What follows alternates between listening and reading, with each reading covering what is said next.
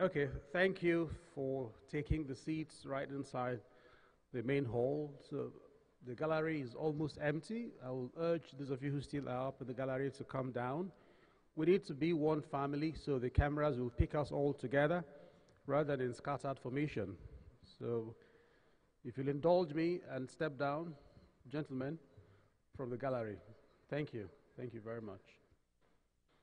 Okay, so I'd like to welcome you to the session for today, which is on startup, tech ecosystem, and innovation. And uh, although it is not something that it has barriers in age, but a lot of our youth, and I can see the National Youth Service Corps members uh, in their numbers here. So in other words, the youth men women, have this more relevant to them. So I'll be speaking for you and to you, essentially, and then listening to you. I said earlier that is your opportunity, your time to make input into the conference report, the conference communique. And the questions will be something like your own understanding of the things that stifle innovation that you want corrected. Right? So we will take note. The whole conference will understand. The second question, if we have time, we'll get into will be what do startups really need? Okay? What do startups? Many of you young persons are already CEOs of some startups. So, what do startups need from your experience? But my first question is what I prefer that we'll start with. What can stifle innovation in the digital economy? Let's hear your views so we can take them down so that those who are really in charge of governance of the ecosystem would feel the pains from your views and design strategies to mitigate them. And I hope my question is clear. What do you think, do you know, could stifle innovation in the digital economy in Nigeria. The hostesses have the microphones. If you raise your hand, they'll come to you and have you make a contribution. Keep it short, straight, and simple so we can cover the grounds at this session. Is also a, a session that feeds into the communique. The rapporteurs are waiting. Are there any hands up more about the youth and women? There are two hands on this side. Please take the mic to them. One, two, in that order. First, second.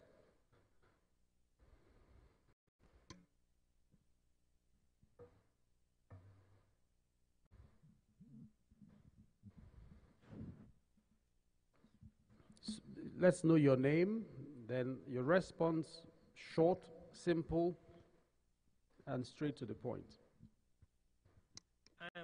I am by name Harun Shurohbil Maikwali, all the way from Plateau State, founder and CEO of Astikis Ventures.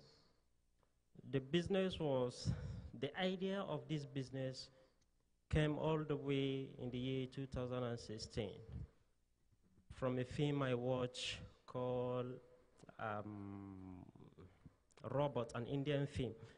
So I, I start brainstorming how will African continent be in this? So the challenge is, is I put to myself, first I have to be an IT guy before my dream will be accomplished.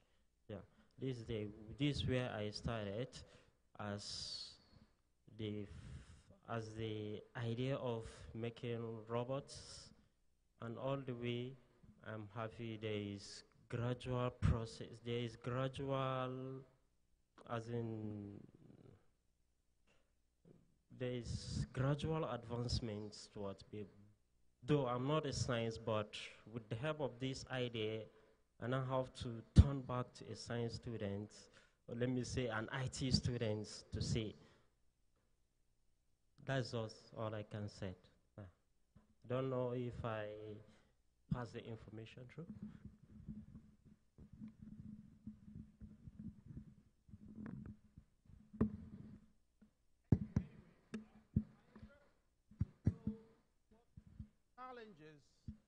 Or what could stifle your kind of innovation? What does the environment that you operate in, for instance, require to proceed? I understand you're making progress already in building robots. Excellent. But the interest was to know what could have stopped you, for instance. But that's fine. You can write it down and let the rapporteurs have it over there. Let's move to the next person. There were two persons. Yes. Yeah. No, no, I said two on this side. There was a hand that was up. Who is it? Was it you?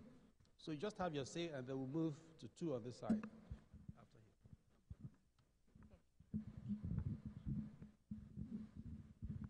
But congratulations, Brigadier uh, Odlo, for being able to build robots. Good morning, ladies and gentlemen. Good morning. Good morning. My name is Anthony Emeka Nnakaogo. And if I'm not mistaken, your question is what could stifle innovation? Yeah. There are a lot of things that could, you know, stifle innovation uh, in our country. Let me just pick a few of them. You just give us one. We'll hear the rest from others. One. We have lack of the basic facilities such as, or infrastructures. such as. Let me use this conference as an instance. We Okay. are having a Digital Nigeria International Conference Mm-hmm. where we are doing digital things. But of course, there is a wireless connection here, but it's not functional. I mean, and if we are to go by what we are doing here, we should have a perfect functional internet facility here. So Okay, I, I hear you applaud. What he's saying, in essence, is functional access to the internet. Yes. sir. Lack of it will stifle innovation. Is that correct? Thank you, sir. Let's move to this side. Now, I, I am rephrasing your, I'm trying to make it short to be capturable in the communique, right? So you understand me. I didn't want to shut you up, Thank but that's very the much, sir. what you're trying to say. Thank you. Uh, good morning, all. My name is Usman Lahir Abdullahi. I'm a Director of Technology Promotion from Bauchi State Ministry of Power, Science, and Technology. Um, from my perspective, one of the issues that hinders uh, advancement in uh, t- innovation, digital innovation in Nigeria, is actually lack of improved cybersecurity. Because when you're talking about digital innovation, digital invention, it's something that you put your talent out there on the internet, and you don't know who has access to that talent that you put out there. So it's something that uh, need to be properly secured. And if our local innovators and inventors are being assured of how secured their talent is, how protected their talent is, I know, based on what we have on the ground, as being on my capacity that we deal with uh, the development of innovation and invention from the grassroots. I know we have a lot of untapped talents roaming our streets, and if we can get those talents, bring them up, and put them on a secured avenue, the internet avenue that is properly secured, and their So, talent if I understand you, sir, you're talking about improve cybersecurity. cybersecurity. But yes, in this sir. sense, it's about IP protection, IP protection. what you call sir. talent. Intellectual protection. intellectual property Yes. protection. Yes, sir. Okay, lack of it will stifle innovation. So Yes. we're recommending that we should do more to protect IP.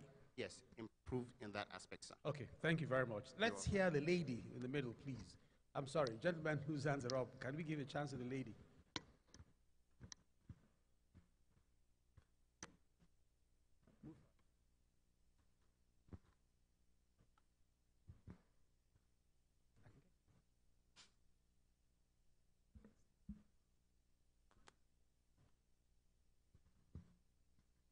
Thank you.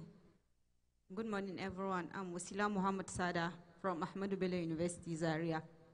My take on this is actually, sir, the fundamental problem we have when it comes to innovation is lack of proper networking, if I may say. Networking between those that have gone far in innovations and those that are starting. Like yesterday in the course of the program, when they're talking about blockchain and so much that you can do in blockchain, I think since 2000 2019, I have done so much of this, but is, I have been looking for a way to link myself to anybody that I can sell this idea to and we do something, and there was no way I could. And another thing is lack So of access to grants. Hold on, the networking. Are you happy you're in this conference? Yes, I'm very happy, but even with the conference yesterday, they didn't give us any direct way that we can access any of those. There was no any phone number that they could that we could Yeah, contact them. There's a sea of heads you could network with. Yes, they would have told us that if you want to network with me, you can contact me. Okay, Those okay, faces are madam. really Okay, mm. sorry, that I'm just cutting short so I get the essence of what you're trying to say. Yes. I hereby release you to network with everybody who's here. How can I say? Can I just go and meet the DJ and Oh, say, Good afternoon, sir? I am. He's sitting in front. You can go to him even now. Oh, thank you He's very a much. perfect gentleman. He will listen to you right away.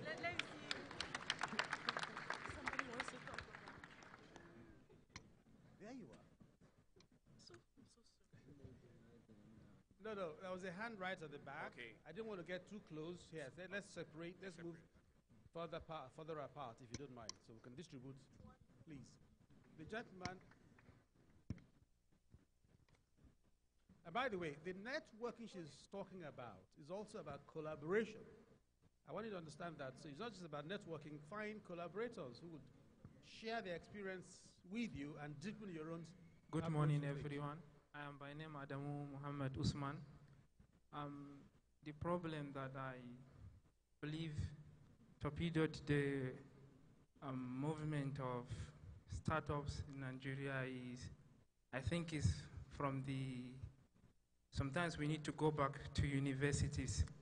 Um, there are a lot of students here I know that studied computer and computer-related courses they went into the university with the passion of doing a lot. So sometimes many don't have access to computers and a lot of things that will help them to do that. And also lack of practical aspect in the universities also hindered the movement very, very well. Because lack of these computers, lack of practicals in the universities, you go and study IT course and IT related course, but at the end you will end up having only the theoretical aspect, not the practical aspect.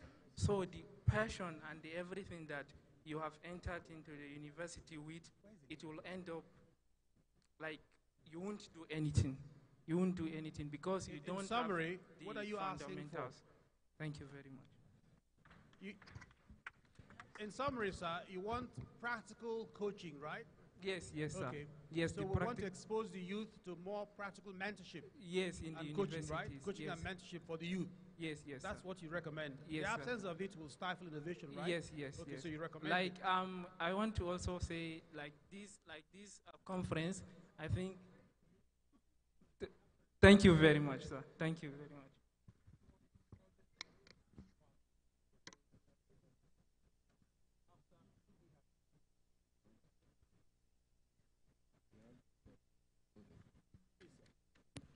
All right.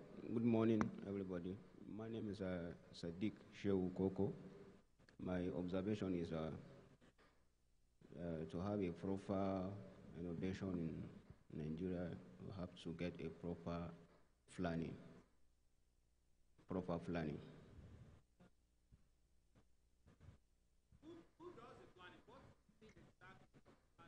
By whom? By the innovators?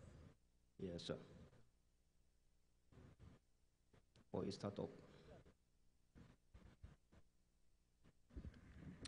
The gentleman seems to be saying that lack of proper planning by startups can stifle their own innovation. Is that correct? Okay, so mentorship can cure that because there'll be a broad range of mentorship programs that include even planning. Okay? All right, thank you. Many hands up, but I need to hear a second lady and then a third lady because men have had a lot of say. Yes, ma'am. Who has the other mic, please? Could you pass it to the lady in Good the middle? Good morning, Yeah. ladies and gentlemen. My name is Faith Okafumba. I'm the founder CEO Sonegy Data Technologies. I think one of the uh, problems or challenges that can stifle uh, startup innovation uh, would be the inability of regulatory agencies to make policies that will encourage startups, like timely policies.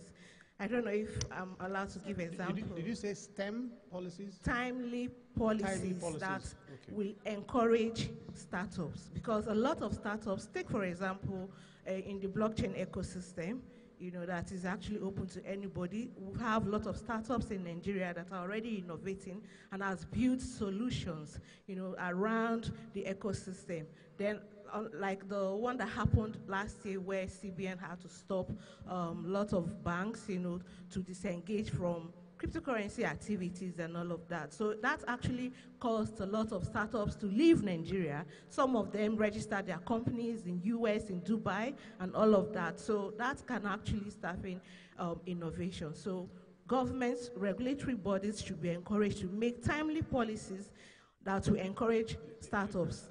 Instead of timely policies, would you want to say friendly policies? Innovation friendly policies? All right, I think that would pass. Okay, because you can have a timely policy that is not friendly to innovation. Right, Exactly. okay. So the lady has just said that regulators should begin to think of friendly policies that support and enable innovation. Is that it, ma'am? Thank you. One more lady right in the middle. If you have the mic, please speak.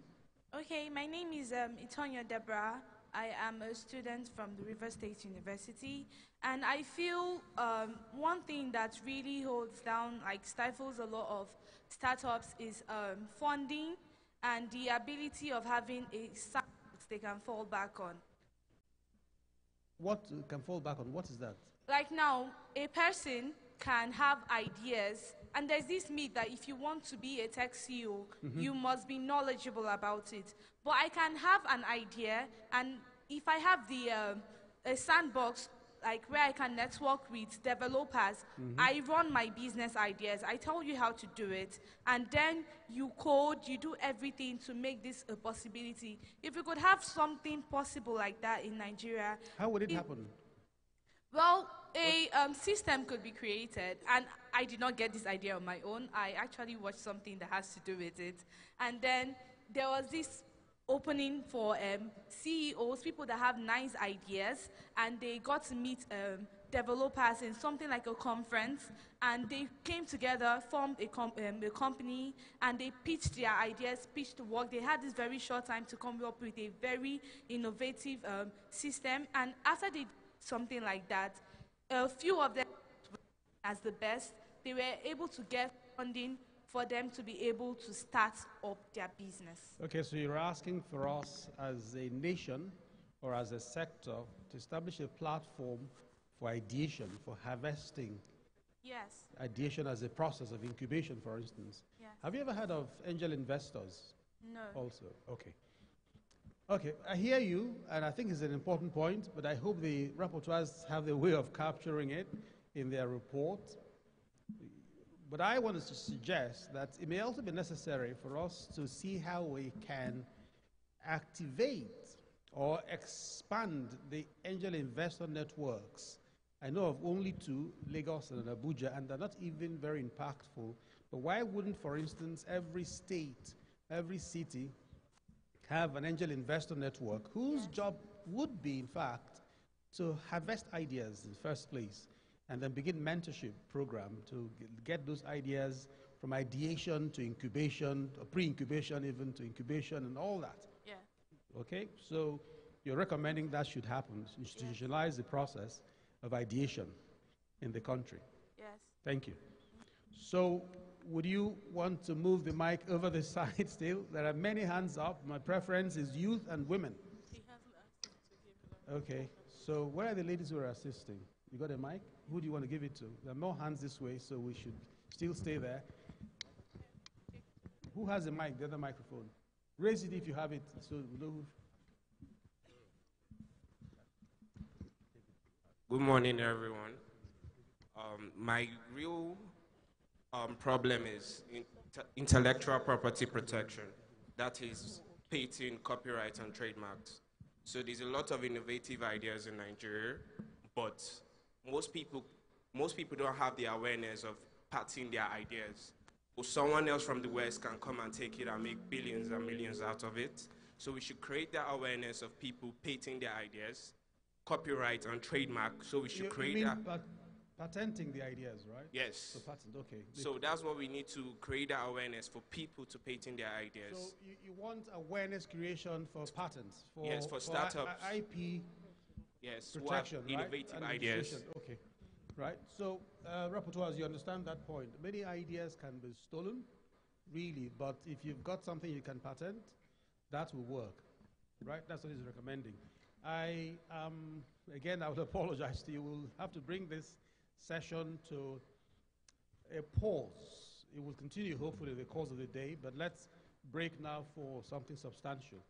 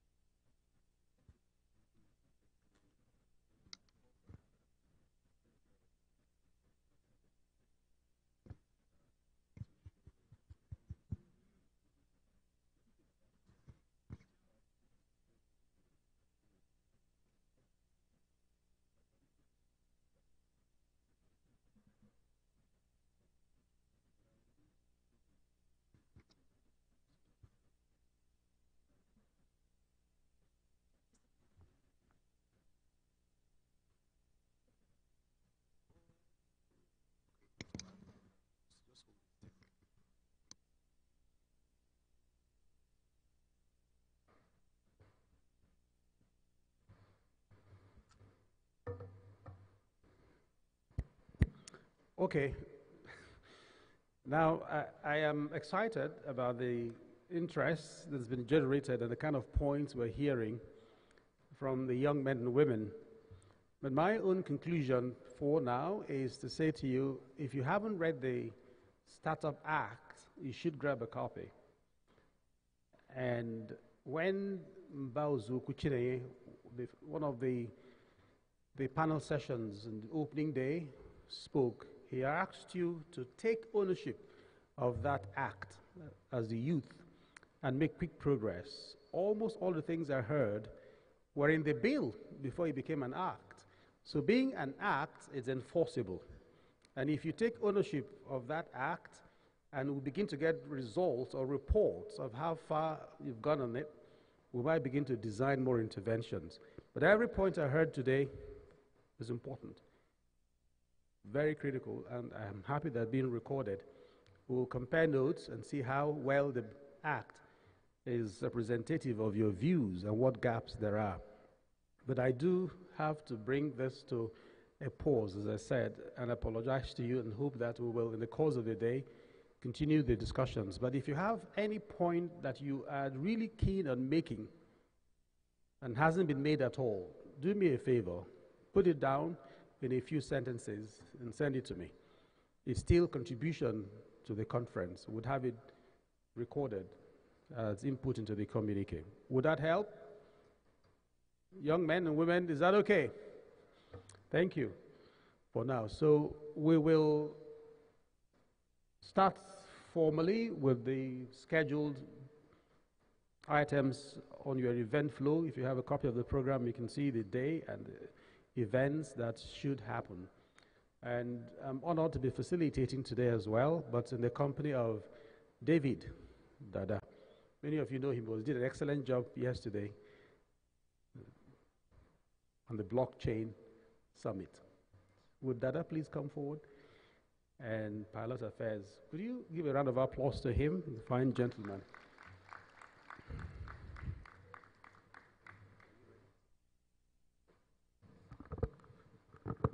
Good morning once again, ladies and gentlemen. How many of you are happy to be here today? How many of you are here happy to be here today? Can I hear you shout, NITDA? No, that energy is too low for me.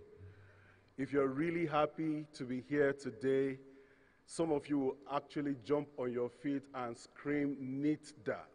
So, can we do that? I'll count to three. You just shout until I ask you to stop. Just keep shouting NITDA. Is that okay? Are you ready? One, two, go. It's all right. Don't worry, you, you'll get used to it. We'll do something very great. Um, I want to specially recognize the presence of uh, the Director General of NITDA, uh, Kashifu Inua Abdullahi CCIE, uh, the CEO of Editing Technology in Nigeria.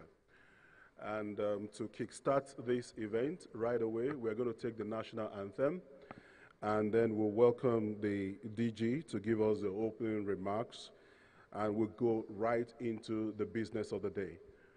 Um, immediately after the remarks, I will be recognizing all the uh, facilitators and panelists here present. Uh, without much ado, shall we take the national anthem?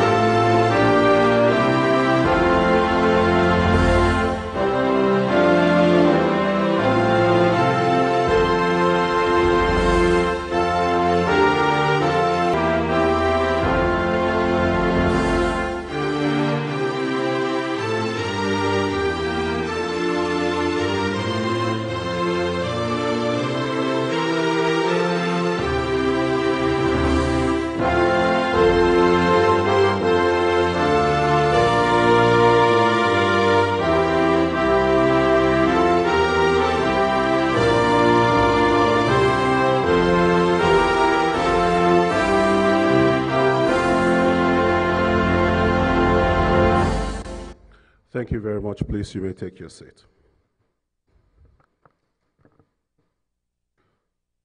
It is my pleasure to invite to the podium the DG CEO of NITDA for the opening remark on this third day of Digital Nigeria Conference 2022, the Startup and Innovation Ecosystem Day. With a loud ovation, ladies and gentlemen, put, put your hands together for the DG CEO of NITDA.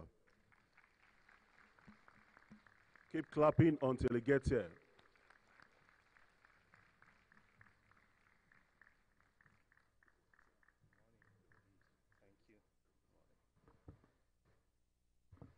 The chairman, NITDA Governing Board, Dr. Saida Bakar, members of the governing board, our distinguished guest speakers from the global community, my dear colleagues from NITDA,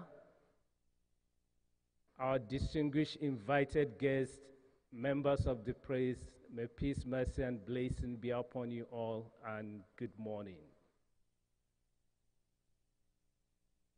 Global wealth and prosperity are not evenly distributed. The level of inequality is staggering across all domains, from individual, cities, countries, gender, and across regions. If you look at the global wealth, 1.1% of the adult population control almost 50% of the global wealth. While from the other end of the spectrum, 55% of the global population control only 1.3%. And if you look across regions, it is the same thing across countries. Out of the 195 95 countries, three countries control more than 50% of the global GDP. Why is it like this? They all have certain things in common. Those countries or those individuals or those regions, they are innovative, they are entrepreneurs, and they have a good ecosystem. Because nobody succeeds in isolation. So today we are here to explore how can we build our innovative and entrepreneurial capacity in Nigeria, as well as strengthen our ecosystem. If you look even across countries, the prosperity is not evenly distributed. You see, some cities are rich, some are poor. Even in Nigeria, if you look at the ecosystem, Lagos alone is controlling almost one quarter of the Nigerian GDP. When you talk about tech ecosystem, I can say more than 50% or 80 or 90%. So why? Why can't we build this kind of ecosystem across every city, every region? Because every city, every region, every country has its own strength and weakness. If we can leverage on the strengths, we can build the same ecosystem and thrive and build prosperity. Because even the developed countries, it's not like that they started. In early 1850s, 70% of the America is rural area. Only 10% of the population had access to electricity. Only 10% finished secondary school. Life expectancy was less than 45 years. And more than 52% of income was spent on food. But today, America controls one quarter of the global GDP. Why? Because of the ecosystem, because of innovation. Because innovation is only thing that lifts countries out of poverty. In America, if you look at the history, the people that make America what it is today are innovators. People like Henry Ford, Isaac Singer, and many more. Even today, they are the same innovators making America proud. Elon Musk, Jeff Bezos, and so on. They are innovators. They are using their innovative ideas to create wealth and prosperity. So, what is innovation? Innovation is invention and commercialization. Some people misinterpret it with innovation is equal to invention. No. Innovation creates value, while invention is a cost center. So to be innovative, you need to have ability to commercialize whatever you invent because the money is in the commercialization, not the invention.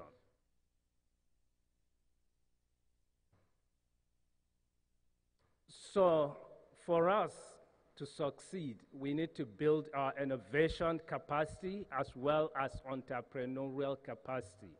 And we can achieve this through building a strong ecosystem. And to have a strong ecosystem, we need all critical stakeholders on board.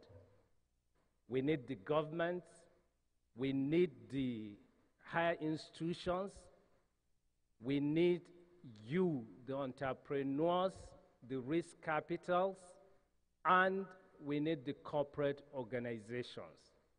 everybody has his own role to play in the ecosystem. The government role is to create an enabling environment and to intervene in unserved and underserved communities in terms of infrastructure, as well as to intervene in terms of policies, regulations, and law. Nigerian government is doing more than enough to level the playing field for you to thrive.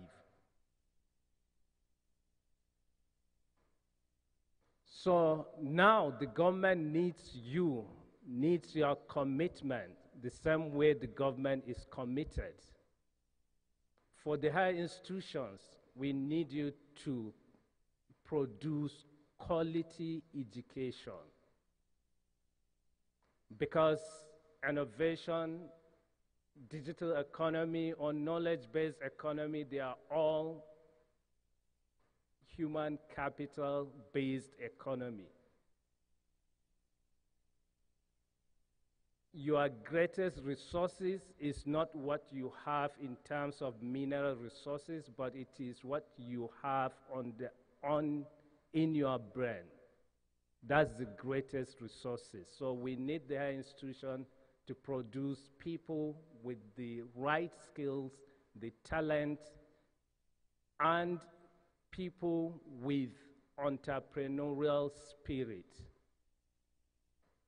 So in this area also, the government is doing more than enough. Beyond the conventional education system, the government is building the talent, is harnessing the talent. We have several initiatives to do that. We are targeting achieving 95% digital literacy because we need the numbers. We need people to have the skills to use the digital technology to consume digital services.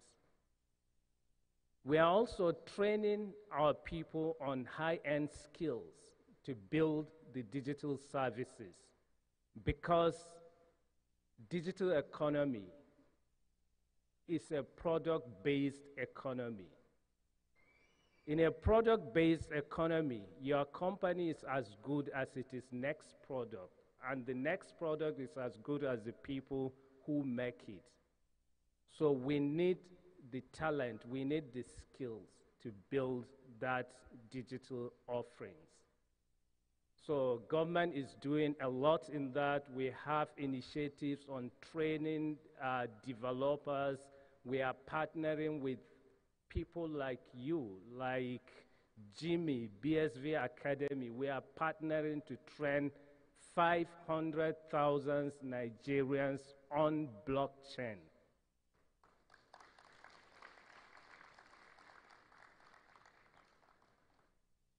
We are also partnering with many more. We are, we've started conversation with David also on how to train Nigerians on artificial intelligence.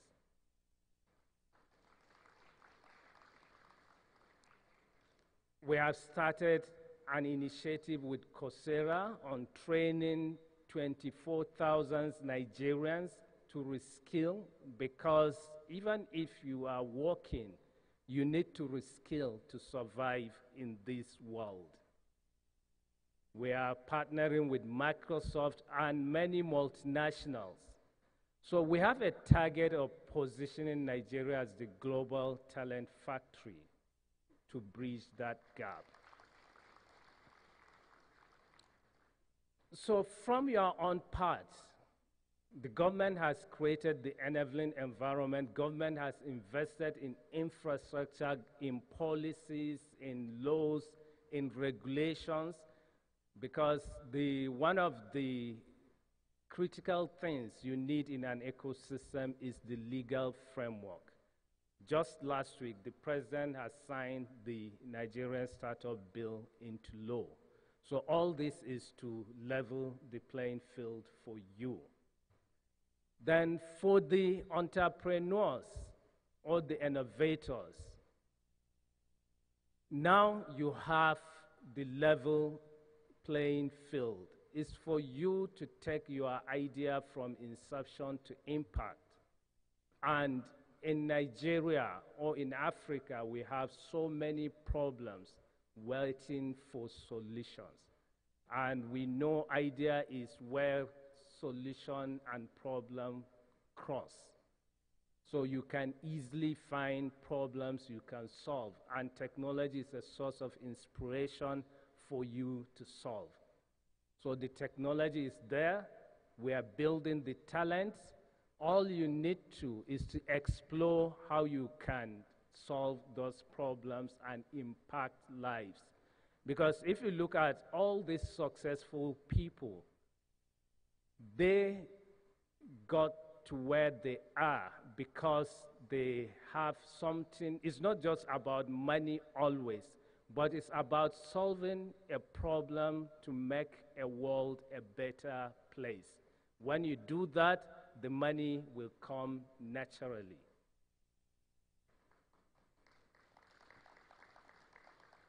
So today we have great speakers from the global community to inspire you to share experience with you so that we can build the Nigerian ecosystem. All the countries, the developed countries, and the rich countries, they started like us. Nigeria was better than America 150 years ago.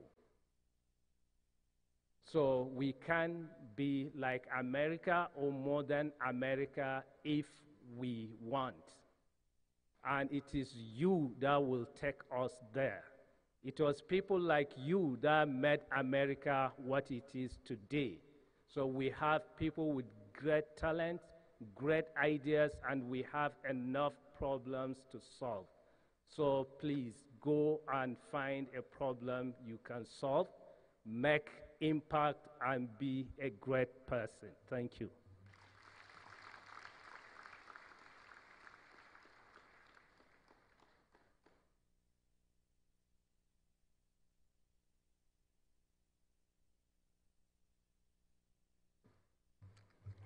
Once again, a round of applause for the erudite CEO and DG of NITDA. I'm sure you can do a lot better than that. Put your hands together for him. Quickly, I want to recognize um, some of our speakers and facilitators here seated uh, this morning. I'm going to start with um, a member of the governing board of NITDA, Right Honorable Abdullahi Bello. Good morning, sir. I'm sure, I mean, we can regular. Thank you very much, sir. Thank you. We also have in our midst this morning, he's been here, uh, I believe, for quite a while now, Sate Satesh Malwani. Good morning. I'm sure people want to see you. Maybe just wave. Uh, all right. Thank you. Thank you very much. Please, uh, a round of applause will do when we call out their names so that they will know that you appreciate them, okay? Maybe you want to do that for Satesh Marwani right away. Put your hands together for him. Thank you. We also have in our midst, of course, Lauren Gamarov is also been here, fantastic uh, speaker. He's the one uh, shaking the DG right now. We also have Salisu Uba in the house. Put your hands together for him. Thank you. Of course, we have Ray Baba in the house this morning. Ray Shama, Thank you very much. We also have James Cisneros is here with us again this morning. Put your hands together for him. He's sitting at the far right where I'm standing. We have in the house this morning as well uh, Abubakar Umar. Thank you very much. Thank you. Of course, we also have Ahmed Yusuf in the house. Put your hands together for him. Ahmed Yusuf. Thank you. Um, apologies if I'm leaving your name uh, out, but I know we have uh, David Edoja in the house. David, can we see you? Thank you very much, David. We also have um, Bemi Akonde in the house. Bemi, thank you very much uh, for coming. Um, I saw Jennifer Chizo just walking in. Thank you also. We can recognize her, please. Thank you. Thank you for coming. Um, we have quite a number of them here. I'm sure as the program progresses, we'll be able to recognize a lot more. How can I forget Jimmy and Nguyen? Jimmy is in the house this morning. Put your hands together for him. All right. He's always making sure that his presentation is on point and no technical issues. I'm sure everything will work out smooth today. So, it's going to be a loaded day, uh, a packed day. If you are a founder of a tech startup, today is designed for you. And quite a number of things are loaded in the panel sessions, in the various presentations that will be made today. And of course, I cannot forget our very own uh, Mohamed Ibrahim Jega. I saw him not quite long ago. You want to put your hands together for him. That's the blockchain man uh, for Africa. Thank you very much. All right, so uh, before I go into, well, maybe I should also introduce myself. A lot of people came to me yesterday that um, uh, I didn't introduce myself. Absolutely sorry about that. My name is David Dada, um, a smart contract developer, and of course, a co-founder at dtcoup.ng. All right, so I'm a blockchain person as well, and also have um, a tech startup that we just got started in July here in Abuja. Now, with that all out of our way, I need to make a few announcements. Just like we did yesterday, we're going to be giving out today not one, not two, but three tablets. If you're happy, put your hands together. How many of you are confident you will win at least one of the three? Not so many people are confident they will win. Anyway, we'll get to see the winner of the tablet today. But for those of you who have been tweeting and retweeting, today is your day. We're going to be giving out a tablet to the highest um, person with the highest retweet uh, for this event. Um, we, have checked as our close of business yesterday, and we're going to put up the name of the winner on the screen and of course you'll be pre presented with your own tablet. Also uh, today, um, there will be quite a number of things around uh, funding opportunities for tech startups and all of that. You probably want to look out for that. Without wasting much of our time, I want to go straight into uh, the first, first uh, session uh, for today. We'll be having um, a plenary session and we're starting with a presentation from the MD Melson Groups, and that is Satesh Melwani. He's going to be talking about innovative ecosystem and investors' perspective. This is something you need to pay close attention to. Uh, not quite long ago, we were at a conference, and I discovered that for tech startups, you, you come with your own vision and idea, but you're oblivious of the investor's perspective of your products and your innovations.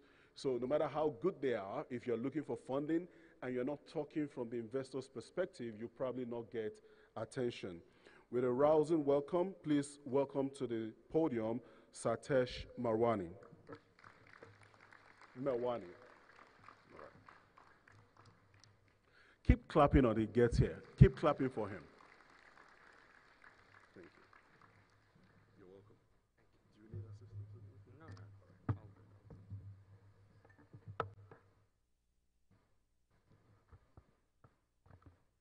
Yeah hello?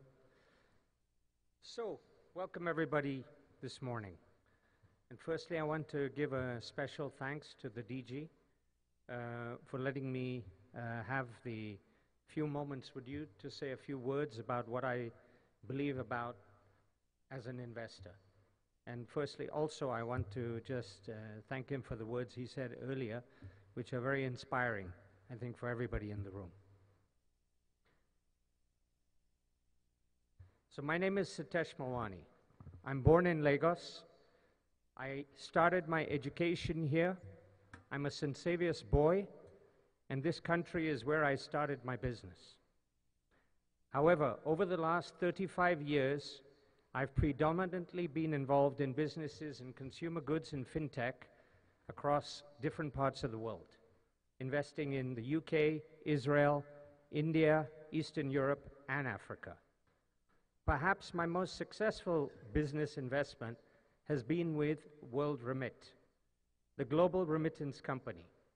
which I helped nurture from an idea on a piece of paper all the way to a business which now has reached a valuation last year of $5 billion. The journey was not an easy one. In fact, when we put in the first check, we did not realize how many more times we would need to keep on putting money in. I spent time working with the founder, mainly on the fundraising side. Finally, we, relate, we raised enough money and had enough traction where we could get the first VC to join us. At that stage, all the early investors were moved off the board, and we all became passive investors. The journey taught me a lot about how aggressive funds can be, and also how shrewd you need to be to ensure you have the rights in the company as both an investor and a founder. Today, till today, I love to work closely with founders. How, however, I learned a very important saying Do you want to be king or do you want to be rich? If a founder says he wants to be king, then maybe he will not understand when is the right time for him to move aside in the company. All companies need to have the right people at the right time for them to be able to do the right thing in their business. O over the fast, past few years, I've been increasingly involved into Africa. That being said, many of the businesses I invest in today are global, and Africa is one part of a bigger portfolio. On the one hand, I look at the relative advantages of Africa as a separate investment case. On the other, I look to integrate my African investments into the global business community, helping to solve helping to solve many of the issues that African companies face, whether it's access to technology, corporate governance, legal issues, mentoring founders, and of course, helping to attract capital. We have successfully ex exited companies in the fintech space over the last few years in Nigeria. One of them we received 16 times on our money. The other one received 4.5 times on our money.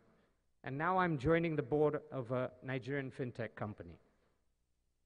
In trying to further help startups with their growing pains, I'm involved as an investor and board member with Edenbase, which is a fund, hub, and more broadly an ecosystem based in the UK, supercharging the next set of game changers responsibly powered by frontier technology like AI, AR, VR, quantum, and blockchain.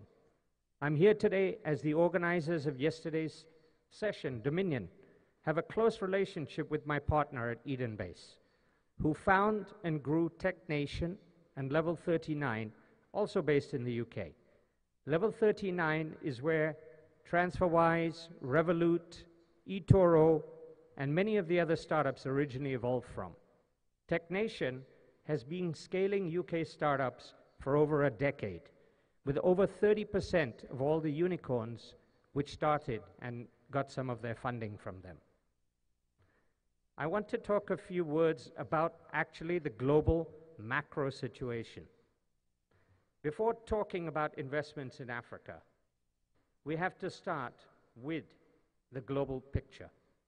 Right now, we are witnessing inflation going up across the world, interest rates going up, the US dollar strengthening, and the cost of capital rising significantly. Over the past nine months, there have been a significant shift in valuations, and most in particular in the technology space, with many of the leading companies having down rounds and even forced to start job cutting. An example is the leading buy now, pay later company, Klarna, which has fallen 80% in value. Right now, unless one is willing to accept a very large discount on their investment exits, routes to see gains are off the table. This, though, has implications beyond just realizing investment valuations, but that companies need to adjust to ensure that they can generate the cash flow needed to survive longer without access to fresh capital. In particular, I note that after two th to three years of global exuberance, due partly to cheap money, excess liquidity, and the COVID world, we have now moved back to reality. Global benchmark stocks have gone down heavily. Western private equity followed. And now we see this particularly following on in Africa. For instance, in Q3, startup investments are down 53%. Year on year, however, the beginning of the year started off very well. This is catching up with the rest of the world. In the US, it was down 24% in Q2 and 50% in Q3. But don't expect this bad patch to be the new normal. This is not a bubble bursting. It's just a slowdown and a move back to more realistic valuations looking at the world economy, in my opinion. In particular, tech investment opportunities in VC offer fast scalability, unlike normal capex heavy brick and mortar businesses. This will ensure it remains a desired asset class. The macroeconomic outlook is not only important in terms of the valuation, but also critically the currency rate. And this is important for global investors allocating funds to countries like Nigeria. Many investors, after all, are dollar investors and are taking large foreign exchange risk when investing into local currency investments. There are ways, however, to partially mitigate this risk by borrowing locally and putting in different structures. Overall, as an investor, I think this is actually the best time to invest as markets and valuations are more realistic. We're coming down to justified valuations away from the recent exuberance. At the end of the day, technology will keep on evolving, and businesses get more efficient by using such tech. The industry is here to stay and transform the way we work and live forever. Why should anyone invest in Africa? Here are a few of my thoughts. In many ways, the investment thesis into Africa is well known to all, and yet few actually action, take action on it. Africa has unique demographics, and over the coming decade will be the only driver of large-scale labor and general population growth. When I look to invest in Africa, I'm generally looking at businesses that solve African problems. This means investing in businesses which help bank the unbanked, expand access to technology such as mobile phones and data, as well as focusing on business that enhance education. Here, the government has a great role to play in continuing to invest in major projects, such as a unified electricity grid, or finding alternative microenergy solutions, which can give smaller towns and villages access to electricity that will enable the entire population to benefit from modern day technology. Additionally, a large focus has to be placed on increasing literacy rates, particularly among women. Without supporting these major blocks of economic and human capital, sustained growth which propels a country towards substantially higher GDP per capita levels, like China has done over the la last 20 to 30 years, will be an unrealized dream. Even taking the fantastic Africa investment story as sometimes independent from global trends, there is still the matter of comparing the extremely diverse continent. Nigeria is competing against many other innovative countries, such as Egypt, Kenya, and South Africa, to name a few. In this regard, government regulation and incentivization plays a very important role in attracting foreign and strategic investors into local companies. Of course, venues such as today's conference are very important to put together businesses with investors and governments in order to come up with the most business-friendly environment that will generate investment, jobs, taxes, and profit for all involved. We have to find win-win solutions for all parties involved. I've based my entire business career on this premise. It is only the only way to ensure long-term partnerships and success. I want to congratulate the government here for recently approving the startup bill on the 19th of October. I'm sure it will greatly help in getting the startup ecosystem to grow further. Growing Nigerian startups. How do we achieve a country churning out billion dollar unicorns. This partly goes back to my point on infrastructure and education investment. But much more beyond that is all about the overall ecosystem which we are, all have a responsibility to grow. Again, I thank the DG for saying those few words of how he's finding ways for people to be trained and educated further in the digital economy. Moving to a more macro level of startup investments, I look for talented and committed founders who are building a great place to work, such that they can develop and keep talented workers. This is a very important aspect, as too often the most talented workers can leave not only to competitors, but even the country as they look for higher wages and more opportunities elsewhere. This also makes life difficult in today's world, as large companies like Google are hiring engineers in Africa at higher salaries as the gig economy grows. In one of my Indian startups, our whole back office is in Eastern Europe. In one of my Nigerian investments, our CTO and head of AI are both based in Amsterdam. Talent must be retained to the point of ensuring they also become shareholders as part of the stock option schemes. At the same time, founders must have enough skin in the game, i.e., shareholdings, to ensure they themselves are motivated. Oftentimes, VCs will try to dilute the founders early on to a point where their interest level disappears. This is never good for a growing business. Founders typically need to be guided by angel investors who can take the company on a journey from a very messy startup to becoming a well organized, globally recognized business that may even be listed on international exchanges or acquired by leading global multinational. I use the word journey with a particular emphasis because the operational costs of implementing top level standards on day one would be too costly and ultimately counterproductive to business development. I spend a lot of my time dealing with the creation of solid corporate governance in the companies I invest in building a board of directors that adds value to the company and makes it attractive for future investors, addressing key legal issues such as where to register the company. Corporate governance is an absolute must in order to raise funding from any international investor, whether it be an Africa focused seed fund or a large global private equity company. With every investment, they are putting their reputation on the line. And one problem investment could have an enormous implication for the investor. As such, if there are areas of doubt on corporate governance, potential investors will walk away no matter how attractive the underlying opportunity appears to be. Let me repeat that. They will walk away. Finally, I want to say a few words about exits. Like any investor, I need to have a clear understanding of how I will exit in the future before I even enter the deal. It is absolutely vital not only to set up clear KPIs and re realistic timelines, but ensuring the company delivers on the promises it makes. Most investors observe a company over a period starting from a quarter to as much as multiple years. And if the company overpromises and underdelivers, then the potential for exit will be significantly reduced. Almost all acquirers of a more mature business expect top level corporate governance and legal guarantees of the business, including fully established licenses, intellectual property protection, and a clean and consistent track record of audited financial results.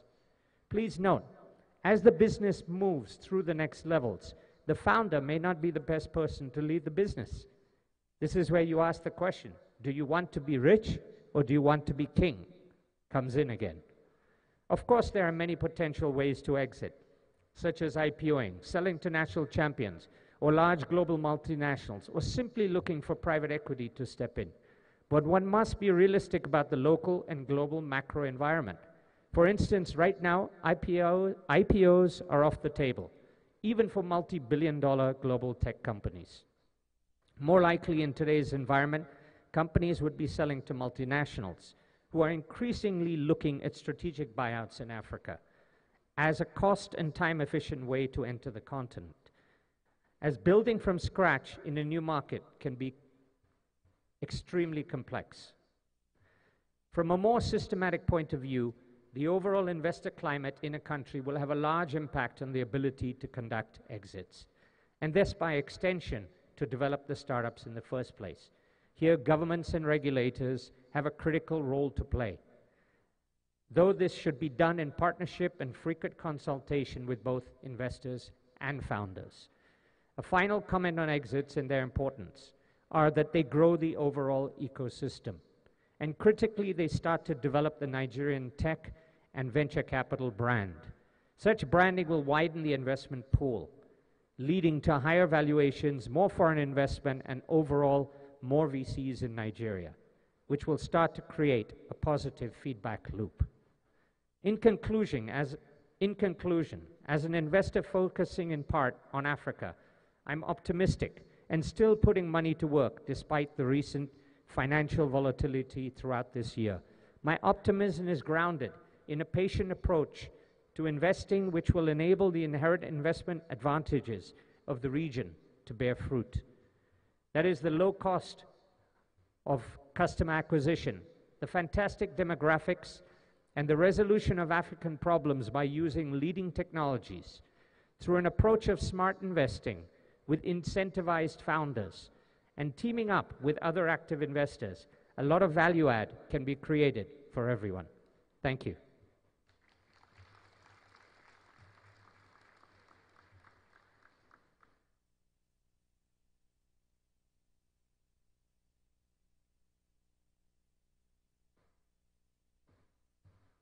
Thank you very much, Satesh, for such a wonderful presentation. Once again, a round of applause for him.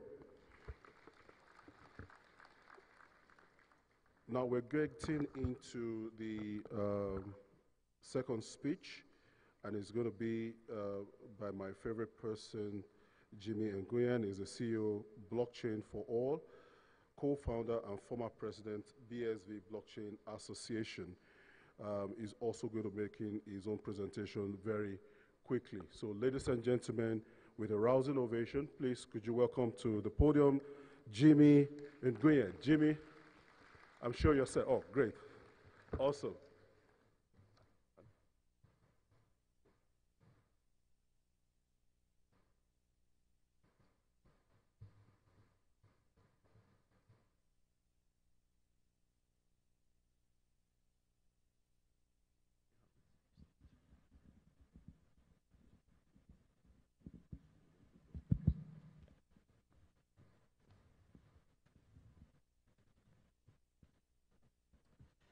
It's time to build.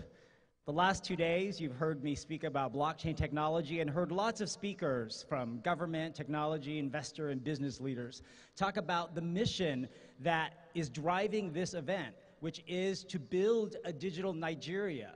But how do we get started? I know there are a lot of young people in the room, a lot of hopeful entrepreneurs, and today I want to spend my time giving you some lessons that I've learned over my career journey about how to help you build startup ventures more successfully.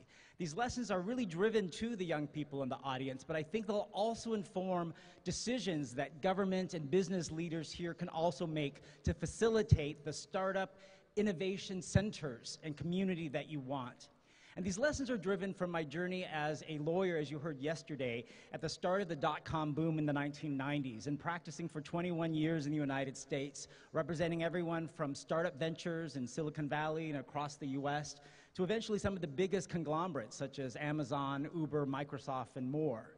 They're also driven by my experience leading efforts in the blockchain technology world over the last seven years and also sitting in the shoes of being a potential investor myself for investments and managing the investments of other people and advising and working with a lot of the startups around the world that engage in blockchain and more. Because blockchain, as you've heard, is just a data structure that can do not just payments and all of these blockchain enterprise applications we talked about, but power the metaverse, IoT, smart cities, and more.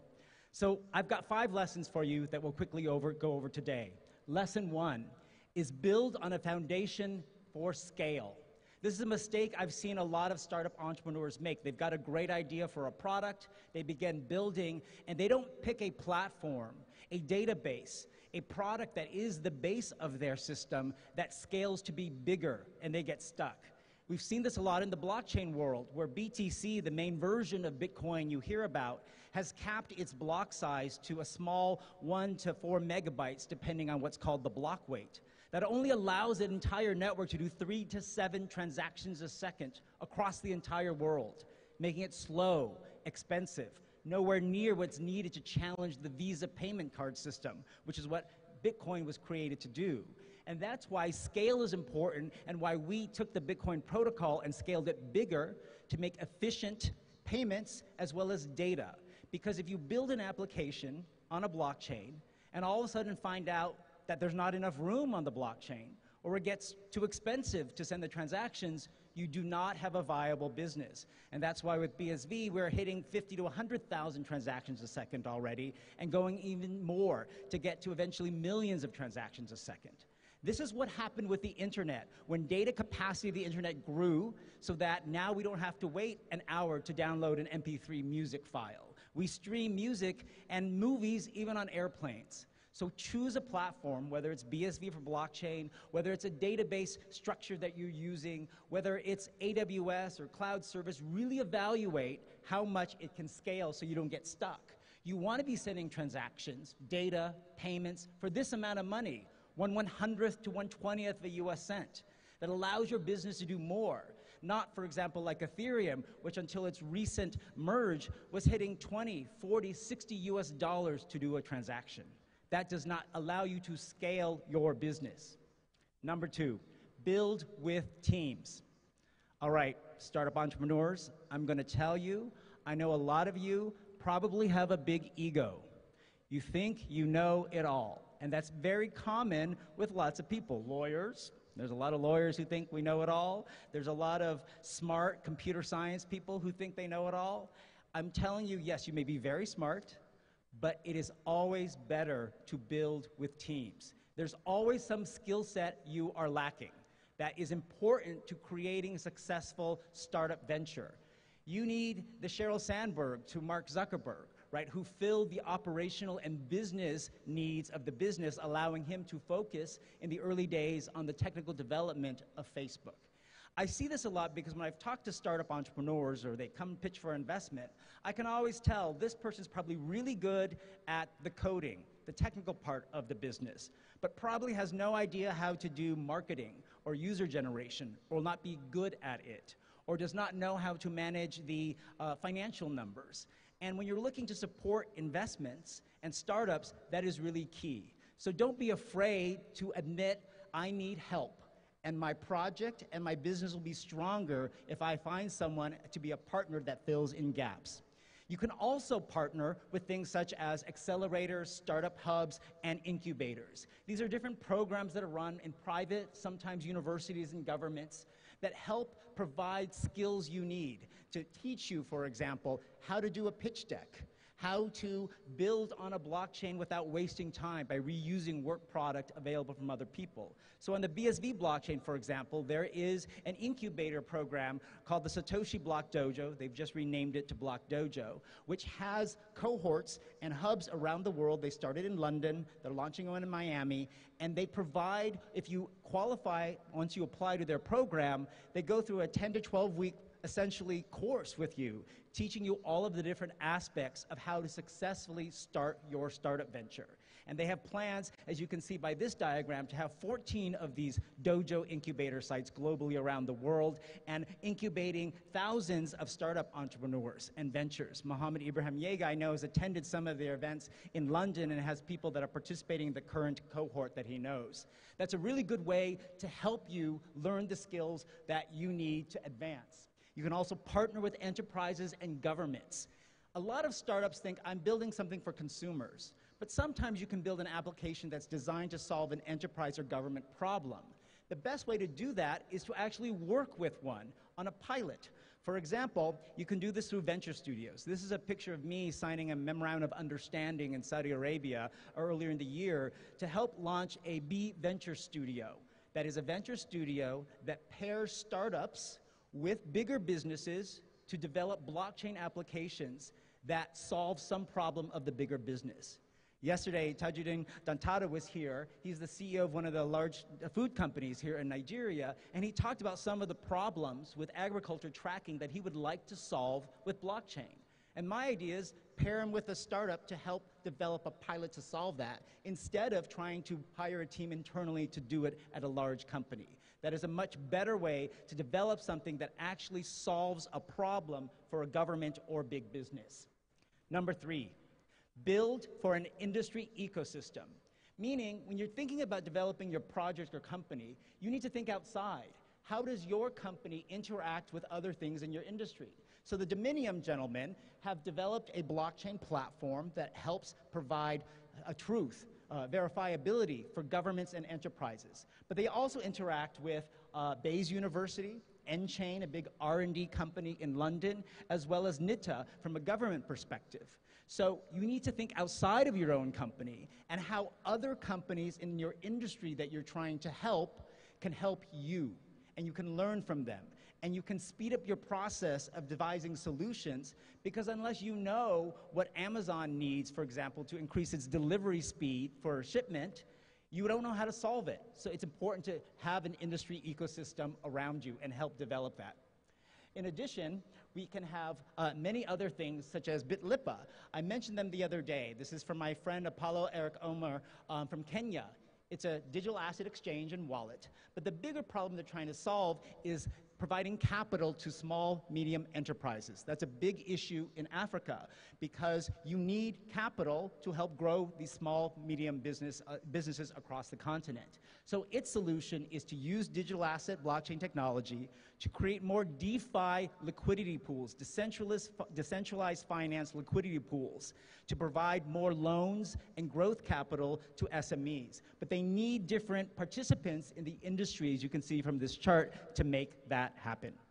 All right. Then our next um, example is DuroDogs. This is an NFT kind of game on the BSV blockchain in which you can create a dog, you can do things with it and add attributes to it. All of that data is recorded on the blockchain. But what they're trying to do is actually, um, uh, they, they want to create an NFT that you can access through other games. So you do it on one game. Because it's on the blockchain, you can access it on other games. Imagine if your Facebook profile pic could be accessed on LinkedIn, could be accessed on TikTok, because it lives on a public blockchain. And the reason this is important from an industry perspective is that they are creating a system where they're connecting with other companies in their ecosystem, game developers, digital good actors, gamers, to create a whole industry ecosystem that links to their product. That is a really good way of trying to actually um, create more opportunities for you. I think my screen went out black. Thank you, gentlemen. Can you fix that, please? Um, and then number four, build with flexibility to pivot. And I want to tell a couple quick stories about some of my friends who are entrepreneurs. You often, when you start, have an idea. You think it's brilliant. You spend time building a product, and then it doesn't grow or succeed as much as you want. And it takes courage at that point to say, you know what? This idea is not working. I can't raise more money. I'm going to run out of money. And you have to change and pivot your business model. So you have to think about that all along. These are two of my friends from New York. They're a married couple, Mike and Kass Lazerow. Uh, a number of years ago, I think around 2010, they started a business called Buddy Media, which originally was an ad network on top of Facebook. This was in the early days of Facebook. They even thought of creating their own virtual currency at the time called AceBucks, way back in 2010. The business did not really grow. And then they had to make the tough decision to pivot, and they pivoted to become a software as a service SaaS type platform that charged companies a fee to use their platform to manage ad campaigns on Facebook. Well, their pivot, which was difficult to do, was very successful.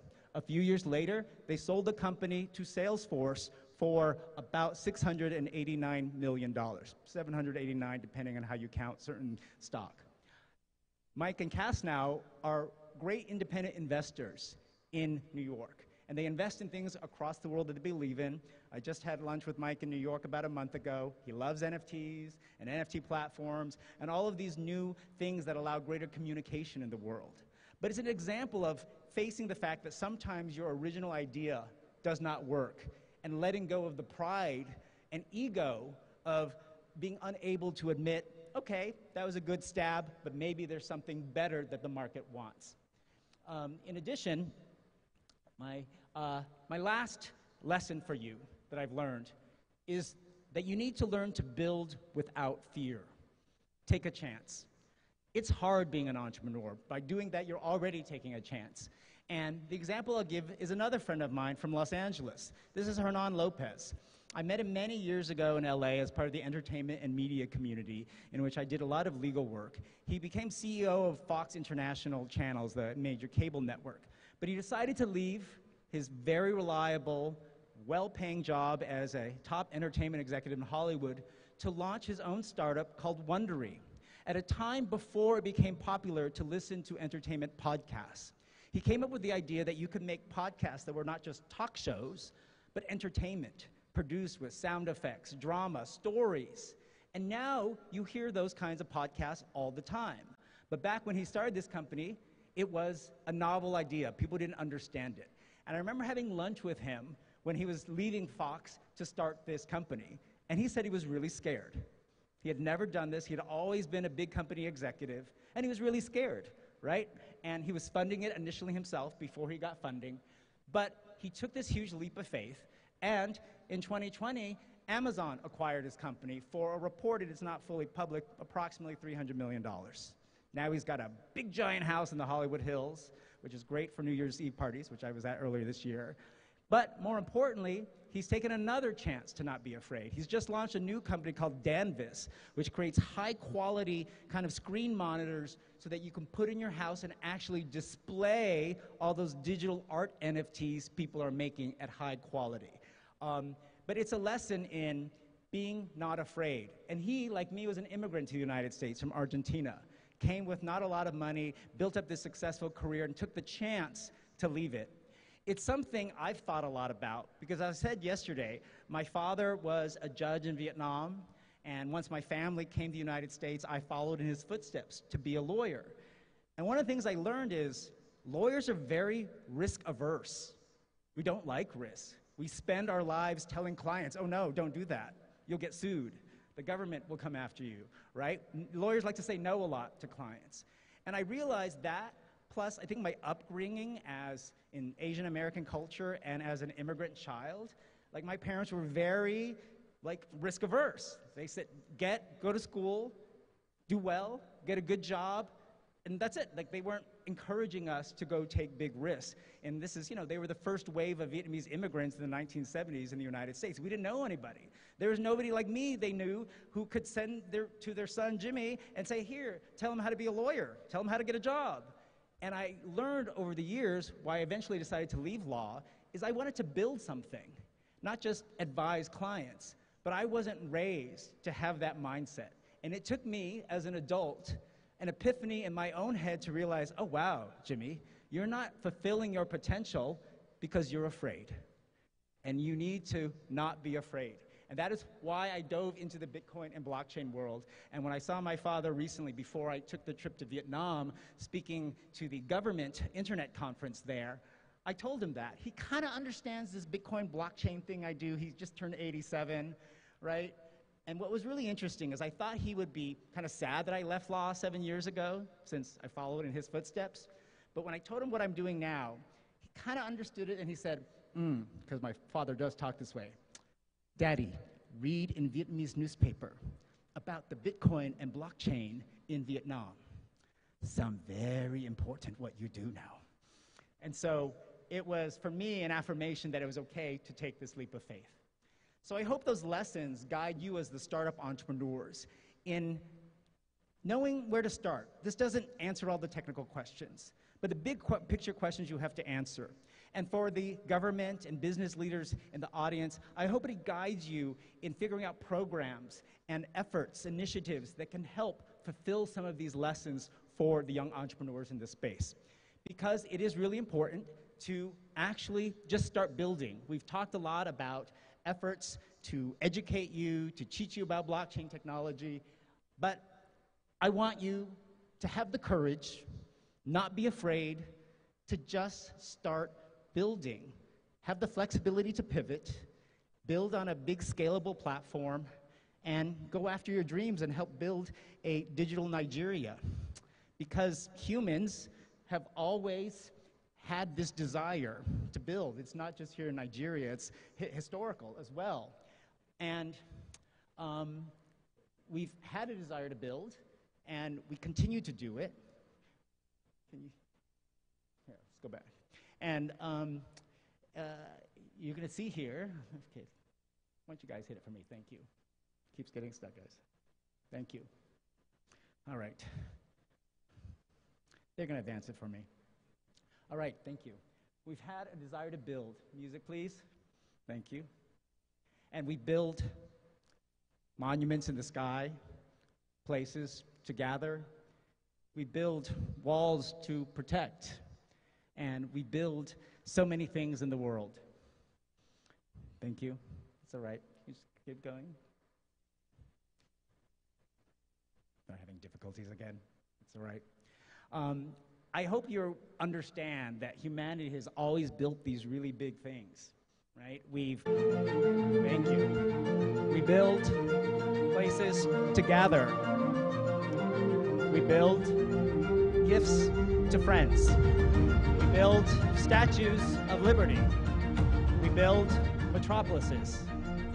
We build bridges and highways to transport us. We build towers of business. We build escalating marketplaces. We build architecture that inspires. And then we built new digital technology, new ways to compute, a medium to broadcast, new methods to communicate and send information, a new global network. We build new value to data. Build new ways to handle money, to pay, to shop, to trade in the global marketplace, to engage in electronic commerce. We build devices that connect us to a smart world. We build an array of digital services that unite the world. We build a blockchain that connects everything, everyone, everywhere with electronic cash and a distributed data network. We build a new reality, a metaverse, a new way to engage physically and digitally. We can build here in Nigeria tomorrow. So, innovators of Nigeria, let's build a world of good.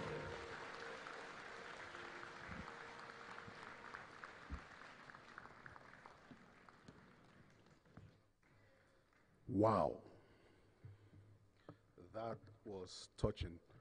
A round of applause for Jimmy once again.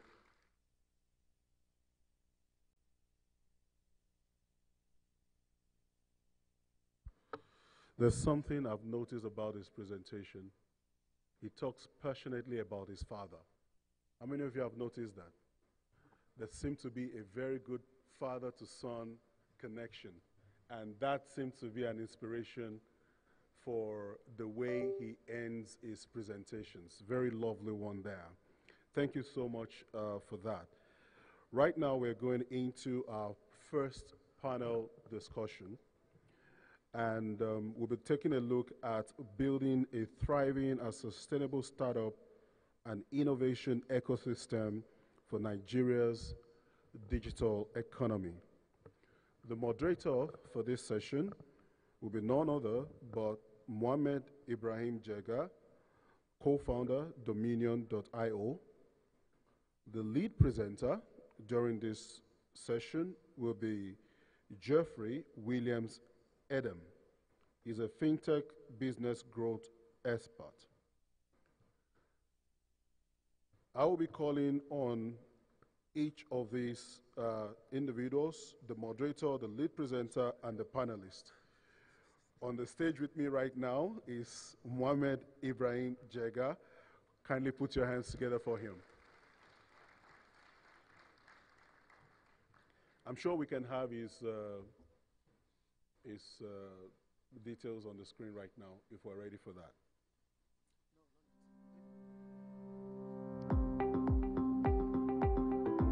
Mr. Mohamed Ibrahim Jega, co-founder, Dominion Blockchain Solutions Limited.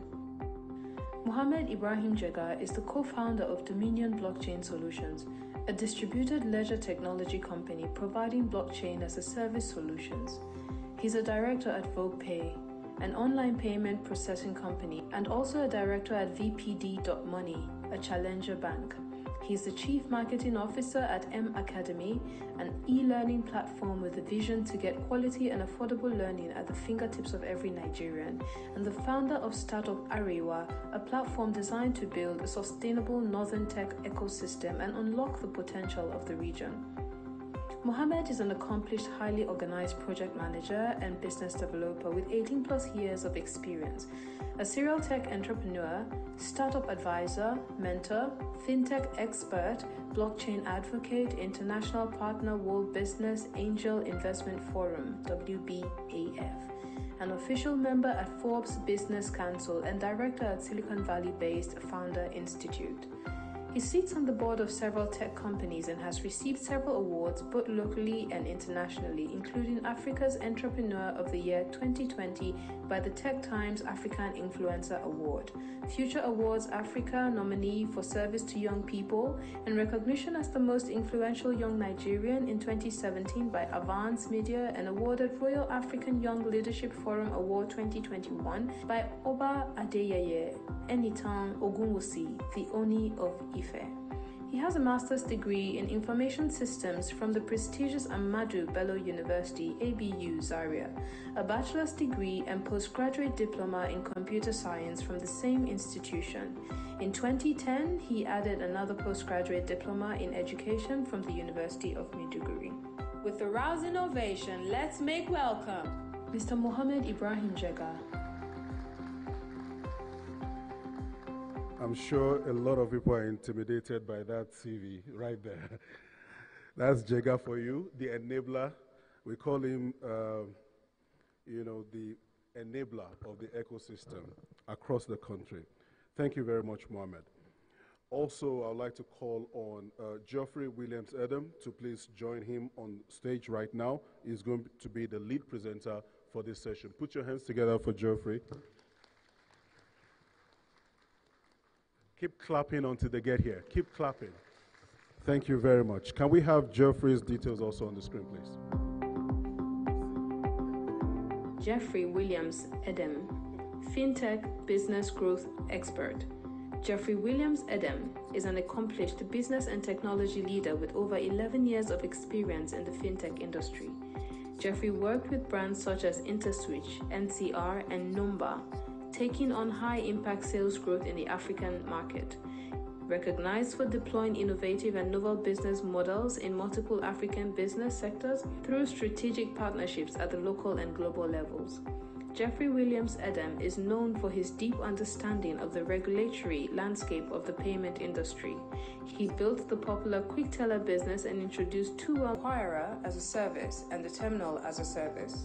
He has a track record of building practical digital business tools integrated with digital payment solutions that facilitate micro and enterprise type transactions, enabling investments for fintech startups to support industry growth.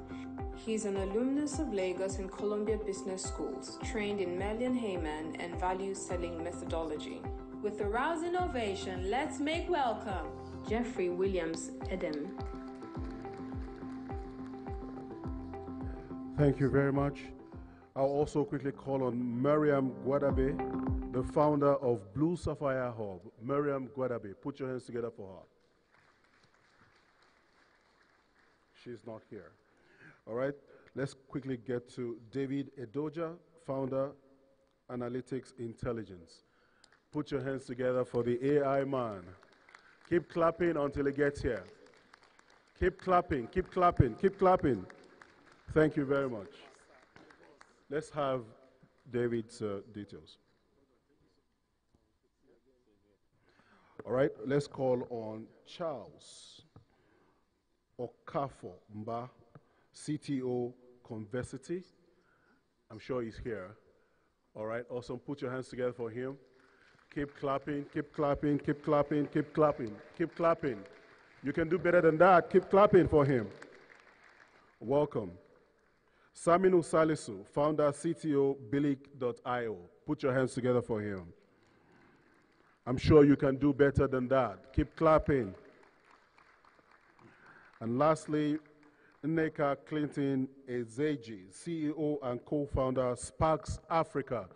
Put your hands together for him. Thank you very much. The session will start in about a minute. Just let me.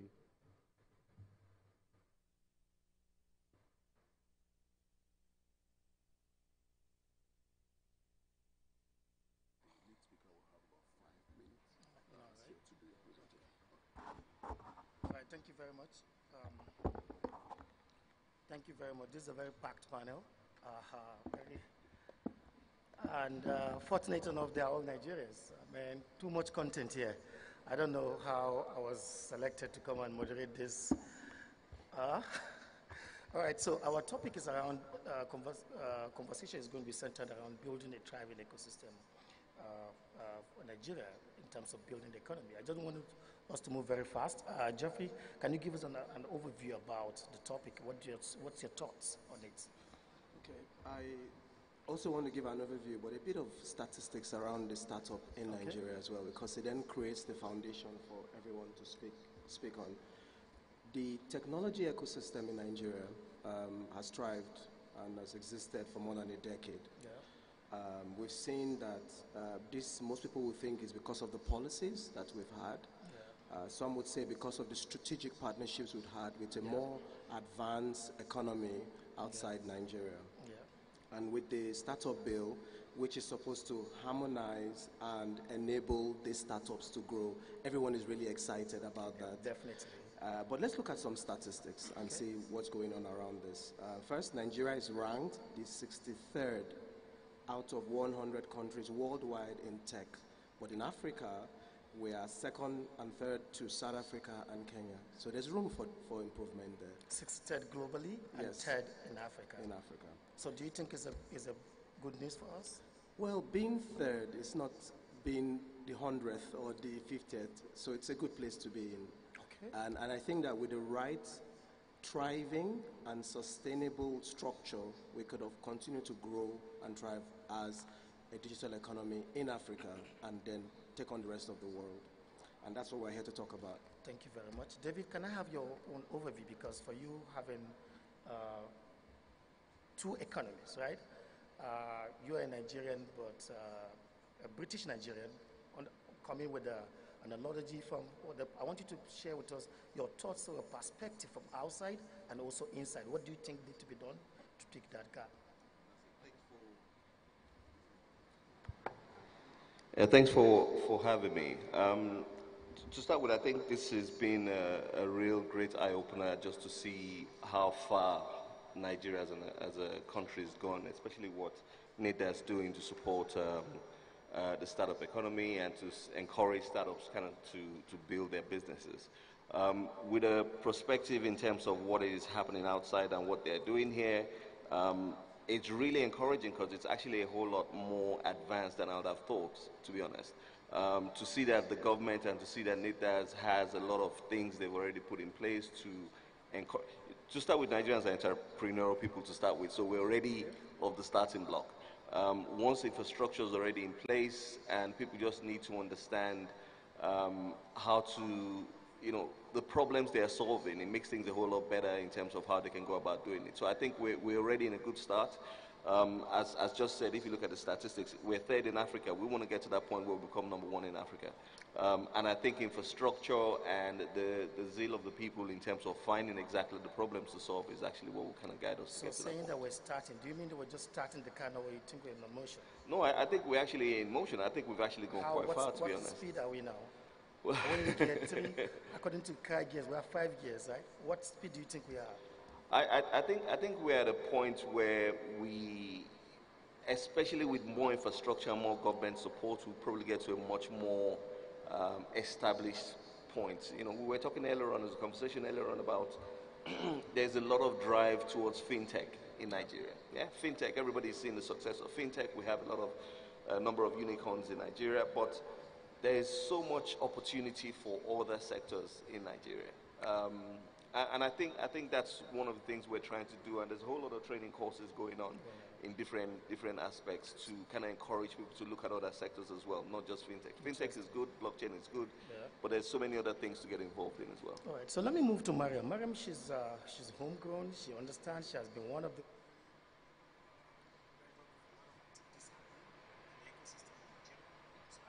she'll give us a very good first-hand information. Maria, what's your own perception around this, please? I want to hear your thoughts from the journey you have now, at least eight years, right, Okay, in the yeah. industry. Yeah. Um, so actually, it's been eight years journey, and um, we have um, worked with various uh, startups, and um, I've mentored a lot of them. Um, the ecosystem is actually growing, and um, there are a lot of innovations coming up, and um, but there is a focus on where we will get funding. More- That's why the fintech is the booming. Um, um, is the booming sector because they focus on that um, area. Actually, we need, um, there is a need to focus on actually access, uh, looking at the problems in the community and um, creating solutions around that. So I think the ecosystem is actually um, growing and it's moving It's booming. It's when you say booming, is it a buzzword or you mean real booming? Because we want to talk about real facts. Yeah. What is the, what's, what, can you give us like three success stories that you know that are closer to you, Yeah. that you have touch with? Yeah. You run a hub, Sapphire yeah, Hub. Yeah. So um, I would say um, uh, one of the success stories that I see is um, um, Wikaswa. Okay. Wikaswa is a startup that um, she has been trying to penetrate the e-commerce market.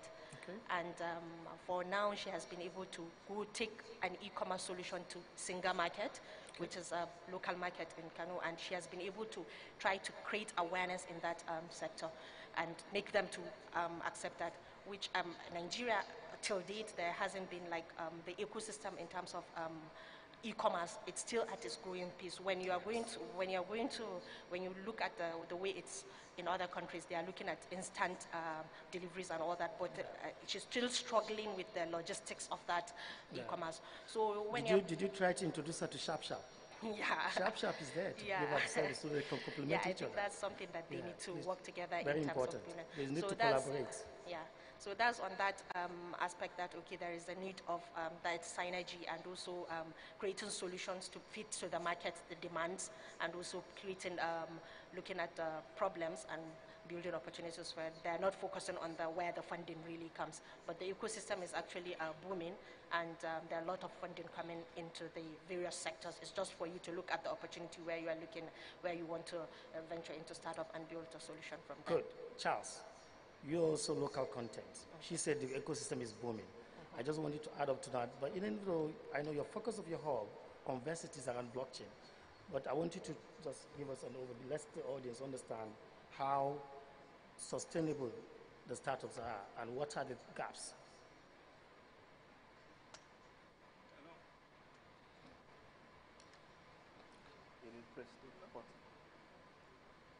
Do you need help?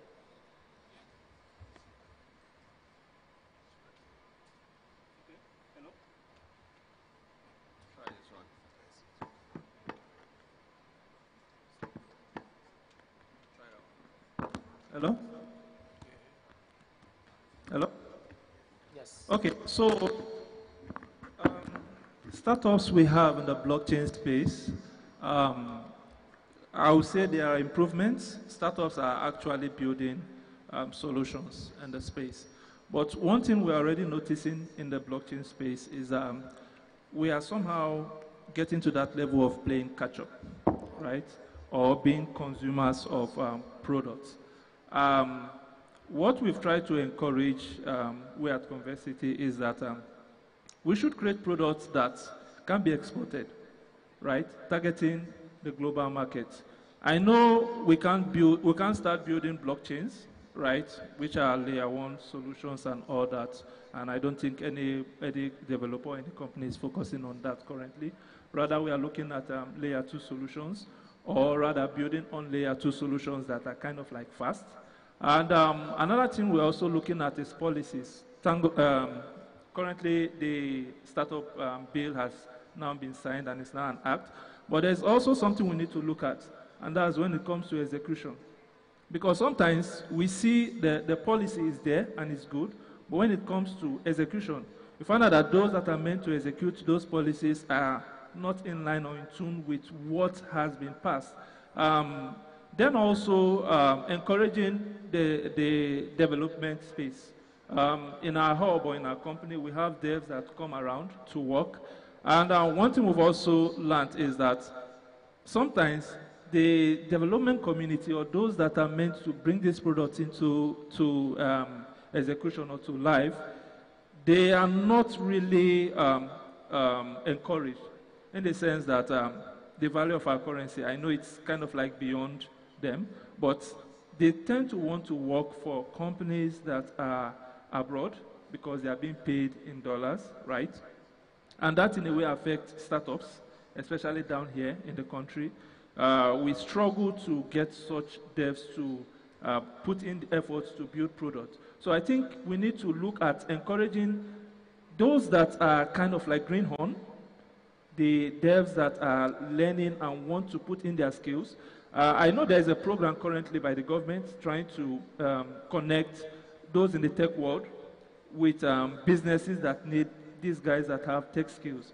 But the problem we've noticed with such program is that the quality of the devs doesn't really match what we need to build project or to build product. So that needs to be looked at and uh, improved upon.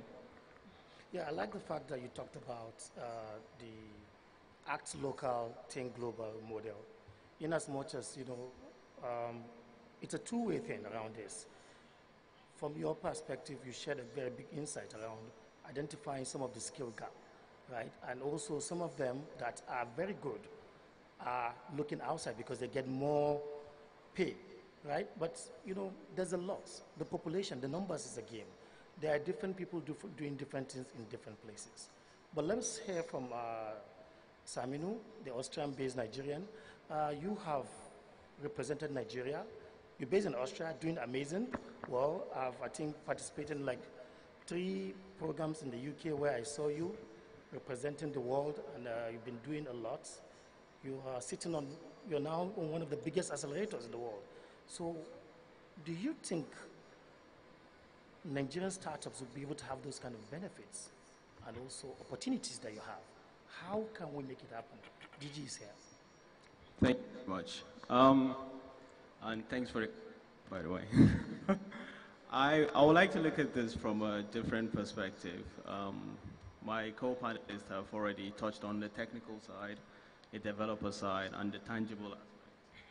Um, I think we need to invest more on the, the intangible side. So let's say empowering the leaders of the startups. Um, people actually invest in people, not just the product. Um, if we empower these leaders, speaking from experience, where they know where, how to actually move a startup from pre-seed all the way to Series A or to IPO, what kind of equities to give out at early stage, who are the type of team members that you need to put on board as your co-founders, how do you actually, how do you build an MVP, and what type of team you need to set up to scale. All those things are skills that you don't really learn when you're sitting in front of your computer and writing code.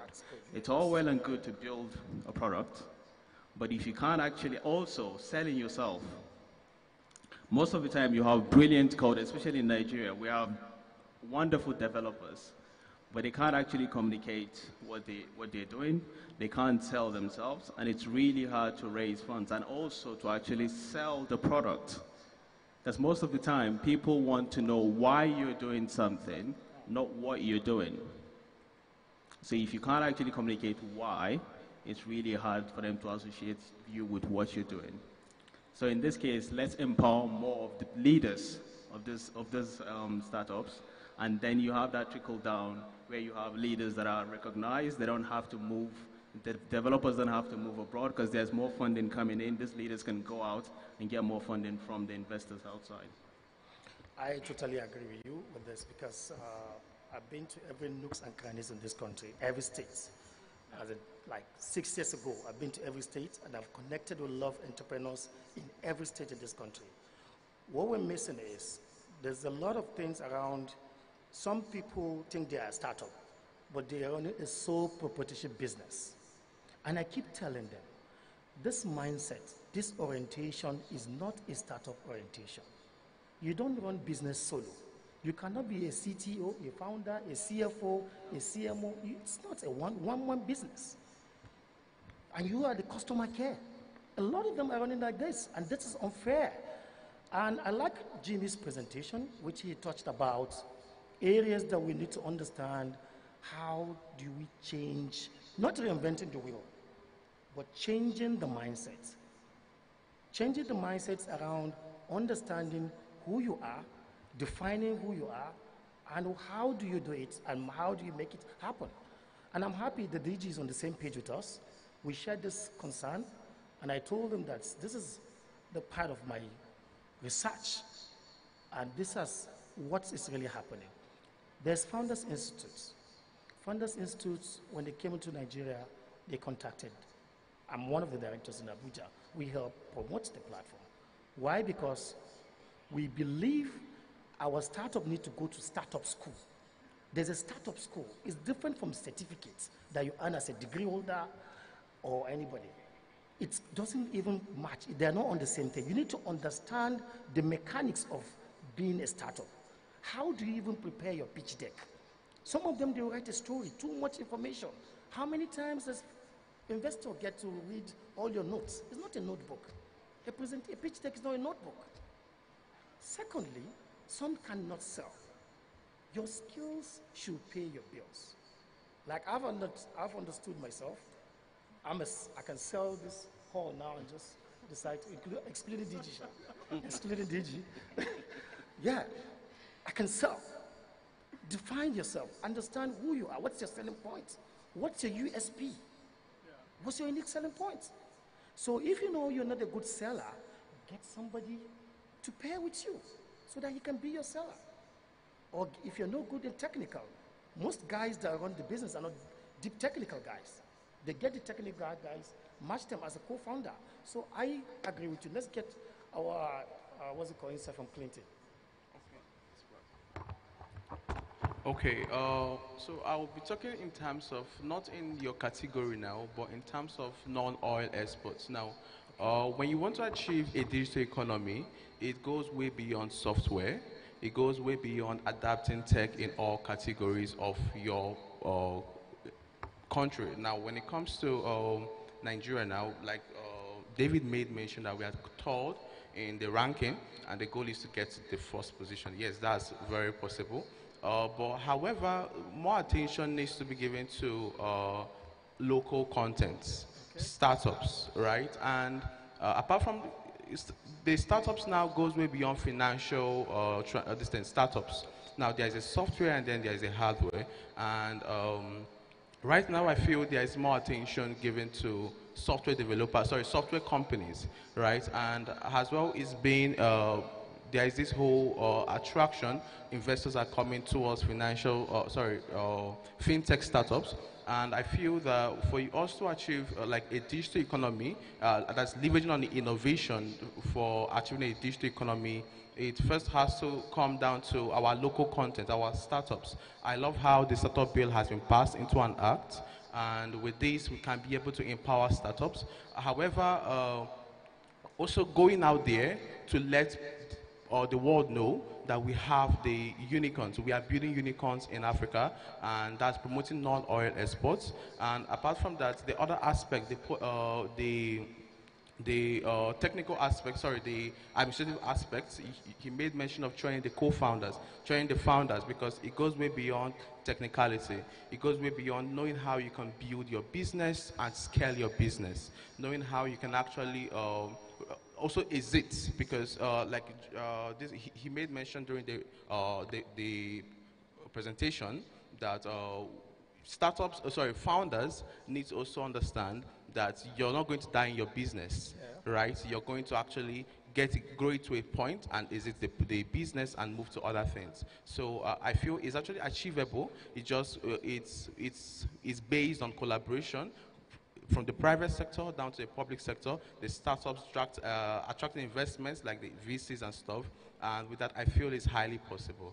Thank you. I like that word. It's about collaboration. Let's collaborate and do more. Jeffrey, how do we do now? It's about now solution. What's the way out? Well, do we have a startup ecosystem to protect? I think that would be the first question I ask anyone. Okay. I think we do.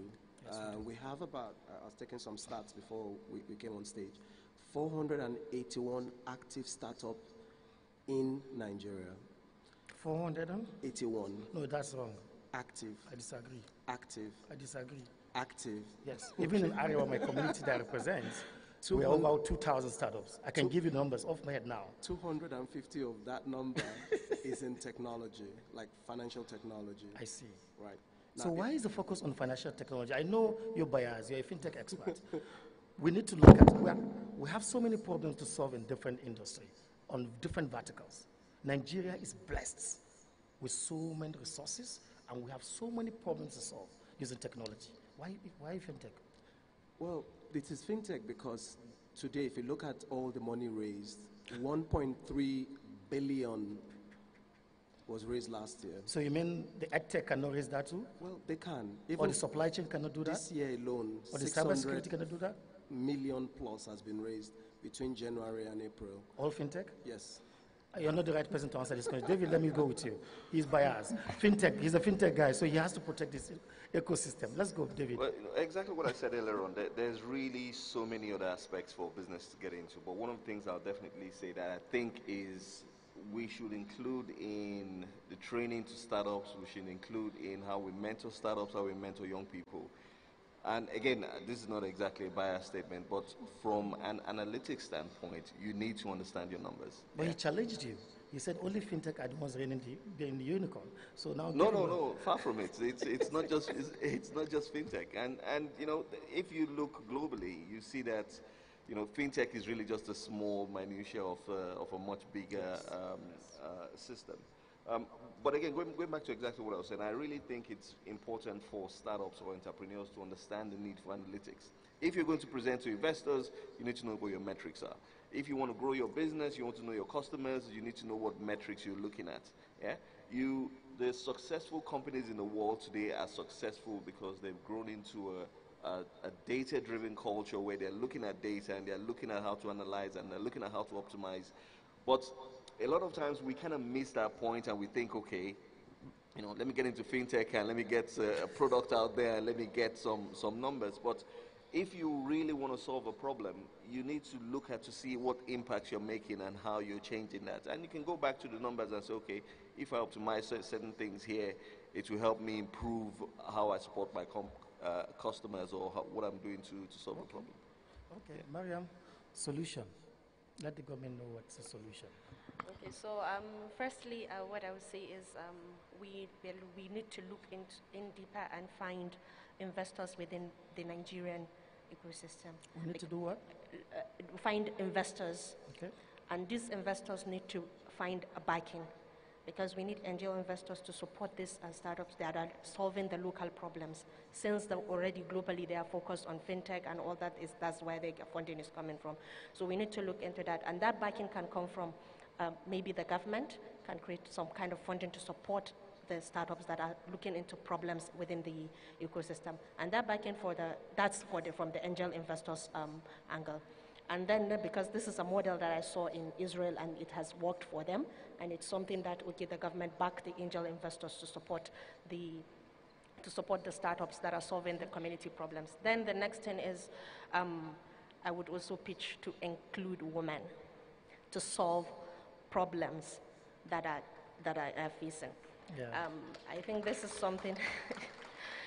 this is something that is really um, that the, the women have ideas. They have been innovating in the food system. They have been innovating in health, but all their ideas die in the in the rooms. So there's need to focus on women, and this is why We Kaswa is there. This is why um, Stugo is there. This is why. Um, a lot of startups are coming in to bring in the ideas, but investing in women needs to be looked into. And, and, I, and um, we would like to see um, there is a lot of change now that is happening in that. Then the next thing that I think that should be done is, okay, focus on building the talent and also the, the youth need to be willing. There are so many situations where um, th- there is a lot of support now, the programs that the uh, DG has mentioned to support the youth because of the talent deficit already we have seen a lot of people ayapa uh, doing yapa so we need to now start looking into those opportunities that have been provided to build talent so that they can fill in the gaps in the uh, startup ecosystem which is the talent deficit for manpower so that's um, something that needs to be done these three things i think if they have been done definitely it will really um, Thank you so much, Mariam. Uh, please, uh, I just need to just mention this very clear. Uh, I was there when Mariam started her innovation hub. I was there over five years ago. I was there personally for the launching. And I saw Mariam's focus. She's been doing amazing well supporting women, women founders. See, please, let's celebrate her, please. So that she can do more. Let's celebrate her so that she can do more. Mariam, thank you for what you're doing. I'm very proud of you. I would like to hear from your perspective. I'm happy you're a blockchain advocate. So, do you think we're going to have unicorns from the blockchain space? Yes, Dominion is going to be the first unicorn in Africa. Let's hear from you. Dominion is going to be the first blockchain unicorn in Africa. Did you hear that? Okay. Say yes. Thank you, Ray. yeah, man. so let's go. Yeah, if you win, we all win, right? Yes, okay. we win. so, um, yeah, definitely we are going to get that. Uh, there's something we always advise startups in our hub or anybody that comes to meet me or my partner, Deji. We ask, why do you want to use blockchain in your solution, right? Because everybody wants to throw in the blockchain world and all that into what they are building. So the first question is, why do you want to use blockchain in it? And the way we've been building our own solution is we just look at the blockchain as a tech that we can use to solve a problem. Say, for example, we built a solution around um, humanitarian aid transfer that enables um, donors and NGOs to manage how they distribute aid to um, uh, the less privileged or those that are in need and all that. Now, if you are using that solution, you won't even know that blockchain is attached to it. We have another one that has to do with airline. I know a lot of us have been disappointed when it comes to uh, flight cancellation or flight delay and all that. Now we built a startup around that. If we tell you that there is blockchain attached to it, you won't know. So my advice to startups that are building or people that are building in the system, don't focus on just blockchain, blockchain. Focus on your business model, focus on the solution you want to really achieve because your end users, they might not even really be interested in the whole blockchain of a thing. We are just, we are the ones really pushing this mantra of blockchain. Then also, I think we also need to focus on the infrastructure. Um, currently, building um, a, a, solution around uh, the blockchain, you still need some layers of Web 2. And that involves you getting cloud, um, cloud storage and all that. And to be frank, with the way the dollar is uh, galloping against the naira, it's not easy um, paying for cloud hosting infrastructures and all that. So if we can get local infrastructures can use for their solutions and paying in Naira, that will go a long way. Then also, finally, um, building a solution as um, a startup. I was once um, a blockchain solution architect for a bank down here in Nigeria. And we built this solution. After building it, I was like, what's the problem? Why is this solution not launched? They say regulation is holding it. So for startups here, you are free to explore. You are free. You are not too tied down by stringent regulations that are out there. So go out there and build, and let's let's start celebrating more unicorns in the blockchain space. Thank you, uh, Saminu. As a cybersecurity expert and a digital asset expert, why there's a lot of people losing money, and they're keeping quiet.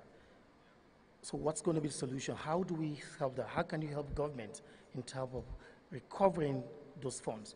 I know you're doing something with the UK government, so please, can you help? Because we're talking about solution now. Um, thank you very much. Um, with regards to the digital space, it's not like the, the Web 2, you can speak to a customer service, you have a middleman. Um, unfortunately, in the Web 3, when you lose money or when you defrauded online, it's a really lonely place to be. Um, always, people don't want to actually talk about it. Um, and if they do, they want a secure channel to have that conversation. Um, also, there is a reputational um, risk to it. Most companies that we're currently working with, um, they don't want the information to go out because it might affect their shareholders, it might affect their customers' trust as well. Um, but we need to, um, the government needs to push more on the aspect of um, uh, awareness with regards to the risk associated with using um, blockchain, innovative technology blockchain. And also there needs to be a lot of awareness on the user side um, create more um, training materials and uh, marketing around how to actually securely navigate, especially with the eNaira continuously being built on a blockchain. Um, when that comes, uh, when that becomes open, there's going to be a lot of third-party integrations into it, and with that comes bad actors, unfortunately. Um, and uh, with regards to that, actually, we're also working on um, with uh, the Attack Africa, Technology Against Crime Africa, the Interpol arm in uh, Nigeria here, to set up crypto desk where people can anonymously report um, stolen funds. Because we've, we've realized that people don't actually want to talk about it Yeah. because of reputation. Which that's one of the things that we've, uh, we're currently pushing. Thank you. Clinton, what's your thoughts on this? Okay, uh, so firstly, I want to lay a premise. Uh, so it's Spark Africa, and what we do basically is to democratize luck. So we go to empower uh, young people with talent and skills, and then budding founders, and then we tend to we link them up with funding opportunities, and we fund them. So. Uh, I want to say something very clear, and if we don't get it right, we may as well go home, which is the fact that the aim of tech is to solve problems. It's, it is just a leverage, and we're all using tech to solve problems. And uh, when you make mention of putting much emphasis on financial technology, I feel it's because of that's where lots of problems abound. Now, uh, we once went to Kano State, and then we found a 17-year-old kid and he was building he built a robot that helped to pump water in his community with nothing less than scraps. And uh, you see that kind of person needs funding. And that, that kind of person needs to uh, be given the opportunity to showcase what he has to do. So um, I feel if you're a startup, if you have a great idea, if you're trying Yeah. to build stuff, it should be based on solving problems around you. It Very important, Be, it very could be in uh, maybe you you see a problem with uh, logistics. Yeah. Now you now use tech as a leverage to solve that problem. Now uh, InterSwitch saw, saw a problem, and then you now said, okay, how about I build a payment uh, gateway or a, a payment solution to solve that problem? Yeah. We see Flutterwave, we, we see Play, uh, Paystack out there. It is because they found an issue and they made mention, uh, they made sure to solve that issue as soon as possible, and they were given that leverage. Yeah, so. uh. Tech is being pushed out there, and i- i- all you should know is that tech is a leverage, and you just need to use it to solve problems around you, and just make make sure, just make sure that uh, you solve problems because that's the only way you Thank- can be able to get a lot of market entry and be able you. to scale what you do. Thank you. Thank you, Clinton. Thank you so much. Saminu, let's get your parting words. What's the message for the startups? One word. What's the message for the startups? Startups and innovators. message I would have, and speaking from experience, is get your cap tables intact. Because if you give out too much equity at an early stage, then you're capping yourself. You can't grow. Oh, get your cap table intact. Charles? Yeah. Mine would be um, if you are a virtual asset service provider, know about the regulations that are out there, especially the VASPs uh, that has to do with the travel rule protocol, uh, so that you don't uh, fall on the right, wrong side of the law. Don't go on the wrong side of the law. Thank you. Mariam?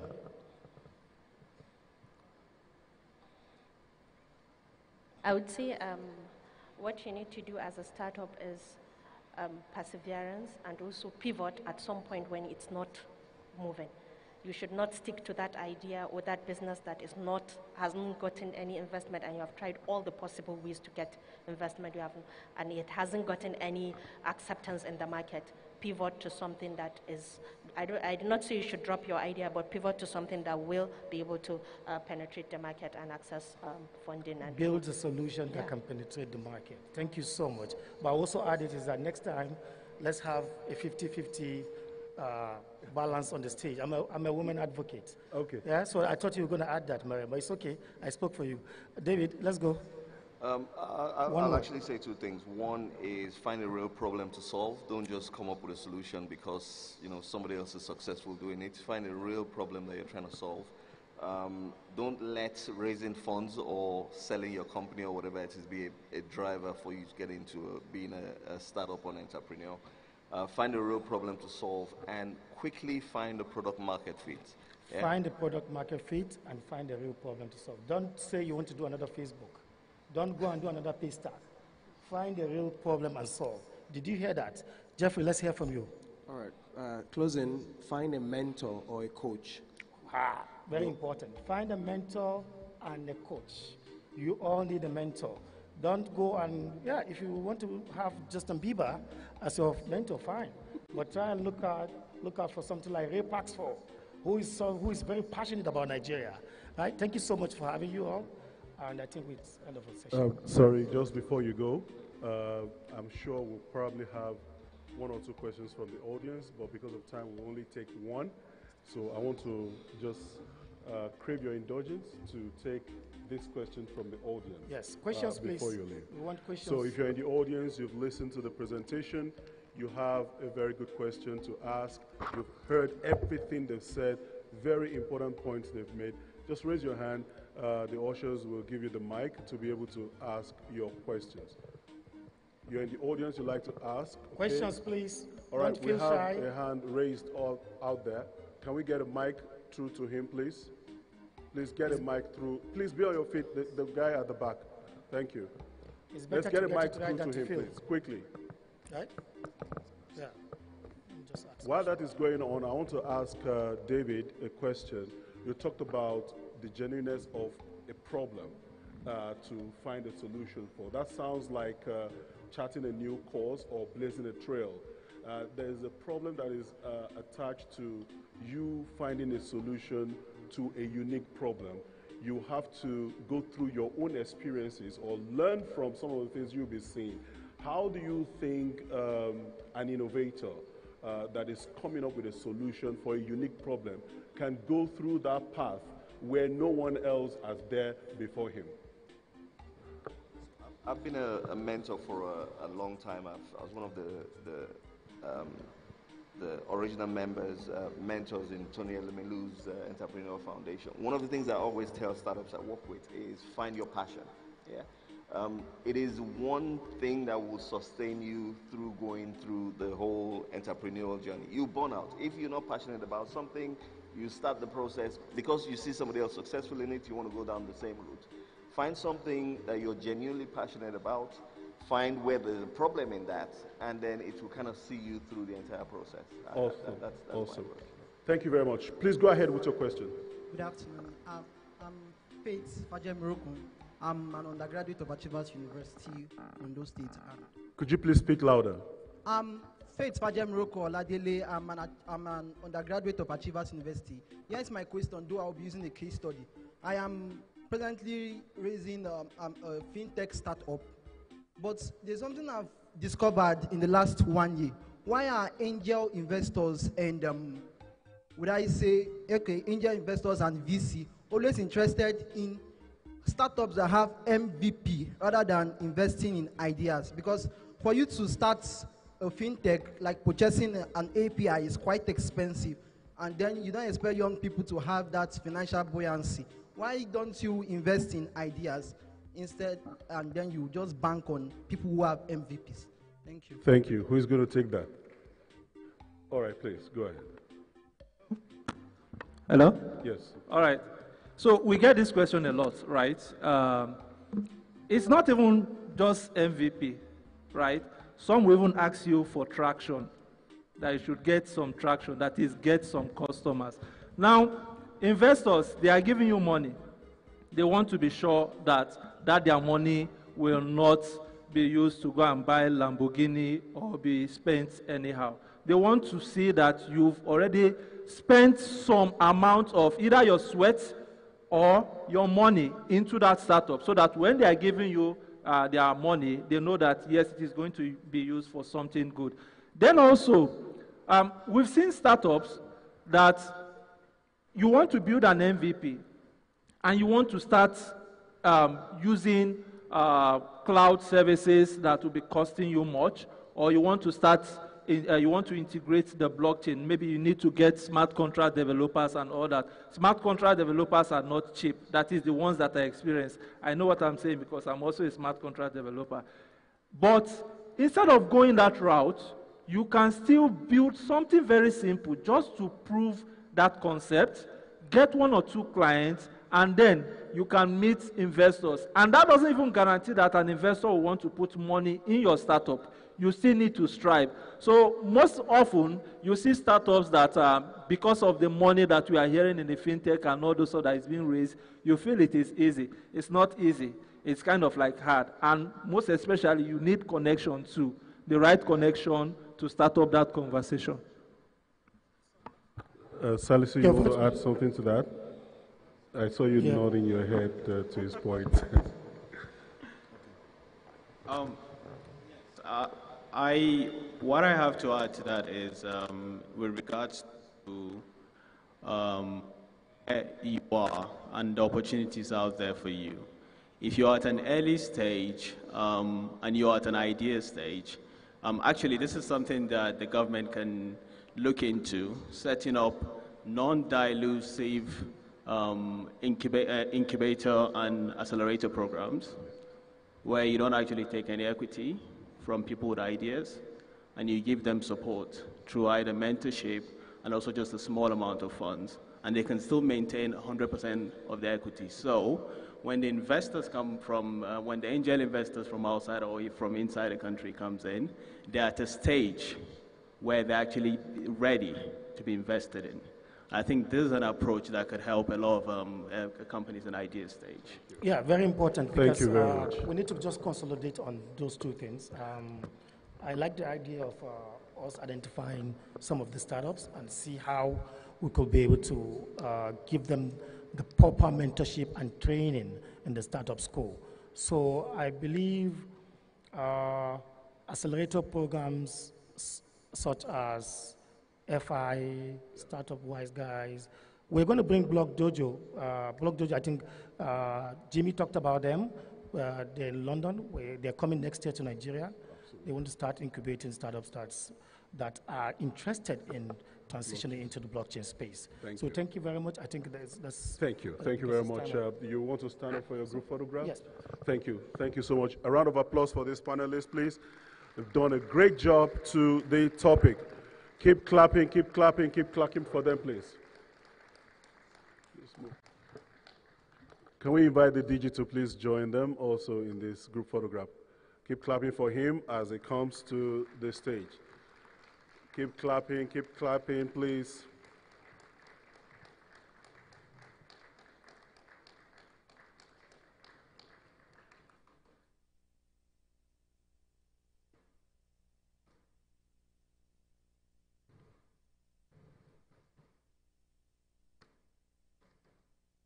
Thank you very much. Thank you very much for a wonderful time. Please, a round of applause for them as they take their seat. Now, before we get into the next panel session, uh, I have some good news for you, uh, the audience. As you can see, I have uh, two of four here. I actually said three, but um, we decided to increase it to four today that will be given out. That's doubling what we did yesterday, today being the grand finale. But first, yesterday we did announce uh, that you should tweet and uh, you know snap and all of that and ensure that uh, you have a lot of follows and likes on your tweet. And if you are the highest person the person with the highest follow and likes you're going to get a gift. And so we have a winner. Can i ask the um, technical people to please put up the winner? Uh, to please come forward if he's here ms bello put your hands together for him. That's ms bello there. A total of 257 retweets and 256 likes. While the music if you are here ms bello if you're here please come forward. Is he here? Unfortunately looks like he's not here today wow quite unfortunate okay waiting uh, for the game where you will stand a chance to win uh, one of these. I would like to call on uh, a very fantastic young man uh, with a very great startup. Uh, I met him last week where he won an award. Khalil, are you here? Put your hands together. You're representing him, I believe. Absolutely. Put your hands together for him as it comes.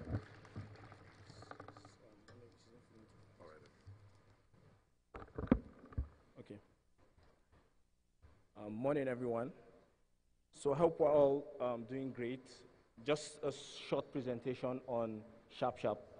Um, we realized that one of the problems that we faced, okay, I think it's, okay, great. We see that 90% of um, business owners, SMEs, they rely on last mile deliveries for survival. And what does it mean? Why is it important that we have to look after these SMEs? One, because they make up 96% of all the businesses that are available, and they represent 84% of the employment opportunity. I mean, from a research that was done by PwC, showed that there are 17.4 million small business businesses in Nigeria alone. What, what, what do you think about? Aren't you think about a woman that needs to deliver her product or service on time for her to be able to pay rent or for her to be able to send her children to school? As Mariam Gwadabe talked about, she said empowering women is important, and that was the problem we saw um, at Sharp Sharp. And we realized that 85% of the delivery companies that enable this last mile logistics, they use little or no technology. So it's a case of somebody picks up his phone, calls a delivery agent, delivery guy goes to pick up, the, um, goes to deliver the product. At the end of the day, they end up running a, a uh, some sort of like a communication center instead of focusing on the delivery that they're doing. And thirdly, the third problem we realized was that most drivers are unequipped with the right technology and the tools to face this opportunity. And that's where we came up with something. And we said, we created a platform, an all in one platform that aggregates and allocates delivery orders. And what, we do it in three ways. First, we do it efficiently and scalable, just as Jimmy Nguyen said that one of the key things for building sharp, sharp for building um, um, startups is to ensure that they are scalable. And so we made sure that our, our app is efficient, scalable, and also um, sustainable as well. But how do we do that? We do that majorly by having um, a digital hub. So what we do is that we aggregate all these orders from multiple channels and then we optimize it. Because one of the major issues that delivery companies face is in the optimization phase, whereby they are highly inefficient, they're highly not able to allocate those orders properly. So what do, what do we do? We check from B2C using our own Sharp Super app. We collate these orders. We also get orders from partners. We've been able to partner with Bolt, with Uber, with Jumia, so many amazing companies that we've partnered with. And also we've created SaaS and white label solutions for companies as well. Now, when we do that, what we did is we now optimize all these um, orders using, um, we, we use kilometer billing, we use auto reconciliation and cross pooling. And then also, because we understand that this market is highly driver centric, so we're able to create um, a solution that attracts these drivers. What is the solution that we created? One of it is asset financing. One of the biggest issues that most of these drivers face is the ability to actually purchase the bikes and also purchase the phone. So what we did was we, we partnered with other companies that we can provide this solution for them. But not only that, we've also created something that helps them from one app, they can work on multiple platforms. So we have people that are working with us, that are working for Jumia, that are working for Uber, they are working for Bolt, and they're able to make money and feed their families as well. One of the things we realized, he said, for building a sustainable economy is training. These drivers, we provide virtual training for them to ensure that, look, not only are they doing what is necessary, but they're also able to take care of these assets properly. We've, we've deployed a loyalty program for them as well, and we're also helping them to track their cost to make sure that their deliveries are done efficiently. So how have we done over the, over, over the years since we started? Now, one of the things that we've done is that we've been able to partner with the biggest logistic company in West Africa, which is Red Star Express. Now, not only that, we've also partnered with companies like Uber, Gokada, Jumia, Bolt. Since inception, we have done 200 and 200,000 plus deliveries. Not only that, we've helped 4,800 users to be able to pick their products from one point to another. And we've supported 300 plus SMEs. Now, there's, there's a lot of room for us to do bigger things. Now, what is the model that we're, pro we're proposing? Our model is simple. we're based on, we're, we're, commi- we're commission based. And so we take between 10 to 15% commission on all the deliveries that is done. Now, let me just take you through the idea of what happens if a driver works with us. One driver can serve up to 50 customers. As a result of that, in seven months, they can make 1,160 deliveries. From all the deliveries that we're cross pooling and we're providing for them, a driver can make a gross revenue in seven months of about a million naira plus. This is a driver that did not go to school. This is a driver that probably thinks his future is bleak. This is someone that is thinking that instead of being on the streets and construing a nuisance, can actually come to us and not only train them, but will also equip them. Now, you think that this is, is this possible for us to do? What, what have we done? We've looked at the market and we see that the total addressable logistics market in Nigeria is a $12 billion market. And what is actually for, this, for the last mile, which is the um, serviceable available market, is $4 billion. Now, within Lagos and Abuja alone, that we've been operating, and we have plans to expand to more places, is a $2 billion um, um, market that we're looking at. Now, what do we do? So, logistics, quick service foods, retail, and e commerce as well. But as Jimmy Nguyen said, not only do you build an app for just the use of it, but you have to think about an ecosystem.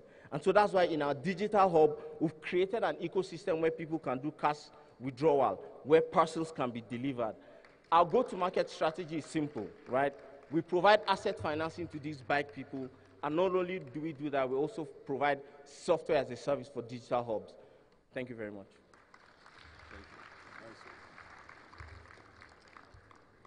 I'm sure you'll give your details on the screen uh, so that we can get to see uh, details. And I'm sure there are quite a number of other startups that will need to link and collaborate with, start, uh, with SharpSharp uh, to be able to innovate. So we want to quickly get into the game now. Uh, we want to get you a little bit excited and keep the energy in the room very high. It's been a bit cold, and I can see um, we're not really having the kind of excitement that this uh, atmosphere deserves. But I hope this will bring you out of your shell and we can have some excitement in the air. Am, am I correct? Are we okay? Oh, no, we're not getting it. I, am just going to return the tablet and then maybe we'll do the game some other time. All right, let's, let's get into. oh, do you really want to win this? Then let me hear you say something. Put your hands together for NITDA for giving you this. All right, so let's go with the game. My party is here again, He's going to give you the lowdown. Uh, today, we are going to take a look at uh, startups and innovation. So that's what the question is uh, geared towards. So bring out your phone. Again, bring out your mobile devices. If you have them here, and go to kahoot.it, K-A-H-O-O-T.it, and get ready. Hello, everyone. We are at it again today. You know how we do it. Please, you know, it's not about knowing the answers, it's about being very, very fast. Let's know if you trust your internet service provider. This is the time, right?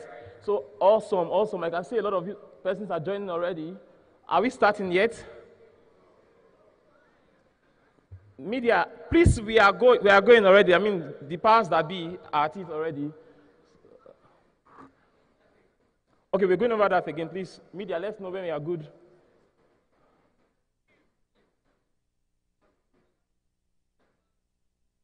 Yesterday we had two winners from these games. Today we are going to be having about four iPads or four tablets going out today. So you don't want to snooze for any reason because log in. If you have an iPhone, this is an advantage for you. You can just scan the QR code you will see. If you don't have an iPhone, please go to www.kahoot.it then you use the game pin, game pin, I beg your pardon, that loads on the screen in a moment.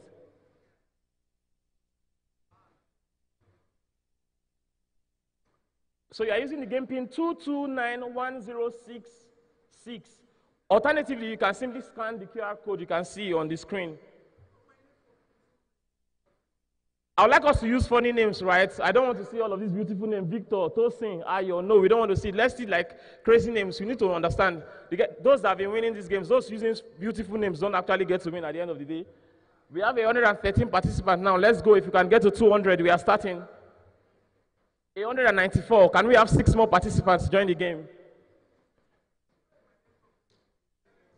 Ah, you're on your own, brother. We are waiting for six more participants. This is an advantage for those using some network providers. All right, on three, two, one, let's start. No, we are starting already. We don't have time. This is the digital Nigeria. This is the startup vibe. On three, two, one, we go. Remember, you need to be very, very fast. Very, very fast. What is the term that refers to a company in its first stages of business? Is it startup, stand up, stay up, or strong up? What do you think the answer is? Stand up, start up, stay up, or strong up? Whoop. I see we have issues with our networks, right? Let's go, let's go. But Tommy is leading. Tommy is taking the lead. Next, next, let's go. Let's make progress. Startups are founded by one or more entrepreneurs who want to develop A, a product or service, B, a criminal activity, C, a government or a competition. What do you think the answer is? We have 215 answers on 9, 8, 7, 6, 5, 4, 3, 2, 1, 0, and the time is up.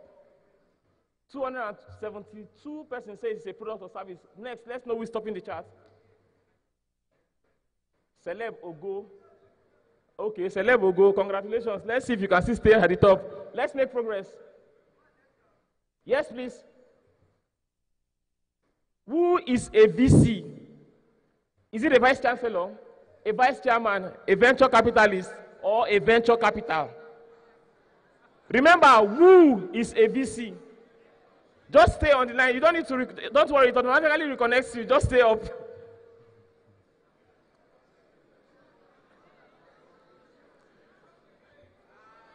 Eh, uh, concentrate. The question is who is a VC? Process it now. You can even ask Google. The network is causing you, help- giving you some time. Ask Google who is a VC. So is it the vice chancellor? Let's know those that went to pass through university. A venture capitalist, a vice chairman, or a venture capital. Yeah, we have we have answers already. Nine, eight, seven, six, five, four, three, two, one, zero. The time is up. Let's know who's leading. Whoa, awesome. A lot of persons think it's a venture capital. But let's know what's next. I, I'm not, it's not in my place to tell us what the answer is. next, please. Celeb will go, Abba, oh, oh, Robert Jen. Awesome, let's make progress. Next one, I can see she's celebrating in front seat. All right, what's next? A venture capitalist invests in startup. Is that true or false?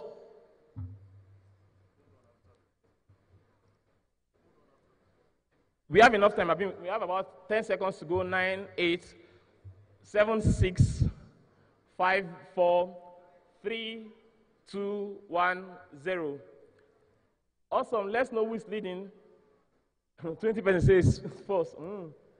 Let's see who's leading. Please just hold it next. That's fine. Just leave it at that. AMK. Uh-huh. Robert Jen. You can still go. I can see Ray. I can see Omodo Abi. Let's see if you can talk now. We just have one question to go. So this is time just for like recess, refresh your mind, refresh your network.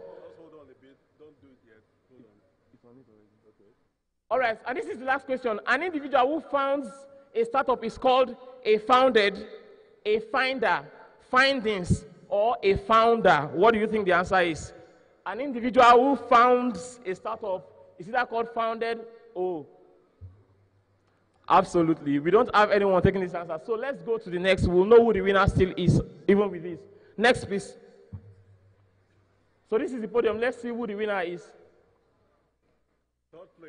Third place. Is Ray. Oh, ladies and gentlemen, I'm proud to announce that third place position goes to Ray. Robert Jen is second place. And the winner for our startup event is AMK. Is AMK in the building? Let's see you. AMK, please Where's come out.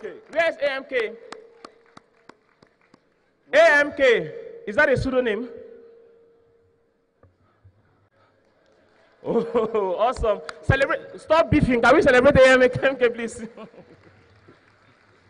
Keep clapping, keep clapping, keep clapping for AMK. Congratulations. That's awesome. I would like to call on uh, Ray Youssef, please, to come do the presentation for AMK. Ray also participated, he came third. Please clap for him. Keep clapping, keep clapping, keep clapping, keep clapping. Oh, are you the Ray or is the Ray? Oh, he's the other Ray. Oh, sorry about that. sorry about that. Ray, you tried the next one. I'm sure you're going to win. All right? Thank you so much, uh, Ray. You're welcome. Thank you. Thanks, bro. No.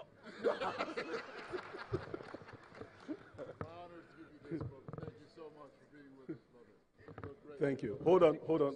Let's take the pictures.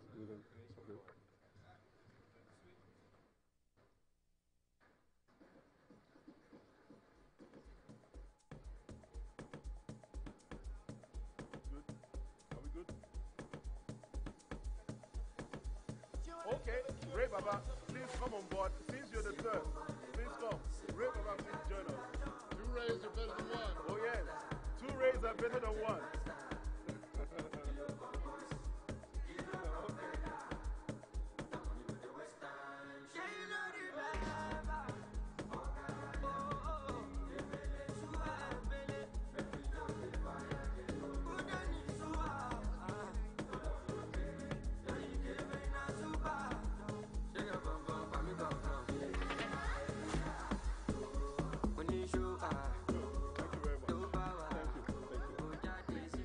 Thank you very much.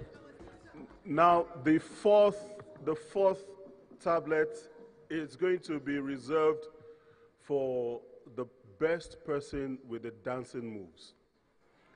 Yeah. So we're going to reserve that for the last.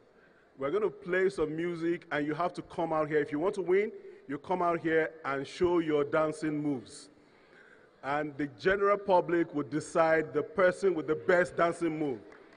Is that okay? Is that okay? How many of you are sure you will win?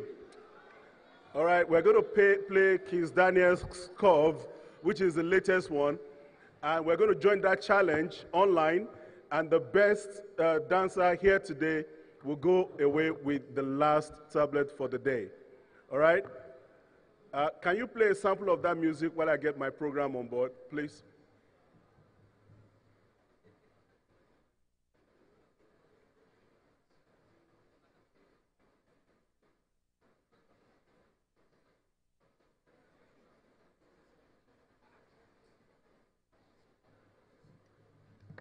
Uh, the technical team, uh, I guess you guys are sleeping.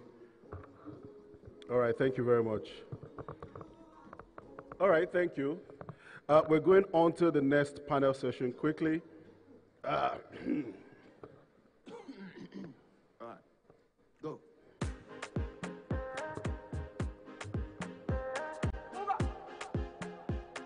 You're not going to tempt me. I'm not going to dance.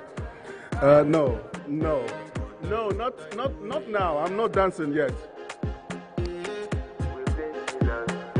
I want to flex my love. Impress.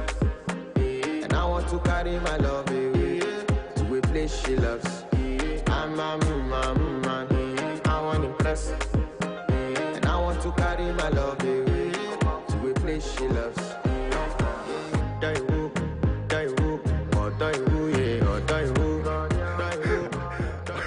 Thank you very much. All right, we go to the next panel session, and um, the moderator for this panel is Juliana Alu, is the CEO Application Laboratory. And then, of course, we have the lead speaker, Adiza Saidu, MD Pacer Labs. Um, may I invite the moderator first, and then we have the, uh, the details of the moderator uh, on the screen. Juliana Alu, put your hands together for her as she makes her way to the stage. She's the CEO Application Laboratory. Let's have her details on the screen. Keep clapping until she gets here. Keep clapping, keep clapping for her until she gets here. Thank you. Her details, please.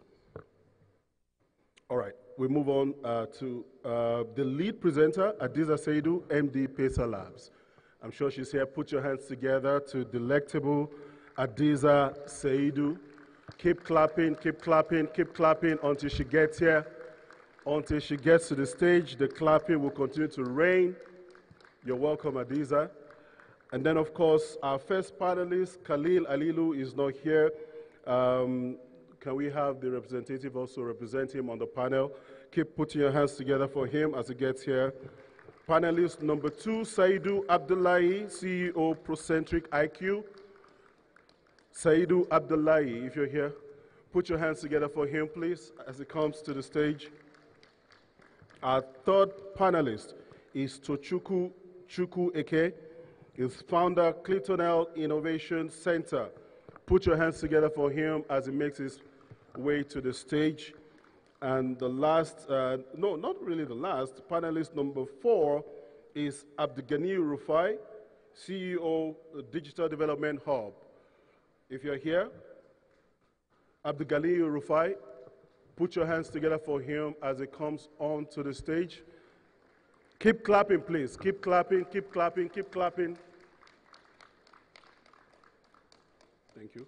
Abdugani. Thank you very much. And panelist number five is Chinenye Mba Uzaku. Is she here? Chinenye Mba. Is she here? Put your hands together for her as she comes over to the stage. Sorry? Oh my goodness. Is it he? Was it she? Okay, you're representing her. Oh, thank you. he, he, he, caught me there. Chinaya, you're welcome. Thank you so much, uh, guys. You have 30 minutes for your session. Over to you. Good day, everyone. It's really a great privilege sitting beside all of you today. So, um, the topic was is about um, focusing on the paucity of talent within the tech and innovation ecosystem and strategies on how all relevant stakeholders should work together to address the talent issues and develop a critical mass of relevant digital skills for the ecosystem.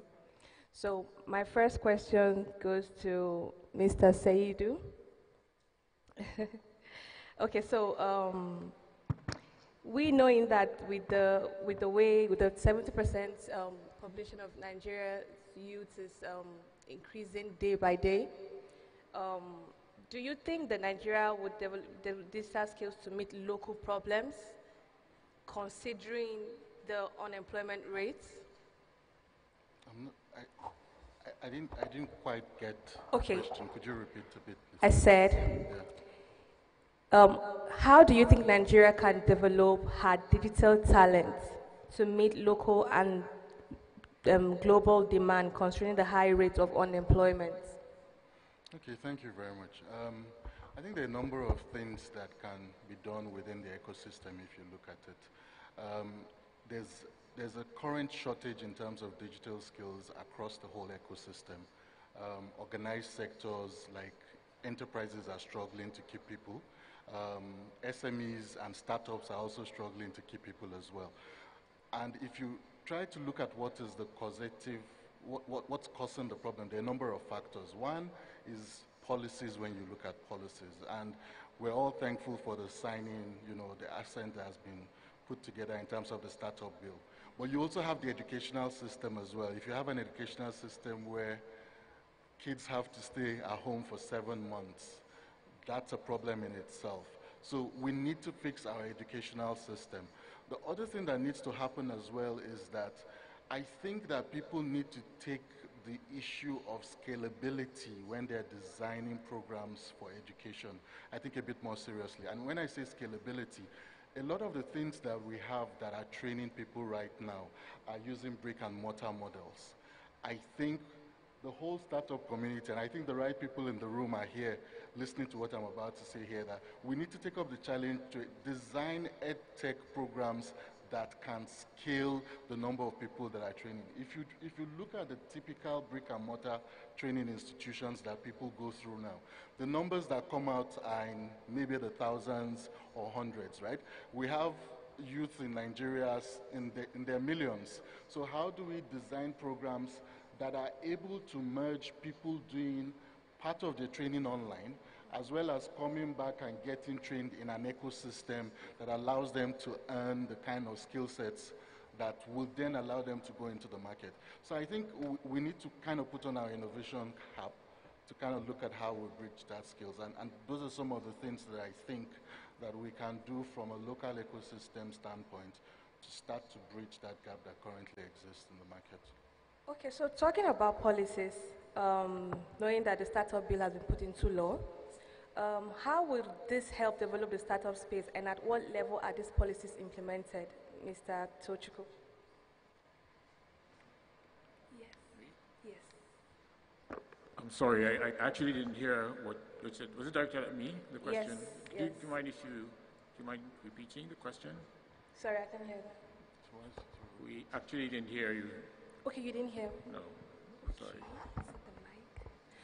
Okay, so talking about policies, knowing that the startup bill has been put into law, um, how will this help develop the startup space and at what level are these policies implemented?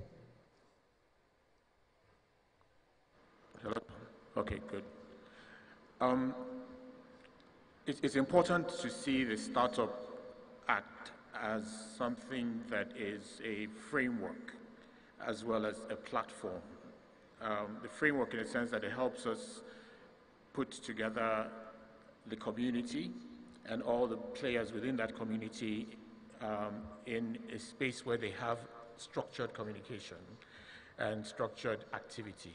Every time a startup is formed, it faces a lot of challenges from a plethora of agencies um, when, it, when it's interacting with government, for example. It would be great to have a single place where these things are resolved. And so when, you, when, you're, when you're stepping out, you're almost like a one-stop shop, where you don't have to deal with 20 different agencies, you can deal with just one. Um, if you take that same um, framework and look at it from the perspective of how do you actually activate the ecosystem itself. I, I heard some comments that were made earlier trying to size our ecosystem, and uh, there was a bit of an argument how many companies they are. It's good to look at the numbers. Um, at the end of the day, startup is individuals. The Nigerian education system, the entire tertiary education system, has about 1.8 million students in every single course across the 160 something universities. India has 5.8 million software developers alone. Nigeria has approximately 120,000. So look at the numbers. We have 120,000 software developers in a country with 200 million people, and you're competing with India that has a billion people and 5.8 million developers. We produce about 450,000 people graduate from our universities every year. Um, California graduates 450,000 software engineers every year. So our total output of our education system, like Sadie pointed out, is doesn't doesn't equate to what what comes out of in a single course. In Haodong, it's about 450,000 uh, graduates of business management a year, one province in China. So the startup ecosystem itself and is going to only be powered if we find a way of powering the human capital component of it. And we have to do so in a manner that is hyperscale. At the moment, we are nowhere near that. Today, Nigeria is talking about Japa, Japa. When you look at the numbers, for the past 20 years, this country, the number of people who have left Nigeria, right, has never exceeded 1% of the population. 1%. So what's happening to the other 99%? And within that 1%, the actual number, if you look at a country like Canada that everybody's talking about, last year's immigration was 20,000 people. So how can 20,000 people leaving a country cripple the entire digital economy? There's a problem. The problem is this, and the problem is that we're not producing enough in terms of human capital. And the biggest uh, output of the Startup Act is going to be creating that momentum within the industry that makes the demand for the human capital, um, you know, kind of like exceptional. So we start to accelerate the numbers of people that we actually have. You can't have a situation where 5,000 people go and suddenly the banks are not working. If, if, if any of these people or any of the startups there, if we were to have 10,000 startups today, 10,000 startups, we don't have the 10,000 software developers, one per startup. We can't, we can't actually, don't actually, we're not actually producing that. So it, we need to change that dynamic dramatically, and it needs to be accelerated. In fact, if there's anything that's important to us that is a priority for us, it's not about unicorns. It's not this unicorn, unicorn, unicorn story. The priority for us as an ecosystem has to be how do we dramatically increase the number of technical talents that we have in our ecosystem and deepen their skills. Because you can train them, you can't microwave a software developer. He starts today and six months later he's earning $450,000 or earning $50,000 as a data scientist. It doesn't happen that way. So we think that the answer, and I'll just stop there so my colleagues can also have a say, is that we haven't increased the volume of opportunity in our domestic markets that will then make effective demand for human capital and will then encourage those who produce the human capital to actually bring out those numbers. If you don't have the demand in terms of jobs, local jobs, then we're literally producing a top tier for exports, and they will keep leaving the country because our education is subsidized. I'll just stop there. Okay, that's a good one. Um, Adisa, how, what do you think? Um, yes. so, Hadiza, um, considering the startup bill, right? Do you think it has a way of improving the tech space? What's your take on that?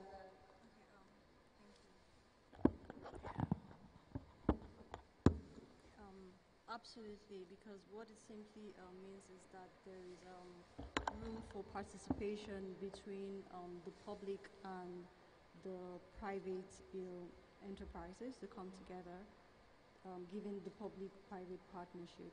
Okay. Now, what that does is that um, we have um, VCs that would be comfortable with investing mm -hmm. in the e ecosystem, and then um, we have opportunities for people to um, build these startups and then create opportunities for internships. And this would allow those um, talents to build what I would like to call the 10,000 hours of practice, uh -huh. which is very, very important.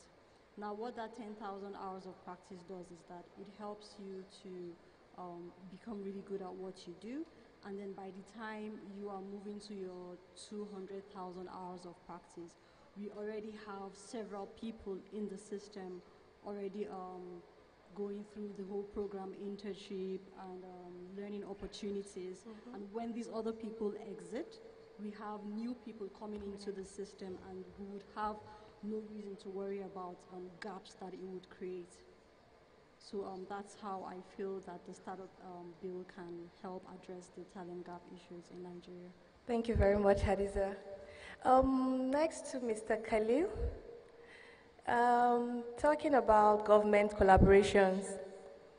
Um, just like, for example, if you go to Plateau State, there is um, an, an initiative that the governor is doing presently, Code Plateau, with the DG, and P, DG of PIDA, David Desa. Do you think there is enough support, probably within our states that this government gets to support other tech startups to, you know, facilitate trainings for free and all that? Hi. Okay, so I think that um, right now the government is doing, I mean, with this kind of this digital economies um, summit is a step in the right direction. But I believe that there's more to be done. Um, one of the biggest issues you'll see with startups, and he, and he said it, we, we don't have enough people to absorb the people that are coming out of schools. But I think that the reason why we don't have that is because even the ones that are even providing solutions, we're not even able to scale them properly. So I think that one of the things that government can actually do and the kind of partnerships that we want to start to see is how do we help the ones that are already out there to scale And the honest truth is, there are certain skills. Um, um, I really agree that we need to boost the technical skills, but then there are softer skills that are very, very crucial and critical for that um, scalability to happen. One of those skills is marketing. For example, you might have an amazing product, but if you can't market it properly, then nobody really knows about your product. You can also have great product, great marketing, but if you don't have the strategy and the leadership skills, and we've seen a lot of things that happen whereby a startup scales and unfortunately maybe something happens and the leadership is not able to take it to that next level. So I think that part of the initiatives that governments, state governments, local governments, and grassroots um, development organizations need to start doing is how do we equip people with the soft skills that are needed, you know, in tandem with also helping them grow the, the technical skills as well. So I think that there's a lot to be done, and you know, like they said, the time is now. Um, the, the way the world has become one global village has made it even, you know, easier for us to go and learn things and come and um, implement here. So I think that there's a lot of opportunity out there, and it's actually exciting to see the next phase of, of this growth. So, Mr. Abdul, do you think the government is really supporting these startups to really, you know, train new guys coming in? Do you think they are well supported the way they should? Um, I think the answer is yes and no. Yes, in the sense, um, a lot of uh, initiatives are stemming, especially from NITDA. You know, a number of uh, support has been going into the ecosystem, and we've seen NITDA setting up uh, uh, a, a, a, lot of uh, centers like the uh, AI and robotic centers and a number of them. And there is that uh, engagement between NITDA and the, the ecosystem players, especially the innovation hubs across the country, and that's quite commendable. Yeah. NCC is also doing their part, and many other government agencies are now becoming to, I mean, beginning to engage the innovation ecosystem. That's quite commendable, and with the coming on board of the uh, startup bill, that's very, very uh, good action in the, in the right direction. Uh, however, um, the, the structures, I mean, the, the players in the ecosystem are not even enough. The institutions are not enough for us to move at the speed we need to move. Mr. Tochukwu has already placed some numbers in, out there. We've seen India, we have seen Estonia, we've seen Israel, many of them we, uh, we are actually in the same phase, but they have moved at, at, at astronomical space, uh, speed, and uh, Nigeria is still lagging behind. So uh, this, this uh, justify the yes or no. Yes, because some patches of initiatives are coming up. No, because they are not sufficient enough for us to catch up with our peers at global scale. Okay, that's right. I can actually relate to the government being really helpful because I think two, three months ago, my, my company had its first um, initiative of training the young ones into tech and also get to um, grant them opportunities after that. And we can say that NITDA and Galaxy Backbone, they were really well represented and they came through. So I think that's a good one. But before we go on, I would like to have Hadiza do her presentation. Okay. You ready? Is it going to be on the screen? Yes.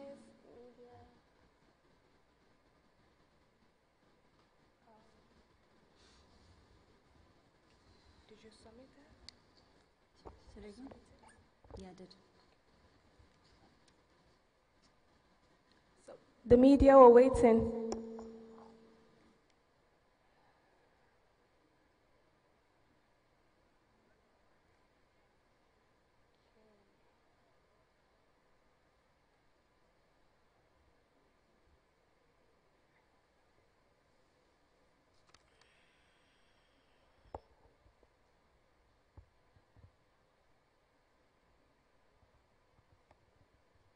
Okay.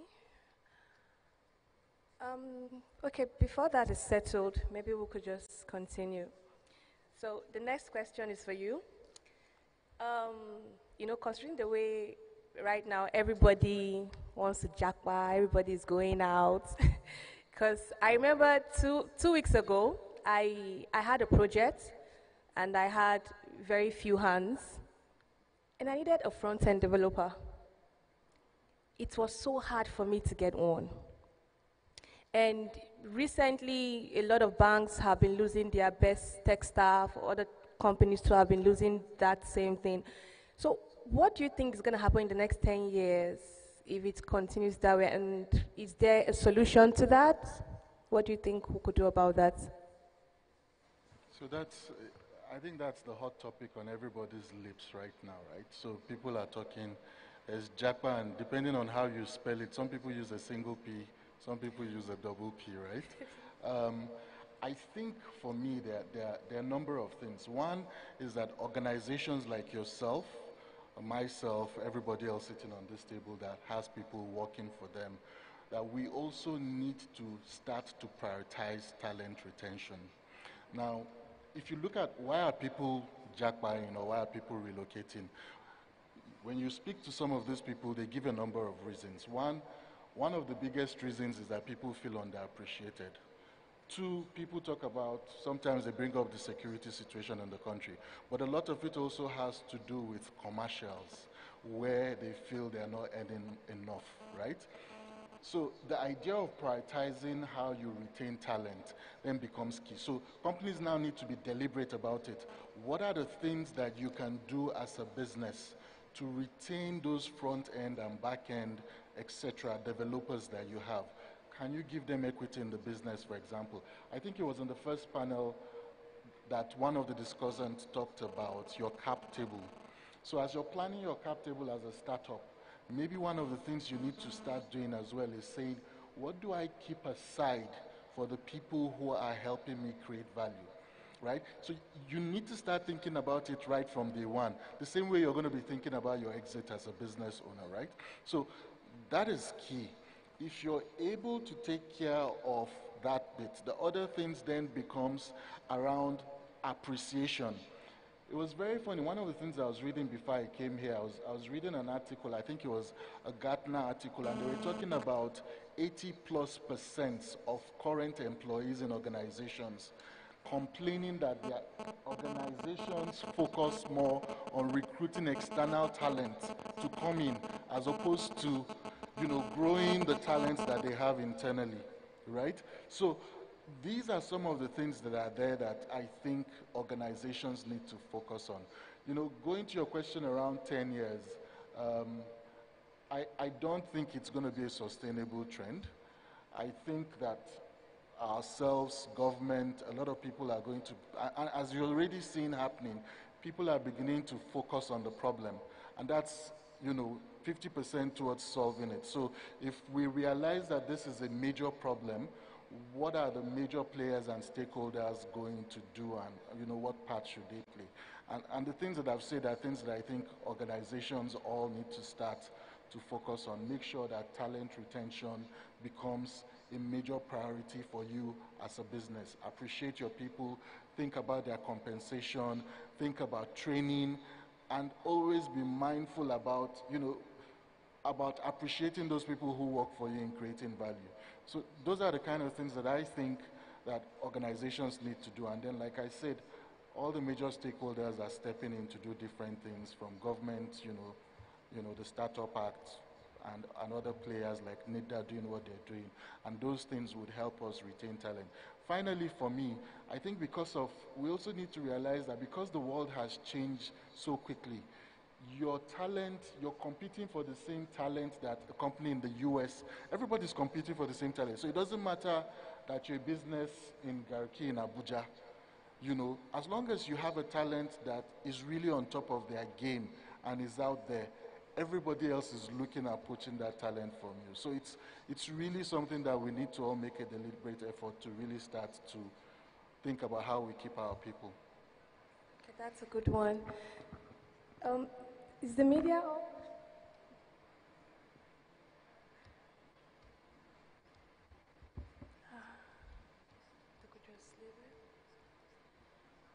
Okay.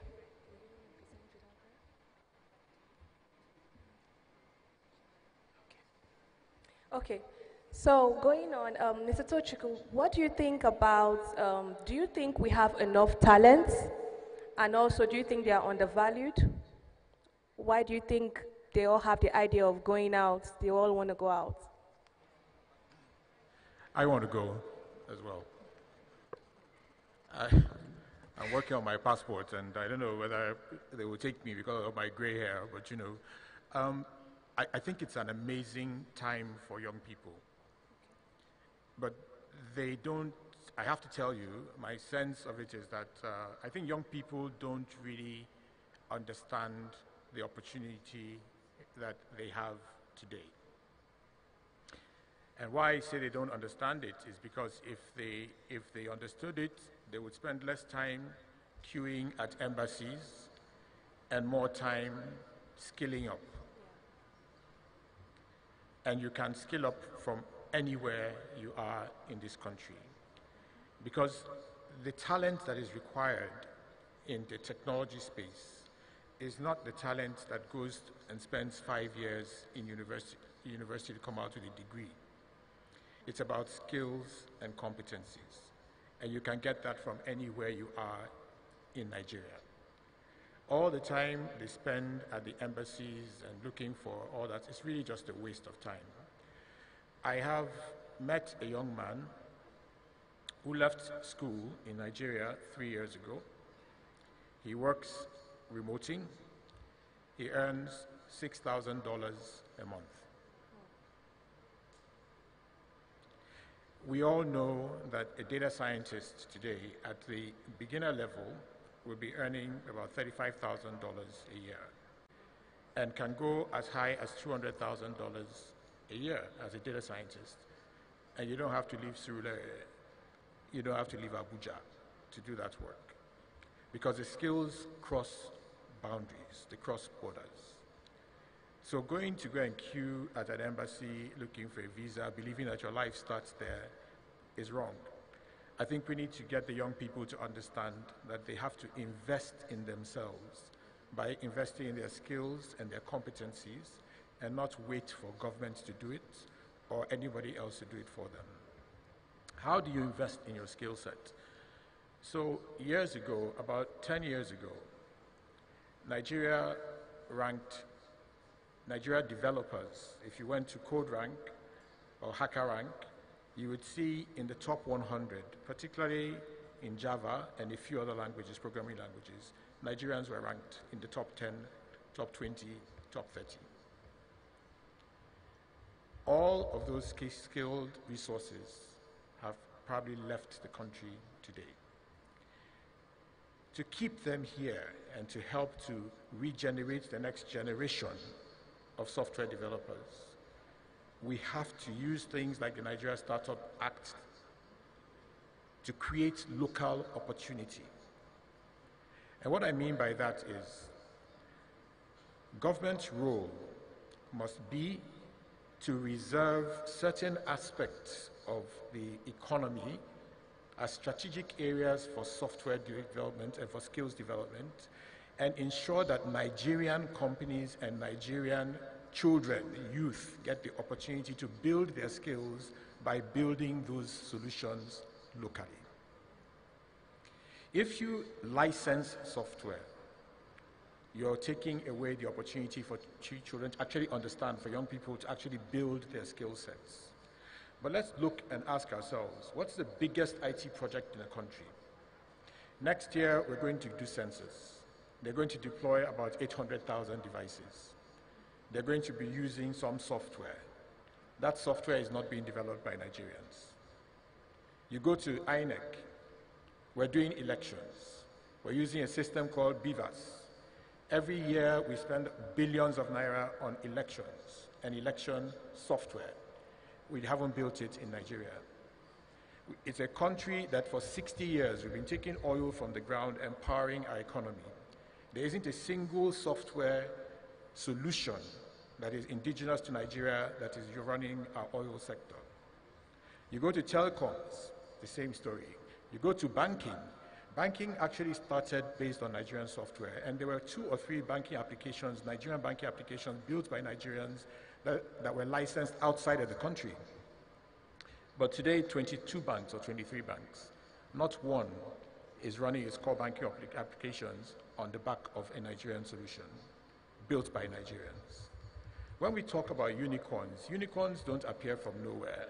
They come as a result of a systematic development of capacity.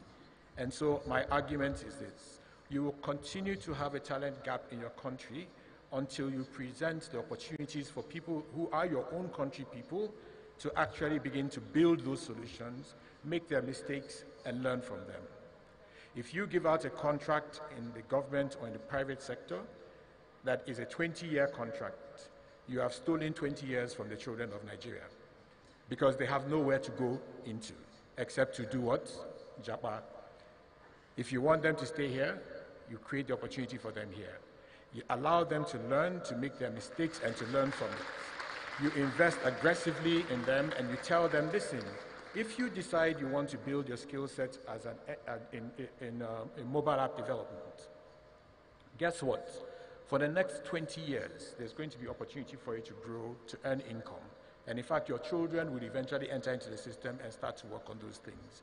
But the day we sign a contract, that closes out the opportunity, whether it is customs, it's immigration, it's population, it's health insurance, it's banking, it's education, all the sectors. As you continue to shut those sectors out, giving away projects that should actually be what the children use, the youth themselves use to learn and build their skill sets, you're, you're taking away the future of the country. And we'll continue to have that talent gap. And I want to make the last point around this, which is I know it sounds a little bit upsetting for many people in the audience. But you know, there is no Nigeria software developer. You're either a software developer or you're not a software developer. There's no Nigeria, there's no Anambra, there's no whatever. You're a software developer or you're not. There's one standard, global. And if you are global, then your skills and your talent will be used globally. It's not going to sit in some local government because the local government chairman or a governor said, we want you here. No, $6,000, I want $6,000 a month, right? Our kids all over the country in small numbers are doing incredible amounts of work offshoring. I doubt that there's anyone who's running a business today that can hire that developer and pay that developer $6,000 a month. What project are you doing? Unless it's maybe pipeline monitoring or something. You can maybe you have enough money to pay a developer $6,000 a month. This is the reality. So we, we must go back into our structures, our education structures, work on the schools, create an opportunity. We can't have 1 million people. 1.6 million people apply for JAMB. We admit 700,000. We graduate 450,000 across all courses every year. Last year, 2020, 2020, 2021, guess the number of developers that were certified and brought into the system across the entire Nigeria? 5,000. Only 5,000 developers were added to the workforce of skilled Nigerian developers in the last one year. Ain't going nowhere.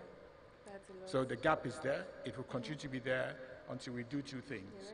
We've got to stimulate the demand, create the capacity to feed that demand, and we have to do this in a continuous cycle over a period of time for us to actually raise the bar.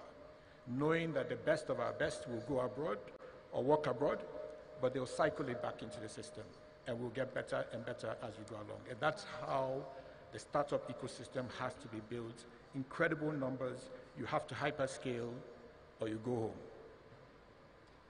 Well, thank you very much, Mr. Tochukwu, for that. Okay, so we will be having Hadiza's presentation.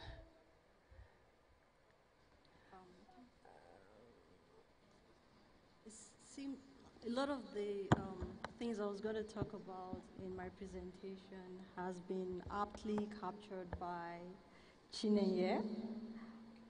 However, I'll still go ahead to, you know, present. I'm sure there are a few things that we could learn from it. So I'll start my presentation by asking five questions. And um, each question is very vital. And the answers to the questions would um, give us a picture of what can be achieved in the Nigerian tech ecosystem with regards to addressing the talent gap issues. So the first question is, what is the difference between a genius and a successful person? Now, um, this question has been answered several times by writers, TEDx speakers, people in academia, and also um, tech people pivoting into public speaking. But um, the answer that I found true above all can be found in um, a book by Malcolm Gladwell titled The Outliers. Now, what the book Malcolm, Malcolm Gladwell titled Outliers. Now, the book um, chronicles the stories of successful people in different um, demographics and geographical areas. And two of the stories that I found very interesting are the stories about um, Christopher Langan and Robert Oppenheimer. Now, Christopher Langan, Langan was um, considered the most intelligent person in America. He had an IQ of about 100 and, between 190 and 210. Um, he got scholarships, however, he had to drop out of school. Why? Because his mom, who came from a troubled background and a barely educated um, background, did not sign his financial aid form. She did not sign that form, and he had to drop out of school. And um, because of that, imagine a very talented person, a genius, so to say, um, dropping out of school and spending his prime time in a ranch. Now, um, let's take a look at um, Robert Oppenheimer, an ordinary um, guy with an average IQ. He was opportune to be born into a family that um, understood and valued education and its social uh, constructs and how it can support or impede, you know, um, good education. He went on to um, university and he studied, um, he became a theor theoretical physicist. And one thing he was known for was um, the, was um, the, the quotes, now I am become death, the destroyer of worlds. He was um, part of the Project Manhattan um, Project Manhattan, where um, the grand scale atomic bomb was created, which was used in Nagasaki and Hiroshima in World War II. So um, the difference between these two men is that um, where um, Langan dropped out of school because of um, his mom throwing away his chances, Oppenheimer stayed in the building, you know, and what that earned him was what, what um, we call practice. Practice through education. So what that means is that you can be a genius, but if you do not have um, an opportunity to practice through education, it becomes completely useless. And um, that's the same um, case that we have here in Nigeria, where you might have like an Almajiri kid who is um, a natural born genius, but does not have the opportunity to um, practice and is not able to hone that talent. Thank you. Thank you. Know? you. So um, I'll take you to the next question that I'm going to ask. I'm sure we have uh, just about 60 seconds for that. for this. Yes. I definitely cannot do this in 60 Okay, so but we need to bring this session to an end now. Uh, the time is up, as you can see on the screen. We really want to appreciate every one of you for a beautiful session. A round of applause for our panelists. Thank you very much. A round of applause for all our panelists, please. Um, I think it would be appropriate for us to take the food, uh, group photograph uh, with the DG uh. Uh, put your hands together for the DG as he comes on stage to take a group photograph with this panelist. Please, a round of applause, please. Keep clapping until he gets here. Keep clapping until he gets here. Thank you. Thank you very much. Let's step forward. Let's step forward, please.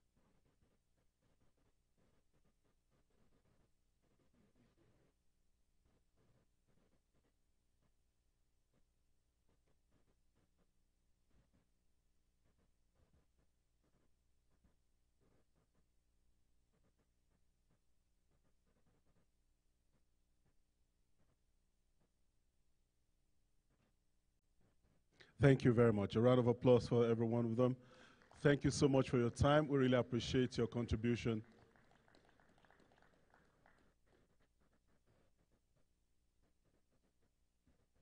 All right, we'll go straight into uh, this startup pitch session. We're going to be having Flows come up here and do a pitch of their uh, startup to, to us. The representative of Flows, please. Put your hands together for them as they come on stage. The louder you clap, the faster they come. The louder you clap, the faster they come. Keep clapping, keep clapping, keep clapping until it gets here.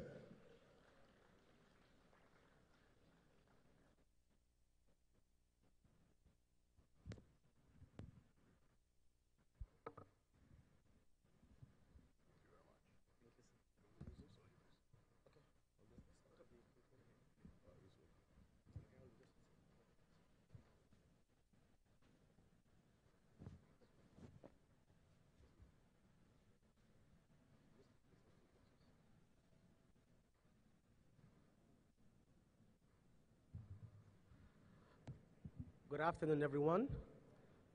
I will be standing on the existing protocol. My name is Abubakar Bashir. I'm the founder and CEO of Flowy's Flood Early Warning System.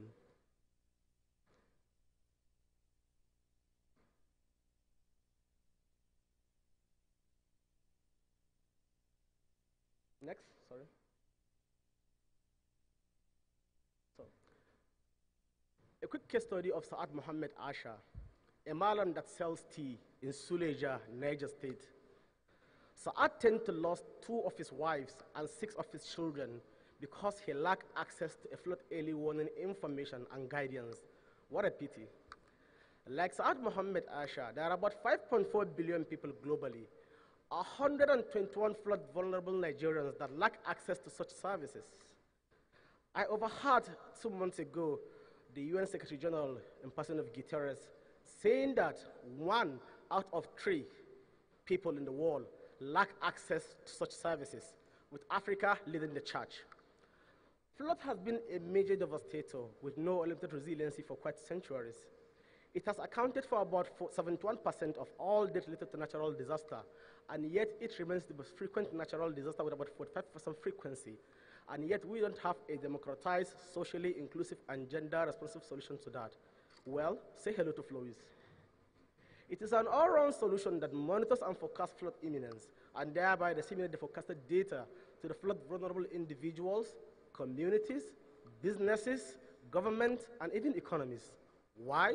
For early preparedness, awareness, emergency response, quick recovery, and strengthening part of our resiliency towards the reduction in devastation among lives, valuable properties, biodiversity, food and water supply, waterborne epidemic, and economic losses estimated in trillions of dollars globally. This is an overview of our hardware that we have. We're aggregating the power of our hardware that is deployed in the field with the likes of data coming from the Sentinel, from NASA, from JAXA, from ESA.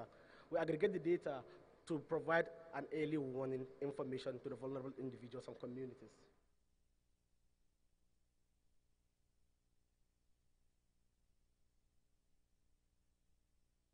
So this is our conceptual model of how it's working. Uh, we have our stand for those that are opportune. You can walk over us to explain to you further of how the system works.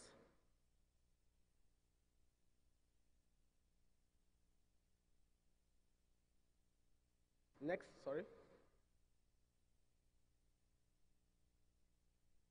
So of course, we are combining not only technology, but recently we made a discovery of a nature-based approach to solving the flooding issue while using a nature-based approach and at the same time sequestering gigatons of carbon. How is that possible? So we recently discovered that we have a large abundance of mangrove in Africa with Nigeria leading the charge. We have likes of the mangroves that you can see along the coastal region of which we recently discovered that mangroves has the ability to repel flood and regulate and create a thriving ecosystem for fish to survive, while at the same time consuming carbon and sequestering it from the root system, from the, from the leaves to the branch and down to the root system. This is huge.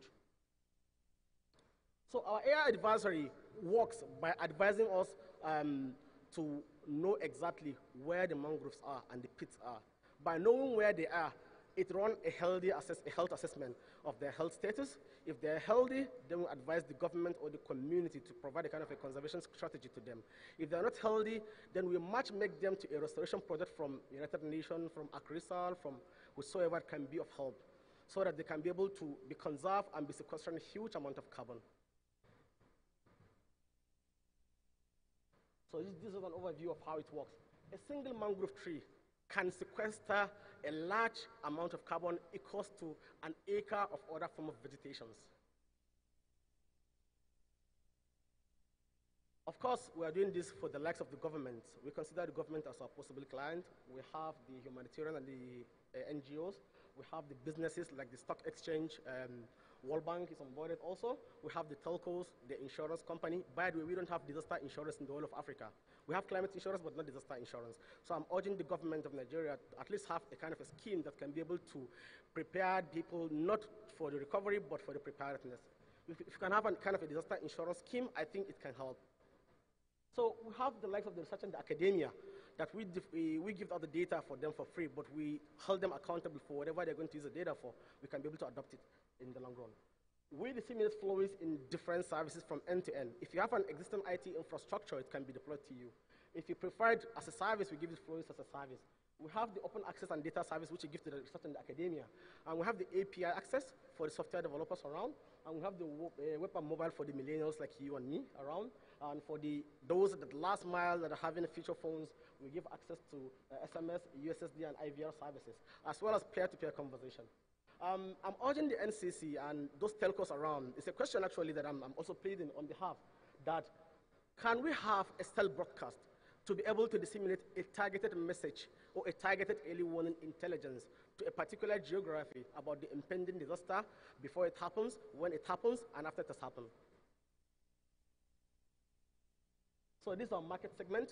Of course, we offer freemium services to nearly everyone. We felt that access to a basic um, information is a basic human right. So we're giving access to Flowist to nearly everyone, but just a basic services while you pay for the premium content as well. Then uh, for our incentive model, while you're having our app, behind the scene, it is mining crypto. So we're trying to create a kind of a shared financial prosperity in between the two. As a result of having our app and using it to just get a warning, for example, or maybe to help self yourself against the impending uh, threat, it is mining behind the scene. And uh, after some a while, we take some certain percentage of which we give you also a, certain percentage of the, of the revenue. We have also the commission model, whereby we are matchmaking between all those mangroves that we have in the coastal area with the emitters of carbon across the globe, urbanized countries like the USA, China, and the rest. We are matchmaking them just to show that, hey, it, you have to be transparent about what you're doing actually. But in return, we can matchmake you for the carbon that you are emitting with something that we have in some, a, a, a carbon project, as in sequestration project, project that we have in Africa, whereby you offset a carbon credit to him and he decarbonize the carbon for you. With that, when the money comes in, we get 15% revenue from it. And of course, we're not alone in the market. We have the likes of Deltares from the Netherlands, Ambiental, and Floatless from the US. But none of them is competing exactly and is doing something like ours exactly in Africa or in Nigeria exactly. So this gives us an edge Um, we are local players currently, and we are the first to pioneer this particular um, platform in the whole of Africa. We dematerialize, we demonetize, and democratize, making it cheaper, affordable, and even accessible for nearly everybody. And we're combining different data sources to make the data aggregate, aggregate a hyperspectral accuracy, whereby we get data from the satellite, from our sensors, from crowdsourced, from historical data. We aggregate that to provide an early warning forecast that is accurate as sharp as 90% or so. Of course, we've been around for like five years now. We started at the heart of the United Nations in 2017, uh, of which I think an advice was given to Guterres at the time that why don't they employ the service of solving the SDG goals to the youth. Um, we are part of the teams that work on, and we came second in Africa and part of the 28 in the world. So we're currently in like five countries, Nigeria, and because of the transboundary rivers coming through, Niger, Chad, Ghana, and, um, and Benin. And we'll be expanding to the likes of UAE by the Q3 of next year, probably. Um, we have like 8,000 customers and are paying customers and about 100,000 beneficiaries on the platform. And we have helped solve, we have helped save a lot of uh, lives against the exposure against this particular adversity of flood that is happening. Uh, we are seeking collaboration from any entity, any organization that may be thinking can partner with us, and any investor around also. And this is an overview of the grant that we have won uh, from 2017 to date, actually. We have worked so hard. We have been backed by the likes of NASA, the Japanese Aerospace Space, uh, JAXA. We have the um, ESA, also European Space Agency. We have been backed by them, and a lot more, actually. We have a revision satellite uh, from BlackSky that has a revision time of about 36 minutes only. I think it's the fastest. And we have the likes of ICEYE from the Sweden that has a revisit time of about 45 minutes that is zero radar. So we combine optical imagery and radar to do the focus as well. So Thank these are you. partners as you can see above. So this is our team. We're a team of unique diversity uh, with passion for trying to make the world to be a better, safer, smarter, and more resilient place to continue living against the adversity of climate change, extreme weather, and natural disaster. I am myself Abubakar Bashir. I'm the founder and CEO. I'm a serial innovator and serial entrepreneur. I've been around for a number of years actually. We have about 11 teams based in Nigeria, and we have about um, six teams coming from abroad. This is Impressive. Ibrahim Larry from Albania. We have Alex from Costa Rica, Alex Arus from France, Nisha Deva from India, and Matt Vedrinsky from USA. They are all PhD holders, of course. Hallelujah. Please put your hands together for them. Thank you. You can Put join your us hands in trying together to for make them. the world to be a safer and better place to continue living. Thank you very Awesome, much. awesome, awesome presentation. A round of applause for Flows. Keep clapping, please. A round of applause for them. Thank you, thank you very much. Now, um, we have quite a number of items we still want to give out today, like I told you earlier on. Um, now, we have uh, quite a number of people contesting the uh, social media uh, tweet and retweet. But permit me to say that the real winner, the actual winner, the authentic winner of the tweets and retweets is actually the Honorable Minister of Communication and Digital Economy. Put your hands together for him. Yesterday alone, he had about almost 700 retweets. Please, can you put it up, uh, if, if, you, if you can? Uh, so if we're really talking about the winner, I think the honorable, honorable minister will be the one going home with that iPad uh, here today. But being the chief host, I'm sure he will not mind giving it out to the next person after him uh, that won. And so we will still be giving it to MS Bello, who happened to have the next largest tweet or number of tweets after the honorable minister. Please put your hands together for him. I said, put your hands together for him. Now, after the last fire chat or fireside chat, I'm going to allow some volunteers who are bold enough to show their dancing moves to come forward uh, with the permission of the DG NITDA. Uh, if you know you are bold enough and you can show some dancing moves, you have just about two minutes to do that. And the whole house will vote to uh, elect the best dancer, and then he will come up here and the DJ will present your own tablet to you. So even if you can't tweet, Uh, you can't win in the Kahoot game, but can you dance? All right? Nobody is answering. Can you dance? Otherwise, I will do the dancing and go home with the tablet. All right, so let's get on to the second to the last, the last but one uh, session that we're going to be having here today. Slowly but surely, the event is drawing to an end, but not before we do this session exploring the funding opportunities for Nigerian startups. There's been a lot of questions around this. I also heard quite a number of questions here today that talked about uh, funding uh, Nigerian startups. But this panel will be exploring the funding opportunities for Nigerian startups. The moderator for this session will be none other but Jude Ozenigbe, founder Cyberchain. Is he here? Put your hands together for him. Put your hands together for Jude as he makes his way to the stage. He's going to be moderating this session. Please keep clapping for him as he gets onto the stage. Jude, you're welcome. The lead presenter uh, for this session will be none other but Gbemi Akonde, managing partner, Pacer Ventures. Please put your hands together for Gbemi as he makes his way to the stage. I'm going to run through the panelists, so if you hear your name, please quickly join us here on stage.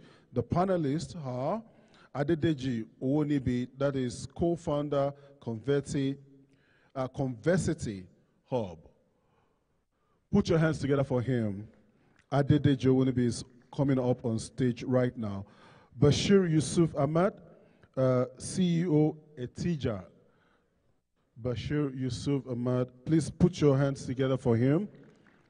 Chima Achu is the COO Dominion. I'm sure he's also here. Please put your hands together for him as he makes his way to the stage.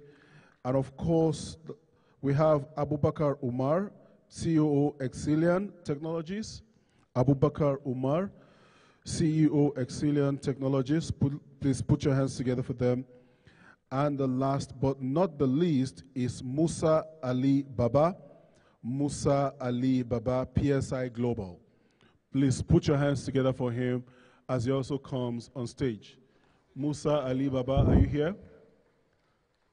Put your hands together for the uh, panelists and the lead speaker. I'd like to call on the lead speaker, Gbemi Akonde, to please come forward uh, for his presentation. Put your hands together for Gbemi as he comes forward. Would you like to do it here or you want to stay over there? Uh, I think I'll just sit here. Absolutely. And do the Good. presentation. All right. Um, thank you so much, everyone, for um, making the time to be here today. Uh, this is quite an interesting topic, as you can tell, exploring funding opportunities for startups in Nigeria. Uh, there's been a lot of discussion about, you know, what funding is, how founders can prepare for fundraising, and really how they can um, approach investors uh, to get capital. Um, you know, just to set the ground and the tone here, right? There's the different forms of fundraising available for startups depending on the stage that, that they are in. Um, there's dilutive funding and there's non-dilutive funding. Dilutive is one in which the uh, capital is exchanged for equity in the company. And non-dilutive, of course, as the word implies, uh, is one in which um, it's not an exchange of equity or ownership. It's really more of a grant or a debt kind of financing. Um, one of the core tenets in this present time, as you, can, as you can tell from the current economic climate, is the fact that uh, the cost of capital has increased. And what that means is that um, valuations have deflated. Uh, over the last two years or two and a half years since the beginning of the pandemic, there was an inflation in valuations. Uh, but that has changed now. Now, VCs and other investors are beginning to look more critically about what they get in return for exchange of capital. Uh, deployment has also slowed down. Uh, there was a time in which uh, I, I, I, did meet a VC once that told me that they did, they wrote five checks in two weeks. Uh, that's rapid deployment of capital. That has changed now. Uh, capital is now being deployed slower, simply because the metrics being used to evaluate startups is becoming more critical. The way your, your startup is going to be evaluated is now more stringent than it used to be, simply because the economy is slowing down and the due diligence that, that ought to have been done in the previous times is now coming back. So we are back to the pre-pandemic era in which people are now looking more critically about what are the metrics in which the startups are standing upon and what do I get in return of my capital. I'm, uh, I, am from Pacer Ventures. Uh, we invest at the pre-seed stage into uh, companies across Africa solving critical problems, uh, especially starting from Lagos, Nigeria. And we've seen a lot of trends like this, you know, over the last few years. Now, one of the things that I must say also is that uh, VCs are not the only people you need to approach if you're a startup founder to raise capital. While raising capital from banks in Nigeria, understandably, is quite expensive in terms of the interest rates that are, that are predominant in that sector, there are other sources of funding. Uh, angel investors, there's crowdfunding platforms. Uh, in the last panel, someone spoke about accelerators and incubators. Uh, the popular one, the world's gold standard of accelerators is Y Combinator, based in Silicon Valley. And we've had a few Nigerian startups get admitted into Y Combinator. Now, when you get into admitted into accelerators and incubators like that, you get mentorship, you get capital, and you get a community. So that's another source of funding also. There are other sources like, uh, you know, grants, government funding and grants that are non-dilutive. Uh, there's then, of course, the institutional venture capital of which I belong to that sector. So these are some of the things that we've seen in the, in the industry. I don't want to be prescriptive. There's a well-qualified panel here that we're going to be discussing these trends. Uh, but I just really want to set that stage and say these are the things we are seeing in the market. It is possible. There are ample opportunities to raise funding in Nigeria. Uh, we have deployed capital. There are many of my peers also in the VC industry that, have, that are deploying capital. Uh, but the goal is really uh, what are those opportunities and how can you as a startup founder take advantage of that. So I'm going to leave the rest of the conversation to the panel. Uh, of course, I'll be involved in that also, and I'll pass it back to the moderator. Jude, thank you very much, everyone. Thank you, very much. Thank you, Gbemi. Uh, that was a very good foundation you've laid for us. For everyone here, we are discussing about something very fundamental for any business in our ecosystem. And I'll just summarize it with one word money. So, when we say exploring funding opportunities for startups in Nigeria and all of that, it may sound very high profile, but we simplify it by saying money. How can you get what?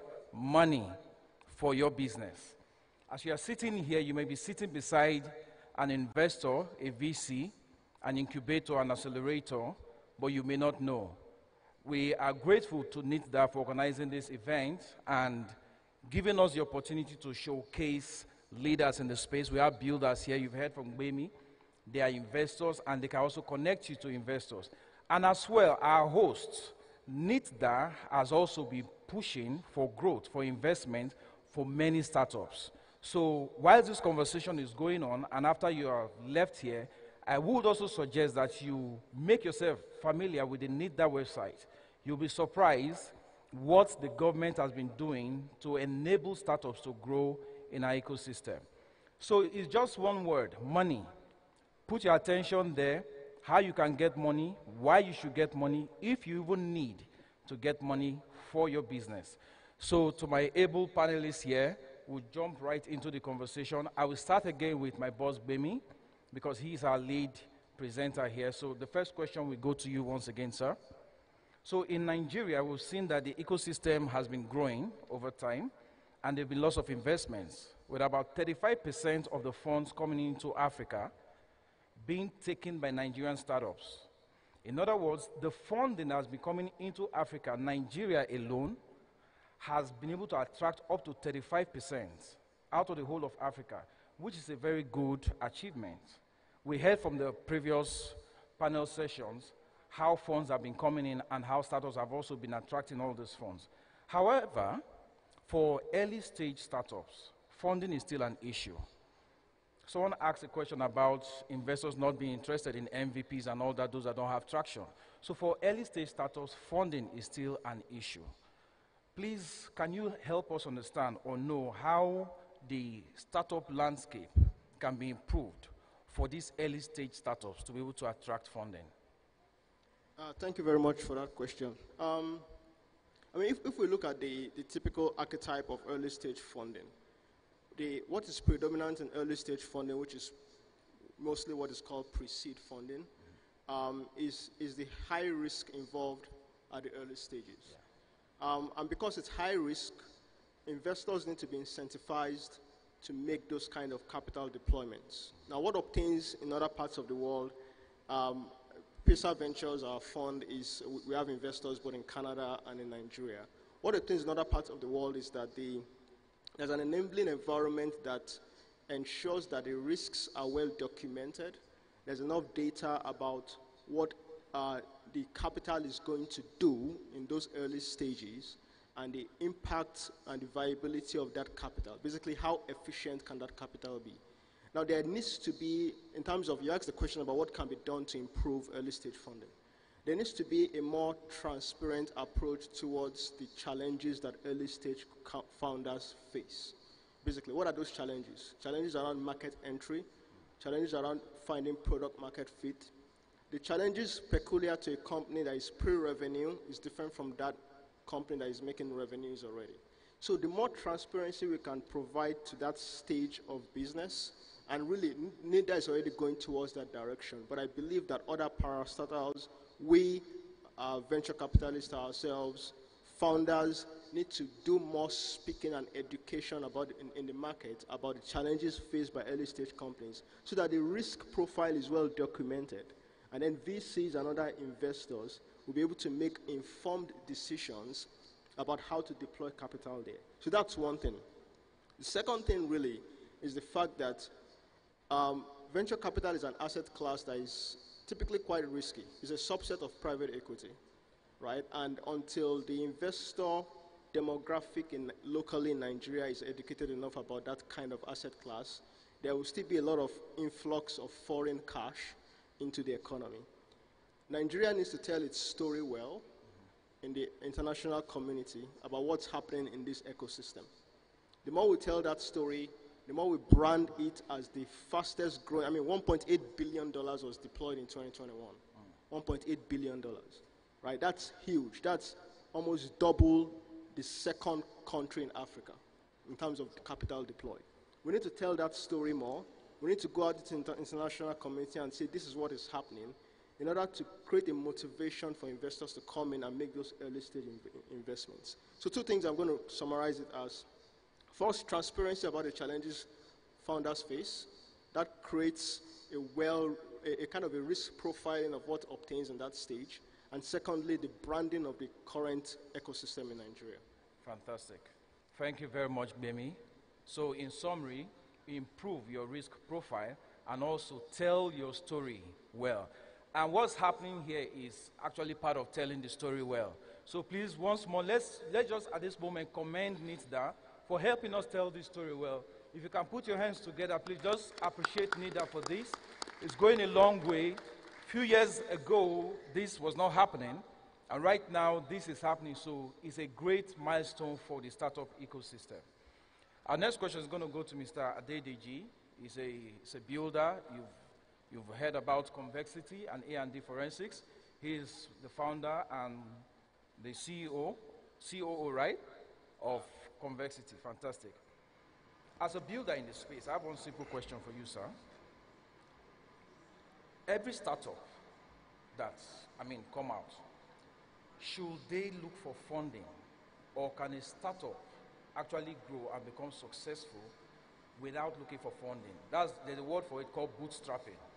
So can a startup become successful without getting funding? Case in point, we have two do foreign startups, MailChimp. If you've ever been involved in digital marketing, you would have come across MailChimp.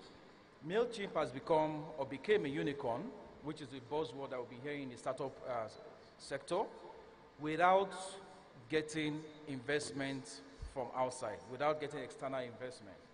Then we also have heard about Zoho, that also recently became a unicorn. These two companies, though Indian, of course with offices in US and other places, have become successful without raising external funds. As a builder in the space, sir, can you tell us if, maybe your personal opinion or a general rule of thumb, a startup can become successful in Nigeria without seeking either external or even internal funds? Thank you. Okay, thank you very much. I think um, there's no better um, place to really give the example than giving with convexity, for example. Um, convexity, of course, is 100% Nigeria, and we, we started a company not too far, 2020, and the journey has been very, very tough because that is what it will be if you want to bootstrap uh, without getting funding from anyone. Um, like anyone knows within the ecosystem, we have not raised a dime from anybody. So we established the first blockchain hub in the country and domicile here in Abuja, and where we incubate blockchain solutions. Again, we didn't raise anything, and we, of course, everything that need to be in a normal hub is there. So we have 24, um, 24 hours electricity. We have um, full-fledged internet connection. Uh, we have solar panels to power everything. We have standby gen, and this is all bootstrapping. And so we're doing everything like that to make sure that we build the ecosystem, and we're also building solutions. And like you know, the solutions from our hub have been, you know, uh, recognized by both internationally. Uh, we, I think UNICEF International, I mean UNICEF Innovation Office just picked one of our humanitarian aid transfer solution that we build on top of blockchain. And currently, as I speak, that solution is happening and we're deploying it in Makoko in Lagos, right? We built also a solution to ease airlines, you know, for you as a traveler to be able to call back your money if an airline delays or cancels your flight without getting to them. We use, again, blockchain to do this, and we didn't raise any fund for these solutions. And we're building solutions continually. But I will tell you, that is so tough and it's not easy. And most of the, um, like you, maybe we didn't add that, we, we have the accelerator arm where we want people to just come build. Of course, the hub is for you to just come, think of a solution. You know, we assist you, you know, all through and actually link you to get funding. And one thing I've learned within the ecosystem and the startups that are coming is that do not rush to, to, to raise funds. You know, know what you're building, build some tractions, and one channel that I've been encouraging them to take is actually the route of those non-diluting funding, which is the grant, like the first speaker mentioned. And we've been, we've been successful with that. You know, because the grant is not going to take ownership and they're going to be guiding you all through different milestones to make sure this your solution gets to market. And that has been working, and I encourage most of the startups within our hub to go through that route. This week alone, we got two of those startups, you know, receiving, you know, funds. One got 50,000, another one got 30,000. Another one is at the um, approval level, and then they've been asking questions. And that's to portray the fact that funding is not as cheap and easy as it used to be. Now they are asking more detailed questions. They want to be sure that your go-to-market strategy is going to work. And even, and you know, it's, um, it's just a grant, but there's still that detail. So to get those funding from VCs, from angels is tougher, but of course we're doing it with some little magics. Yeah. Fantastic. Thank you very much, Mr. DG. So one word from what he just said, do not be in haste. Do not rush to seek funding. Build solutions. I think yesterday, either Jimmy or so, someone said, if you're solving problem, people will come to you with money. So don't chase after the money, chase rather after the solution. Thank you very much, sir. I'll be moving to Mr. Bashir. Uh, the question to you is, in our climb, it appears as though everyone, every builder, every startup, every founder has seemed to be seeking for foreign investments. Now the question, because we are here and the focus of this conversation is about exploring funding opportunities for Nigerian startups, do we have VCs, investors in this environment in our Nigeria? Do we have? If yes, if we have, if that's your response, if we have, are they willing to work with Nigerian startups? Because in some of our hubs, when we ask questions, the startups complain that they don't seem to know if they're Nigerian investors. And the few that they feel they've discovered are not willing to work with Nigerian companies or Nigerian startups. Now, the first thing, like I asked, do we have such available? If they are, are they willing to work with Nigerian startups? Then, three, an action point for those that will be listening, the startups here. Can you help us mention maybe a few of them so that our guys here can quickly start checking them out and probably immediately after this event start looking for how to contact them. In other words, the next time we'll be coming here, there should be a kind of testimonial after this conversation that it was at this panel they discovered ABC or XYZ or one, two, three investors and they were able to approach them and probably they were able to get funding, accelerator, advice or something. Over to you, sir. Okay, thank you very much. Thank you. Um, yes, there's preference to getting foreign investment, but also it's not as simple as that because even the local investors we have usually have to raise money from their own limited partners, from their own LPs. Most of the time the money is foreign also. But we have a few investors that are investing locally. Uh, we have one of them seated here, Pacer Ventures. So yes, uh, they do exist, and many of them. The earliest founders who found success have gone on to open their own funds. They invest in their own names. They have their own investment vehicles, or they invest as syndicates. So, and we have the older ones like uh, Ventures Platform, like TLCom, like EchoVC. Uh, we have new ones like Spark Ventures.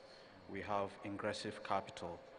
Ingressive Capital is run by a foreign person, but she runs it here in Nigeria and all over Africa.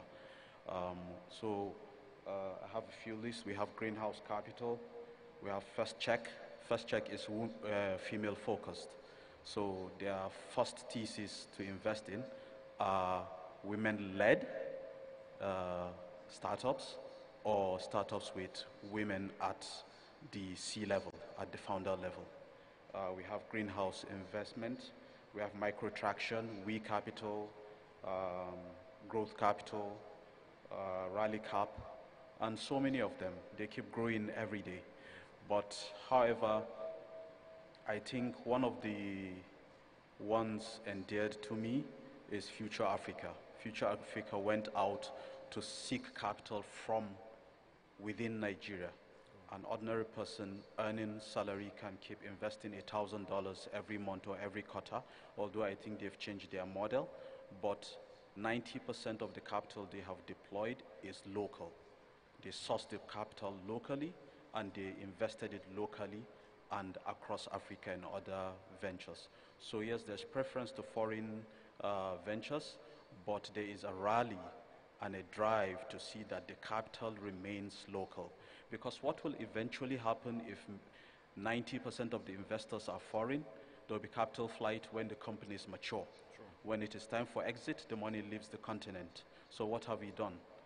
We've not succeeded in anything. So as much as possible, when you earn salary, find a syndicate and connect into that syndicate and invest through that syndicate. And there are many of them. Uh, the few or the two most valid ones, the Lagos Angels uh, Network and the Abuja Angels Network. But apart from those, there are smaller syndicates that are doing the same thing. So yes, we have many of them, too many to even list. And to add a bit to what was discussed earlier between Jeffrey and uh, IM Jega, uh, Jeffrey said there are 400 plus startups. He's right. IM Jega counted it, said there are thousands. They are right. Jeffrey was quoting from the uh, funded startups, mm. about 400 plus, that are funded with foreign capital or local capital and Jega is talking about the general ones. Among the general ones, not every startup requires VC funding. We need to grow the grant segment, the non-dilutive capital that was discussed. Um, and that is what's going to help.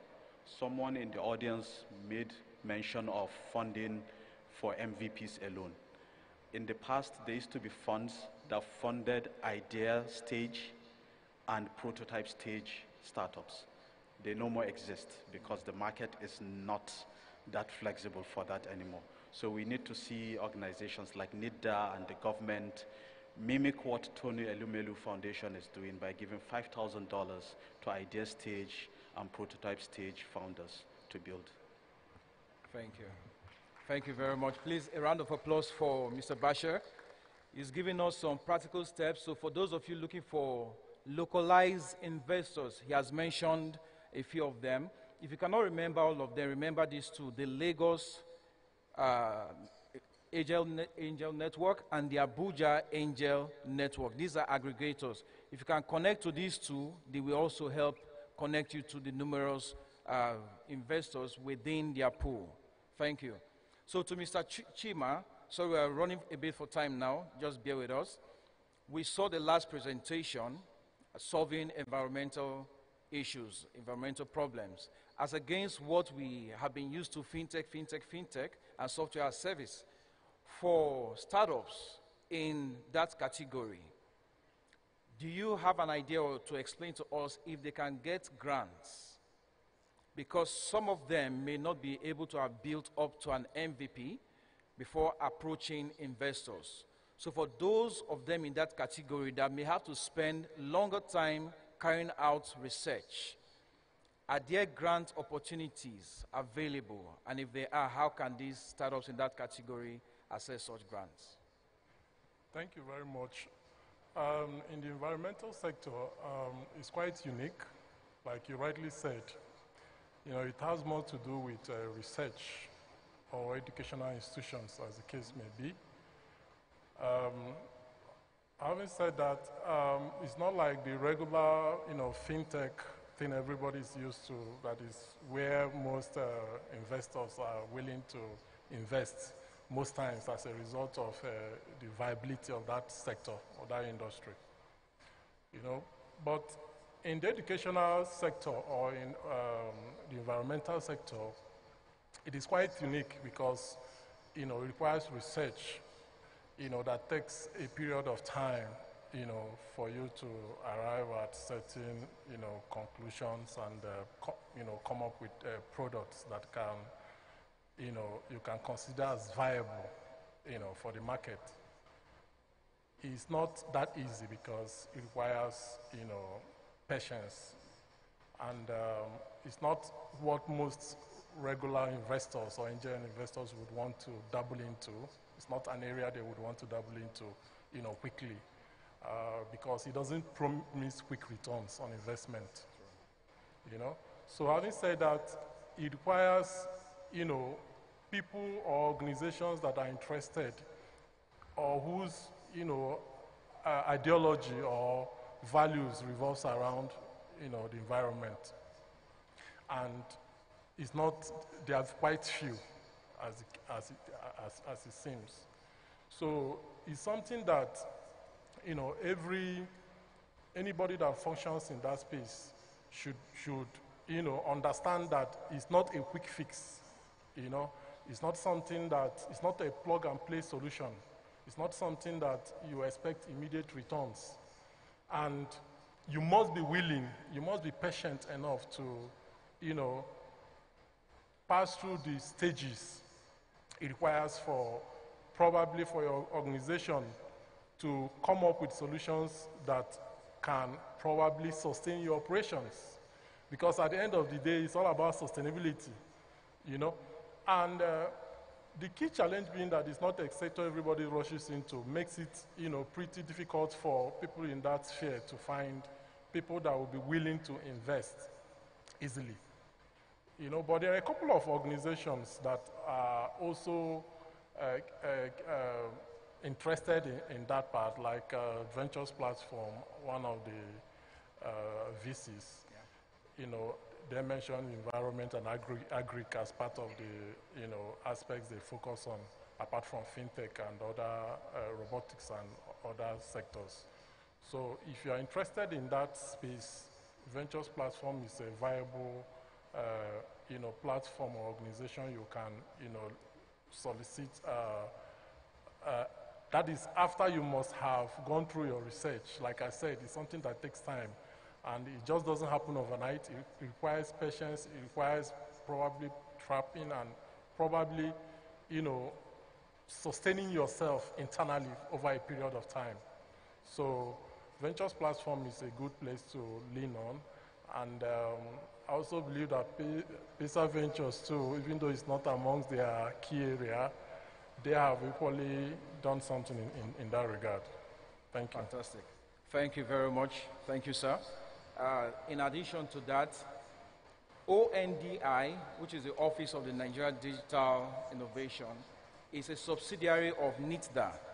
So if you have something within that uh, space that will need research and time to build up, they have a booth here, the exhibition booth. Do well to go there. You will get advisory services from them and many other things. Visit NITDA booth, visit the ONDI booth. It will help you.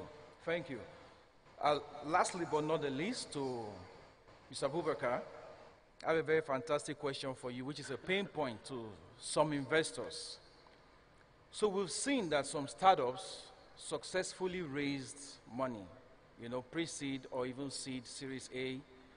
However, after successfully raising money, raising funds, some of those startups failed. I know within, in, within the network of investors, they will be interested in such startups, why they failed after raising funds successfully. Please respond to that, why a startup would fail and how can we reduce mortality rate of such startups so that it doesn't affect the younger ones that are coming up? Uh, thank you for giving me the most difficult question, but uh, a fundamental question nevertheless. Um, for you to understand why uh, startups fail after they have raised funding, I have to take you back to uh, give you an example of what happened within the financial industry. If you look at back in 2008, there was a complete global meltdown in the financial industry, right? this gave birth to fintechs, and this gave birth to uh, the boom in technology companies. Because while banks were busy um, clearing up their mess, uh, regulatory reporting and audits and all of that, technology companies saw a gap in the market and they came and started providing financial solutions that be and became the customer facing platform for people that are unbanked and, and people that needed kind of, kind of solutions. So there was an eventual paradigm shift. Now, the thing is, fintechs and tech companies and startups were able to offer customers products from a user perspective and convenience aspect. And they were able to pick and choose what products they can develop. And they were able to develop and innovate at an accelerated rate. So this gave them a serious competitive edge, and these are what investors look in when they're looking to fund. Okay? So what is the problem? Why do some startups always fail? Or not always. There's a lot that do fail. We do hear of the unicorns and all of that, but we never hear of the majority that fail. Mm-hmm. I think they say one in, um, it's only one in 10 startups that actually ends up succeeding. Nine end up failing. Many people don't talk about the statistics and why. You see, you have to look at, first of all, there are, two, there are three different aspects the way I look at it. You have the technical aspect, you have the operational aspect, and then you have the financial aspect of things. Most tech startups do have the technical ability. They're able to raise money, but once you raise, you have to continue to align your business goals to your IT technical goals. And most of the time, when you raise this kind of money, you see you find there's some misalignment along the way. People start to over customize their product.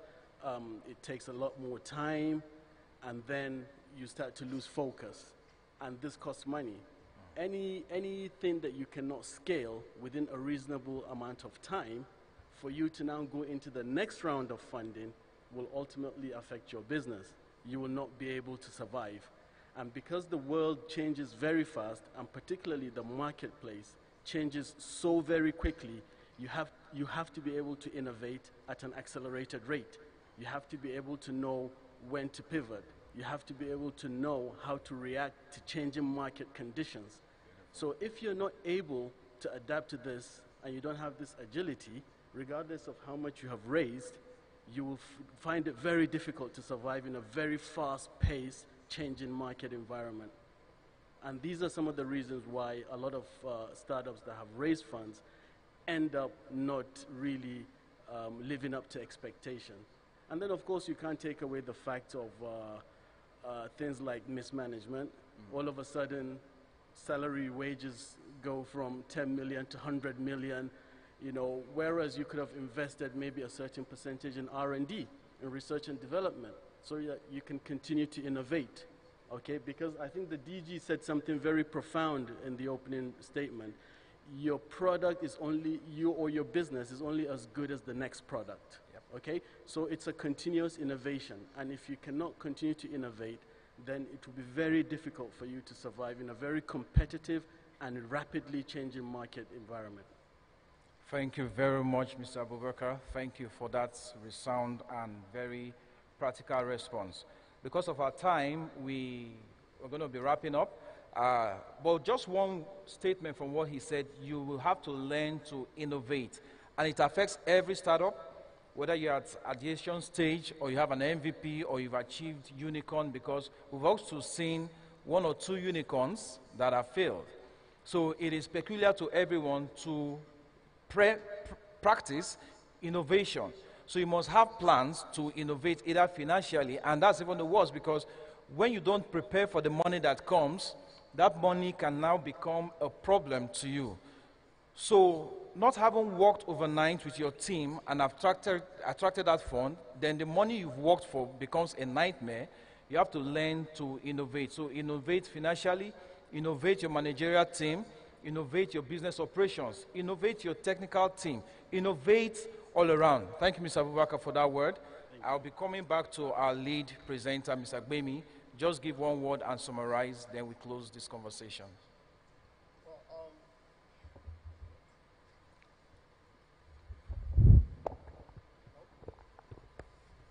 Okay, I'll use your microphone. All right. Um, I mean, overall, we've all heard from the panelists. Um, there are funding opportunities out there. Um, startup founders that are able to put in the work will get the best mm-hmm. opportunities when it comes to capital. Mm-hmm. That said, um, raising outside capital is not necessarily um, a success on its own. It is uh, a fuel to drive your success. So while there's a lot of hype around everyone raising money, and if you read TechCrunch or TechCabal every day, there's someone raising new money, that's the beginning of the work. Mm-hmm. So I would like to just um, basically calm everyone down to say, yes, it's good to raise capital, but what you do with the capital, as you said, uh, is what really matters, right? Um, VC funding does put some pressure on the business to grow aggressively. Mm-hmm. Um, so it's something to definitely consider and think about carefully before you go down that route. So opportunities abound. However, uh, tread with caution because the, it's expensive now to raise outside capital, but it's actually beneficial if you are the right business for it. So thank you very much, everyone, and uh, looking forward to chatting further. Thank you very much. A round of applause for our panelists. Keep clapping. If you really enjoy the uh, session, why not make it known by your claps? Put your hands together for them.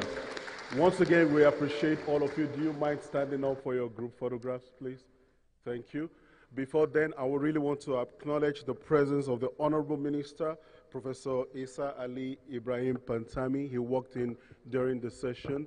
Uh, oh, he's not the one. All right, thank you.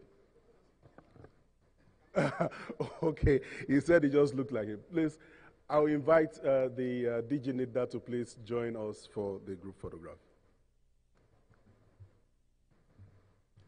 Hold on, please.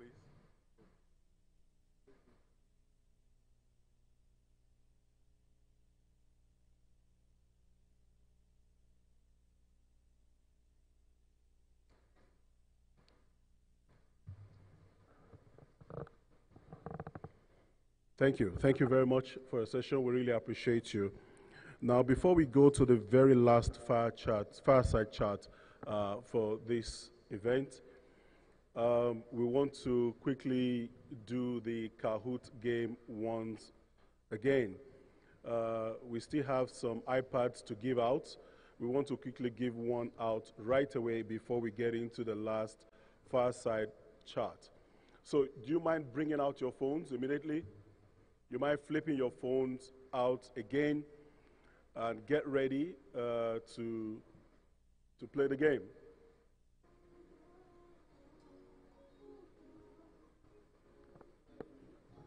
Make sure you go to kahoot.it. Where is my game party?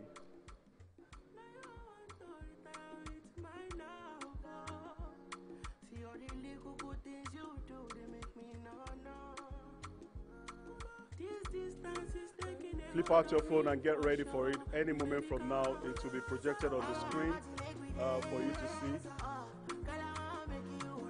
Please get me my game man.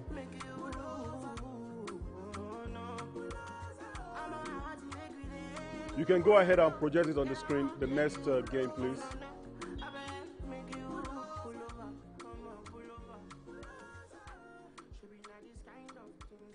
Now we have just three questions, so it's going to be very brief. And the pin will be displayed. That's the pin right there. Uh, so please go to kahoot.it and put in this pin. Remember to use some very funny names. We don't want your regular names use some very creative names so that we can have fun on the screen. Thank you. Already we have about 55 players. We're targeting about 100 players before we get started. So please continue to join the game with a very fantastic name.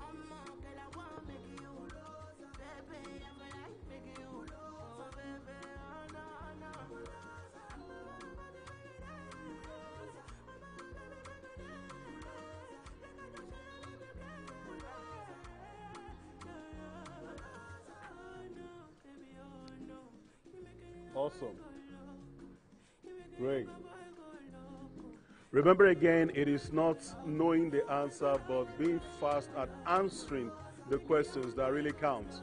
So it's not enough for you to know the answers. They are very simple questions. Once we hit 200, we'll get started.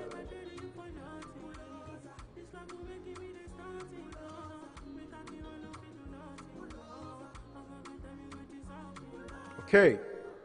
I think we're over 200 now. Uh, let's get started.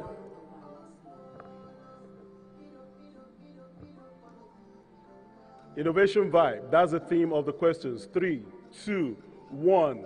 Let's go. The action or process of innovating is called what? Immigration, innovation, intimidation, integration.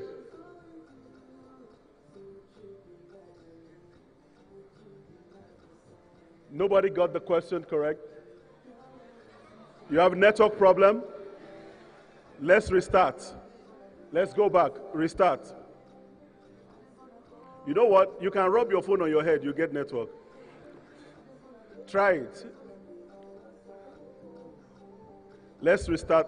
Let's do the question one again.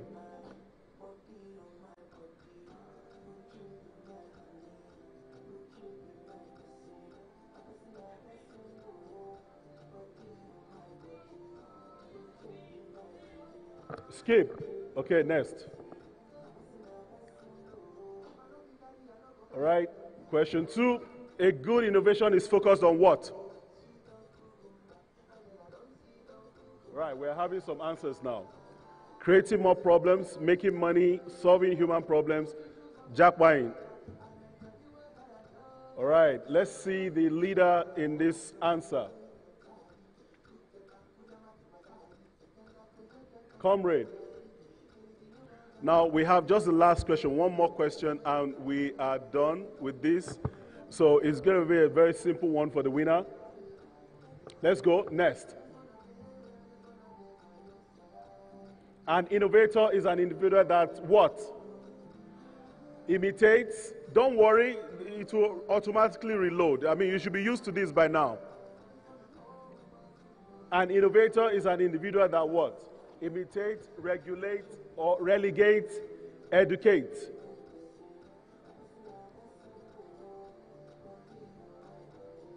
Just calm down, it will, it will reconnect.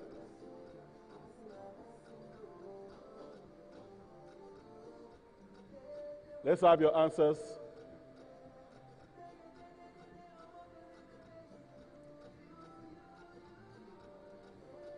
Only one. Hold on, hold on, hold on, please. Don't go.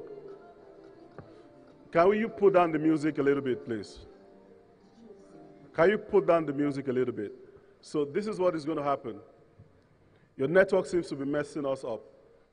So, we're going to restart this game. But we're going to have another set of questions. Is that okay? All right, before we get into that, before we reset and all that, um, let's go into the last fireside chat, and then we'll take that and um, we can now continue with the game if the network will permit us. Is that okay? Is that okay? Thank you very much. All right, and this is the very last uh, panel session that we're going to be having. We're looking at unlocking Nigeria's innovation potentials for economic growth and prosperity unlocking Nigeria's innovation potentials for economic growth and prosperity. The moderator for this will be Ajuma Ataguba, Director, Founder Institute, Abuja, and the lead presenter will be Salisu Uba, FCIP, MD NatQuest. Ladies and gentlemen, put your hands together for the moderator, Ajuma Ataguba, Director, Founder, Institute, Abuja. Also joining us on stage right now is Salisu Uba, MD NatQuest. Put your hands together for him. The panelists are David Desal, DG Pitda. If he's here, please join us on stage. David Desar, are you here? Thank you. Put your hands together for him. The louder you clap, the faster he will come to the stage. Keep clapping, keep clapping. We also have Aminu Sanibello, CEO DEFCOM Technology. If he's here, please join us on stage. We have Joledo Oyewole, Senior Manager at Paxful. Put your hands together for him. And of course, we have Na Onobi Fua, GISA expert or GICA expert, Innovation and Entrepreneurship. If you're here, please join us on stage as well. Put your hands together for them as they come on board.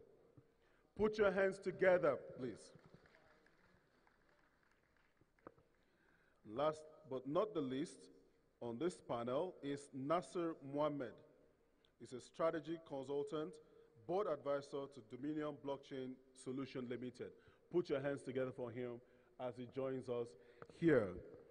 Before I hand over to the moderator, may I call on Salisu Uba, MD NatQuest, to give his presentation. Thank you. Have a lovely deliberation. You have actually 15 minutes after the presentation.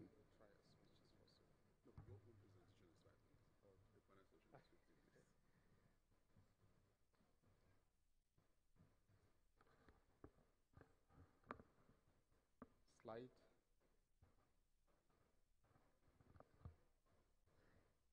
So, um,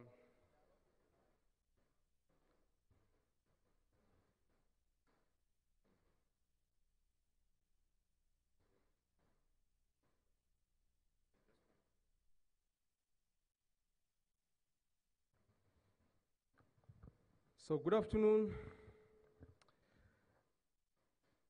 Our session is on on blocking Nigeria's innovation potential for economic growth and prosperity. And I think this is one of the interesting areas because every innovation you do is about commercializing it and creating economic prosperity. And I hope at the end of this session we'll be able to see how uh, we can benefit from, you know, the massive innovation we have, and of course we can create in this uh, part of the world for our economic prosperity and development. So obviously, there is quite um, an alignment between the theme of the conference and of course, this particular day, which is in the Innovation Day, and perhaps our topic, which is uh, on blocking Nigeria's innovation potential for economic growth. So, ironically, there is an existing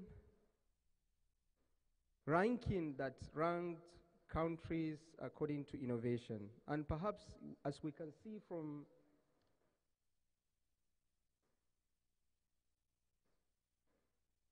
So as we can see from the, pre, uh, pre, from the slide, obviously, is dominated by, you know, the developed countries. But this is not a surprise, because this is ultimately the opportunities that they have in creating and commercializing innovation.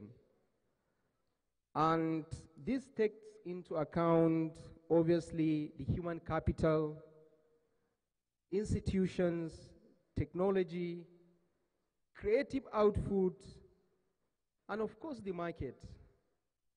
Because you cannot have a driving innovation when all these things are obviously not available. The innovation ecosystem captures four areas. You have the people, you have obviously the process, the policy, and of course the climate. These are very, very integral to how an innovation eco ecosystem can thrive. So probably most of you might be aware of some of these companies that are quite innovative and of course is an idea of how innovation can be transformed into what it is today.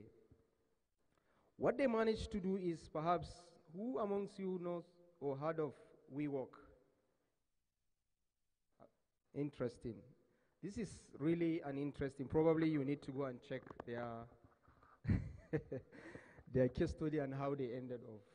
But again, this is really important as to tell you how a simple idea can be turned into a multi-billion dollar uh, venture. And IT is very essential because this is what actually brought us together. Innovation in IT is one of those areas that is creating massive opportunities today because of how obviously innovative that particular sector itself it is. It depends on how you look at an opportunity. You can decide to see or create an improvement in a process. Think about an idea that can create a better system. Think about an idea that can automate a particular function.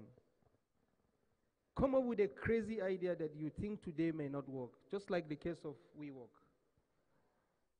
So many ideas can be tried into so many uh, opportunities.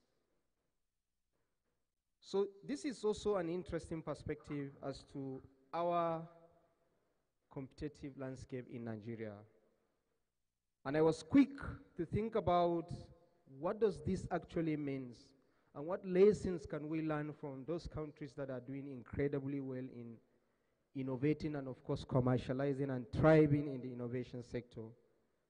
And for me, I think one key competitive advantage for Nigeria is you have the people that are driving and of course making this industry to what it is today.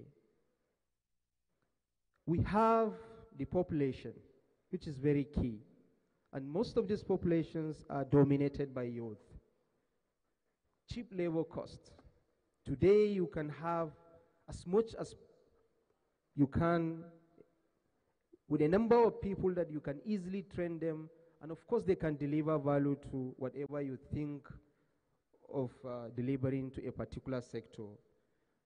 And guess what? Nobody is excited about the fact that today Nigeria has the Startup Act. This is an incredible opportunity to turn ideas into a multi billion dollar venture. Because this is something that is not there, and today you have it. And of course, lastly, is the infrastructure. Regardless of the fact that we complain about access to internet, or rather speed in internet and all of that. But I still believe that we are doing incredibly well because we are one of those countries that we're even thinking of uh, implementing a 5G technology. So this is a very interesting framework that was actually developed by Rogers in 1962. But interestingly, researchers have done a lot in ensuring that this model or theory has actually been advanced, improved, or rather modified. But I, I think one key fundamental thing about this model, it is still applicable. And it talks about how innovation can be diffused or spread across a certain society or population. And it's categorized innovation into five categories. Of course, you have the innovators, people that just think about ideas and they accept that idea. And second stage is the early adopters. Of course, these are opinion leaders, people that are quite reserved whenever you have an opinion or rather you have a certain technology and how that may potentially change an existing process. And of course, you have the, uh, the early majority, which mostly I believe uh, within Africa, we have a lot of people that can easily be categorized into this particular category. And lastly, you have the laggers. these are quite the conservative, and these are people that resist to any changes. And this is important for anyone that is thinking of commercializing and, of course, spreading their ideas. You need to know the position of the market, their, your target audience, how does it fall into this? And Rogers has provided an extensive framework as to how you can approach each and every category of this innovation, of, uh, diffusion of innovation theory. So lastly, I want to leave you with this particular note. It is really important that you should not be afraid to try something new. It's obvious, it's life. But you have to be ready to learn from your mistakes. As this is going to bring, obviously, the best out of you. And I guarantee you that you are not going to regret by being persistent, by, of course, putting what to what not just are key performance indicators, but key learning indi indicators. We tend to focus more or less on just the aspect that we have done or we are doing incredibly well. It is always good to also keep aside some of your lesson learned and put a certain indicators that will be able to build you to particular uh, process because this is a way to, to excellence. I think this is the, the end of my presentation and thank you very much indeed. Okay, so um, thank you very much, Uba, for laying that foundation. And uh, once again, the topic for, you know, under discussion is unlocking Nigeria's innovation potentials for economic growth and prosperity. Um, we just have 15 minutes, um, panelists, so we're going to do like um, three, three minutes. So I'd like um, each and every one of you to speak to the topic. Um, from, you know, what contribution your different organizations, you know, are making in the um, ecosystem. Um, in talking about innovation or unlocking innovation, he's talked about, you know, the need for people to be involved, the need for a process, the need for the enabling environment or climate, and also um, policy. So um, starting with um, FOA, introduce yourself, your organization, and then what you know you're doing. Okay. Uh, thank you very much, Juma. Uh, my name is Nao Fua uh, from JICA. JICA is a Japan International Cooperation Agency. How many of you know JICA? I think, okay, some, some, okay. Uh, JICA is a Japanese government organization supporting developing countries like USAID or GIZ. JICA uh, launched a startup ecosystem enhancement project uh, called Project Ninja. Ninja stands for Next Innovation with Japan. in this initiative project, uh, we run many activities, including idea competition, incubation program, and acceleration prog program, and also po policy advocacy as well. The one of the important activities in this uh, project is that making a bridges between the ecosystems. That, for example, in uh, one of the activity we did is in this month is GITEX in Dubai. Uh, I, we see many interaction um, among startups in the different countries, but we don't see much interactions among uh, policymakers. So in the Dubai GITEX, we had a panel discussion between the Nigerian high officials and also Ethiopian government high officials. Like here, uh, one panelist is a DG NITDA, and the other uh, panelist is uh, DG Director General of Ministry of Innovation in Ethiopia to exchange information about startup ecosystem and also exchange the information on the Startup Act and bill to uh, just enhance the ecosystem, making connections among uh, national uh, government officials. That's one of the activities. The second activity we do is an incubation program called iHatch. The NITDA uh, initiated this initiative in collaboration with JICA to enhance the startup ecosystem. One of the characteristics of this initiative is uh, strengthen the ecosystem by filling the gap of weakness and missing subsector of each sector in agriculture, health sector by, uh, by uh, uh, doing this incubation program. Before, before this uh, starting this incubation program, NITDA and JICA identify the weak area and missing area of the Nigerian startup ecosystem, comparing with the other, other countries like US or Kenya. So in this uh, iHatch program, we selected startups who is filling the gap. That's the uh, second activity we are doing. The third activity is, can I continue? Third activity is uh, policy uh, advocation and policy support. The Nigeria just uh, president signed off the startup bill. Then the JICA is planning to bring the uh, Nigerian official to Tunisia or other countries to learn and lessons uh, they already obtained in, the uh, in their startup act.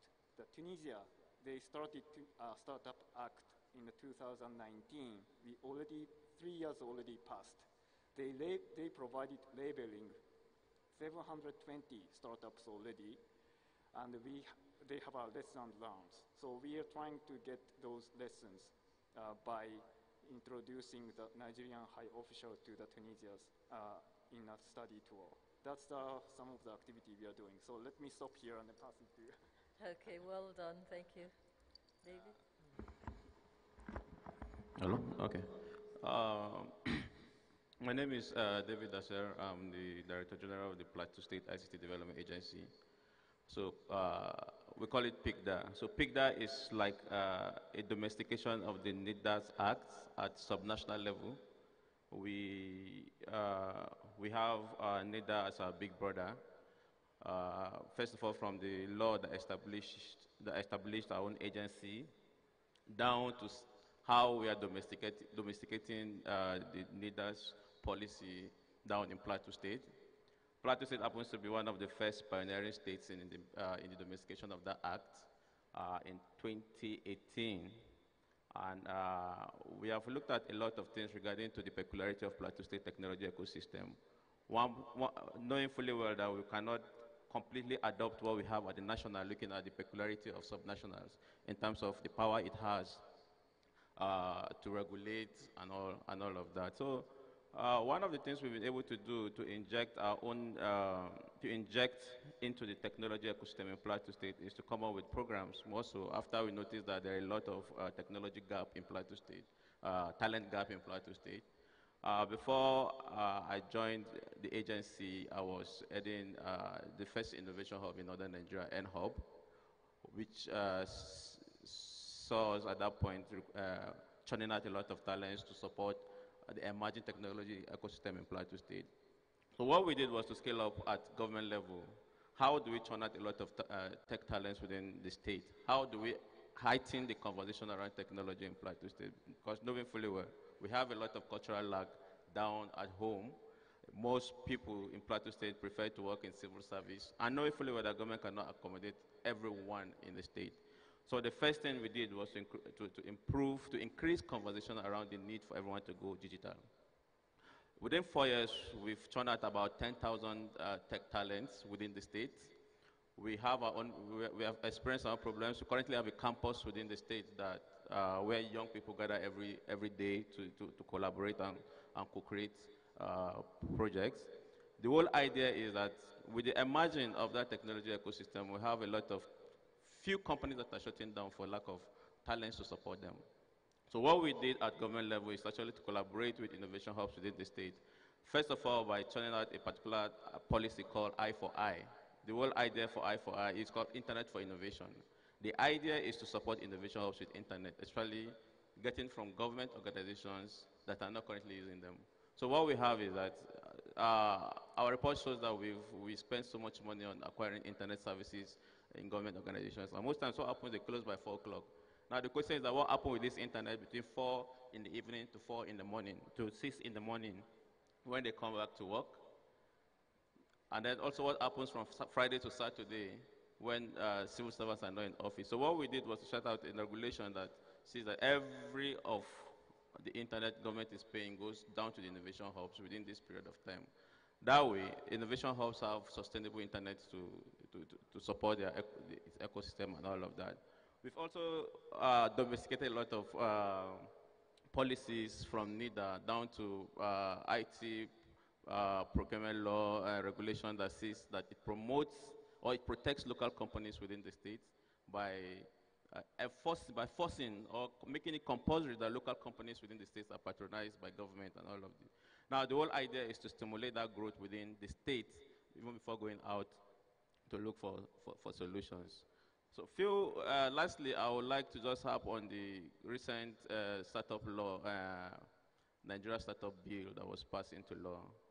In Plateau State, we've commenced domesticating that law already, and I'm sure Plateau State is going to be the first state to domesticate the uh, Nigerian startup bill before the end of this administration.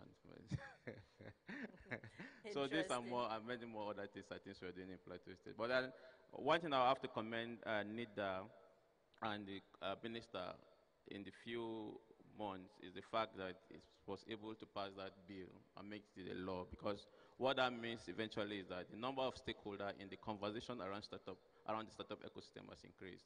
I mean, right now we have the president chairing over a council, mean, which is going to give a lot of strength and vigor to the whole conversation on, on startup, startup ecosystem.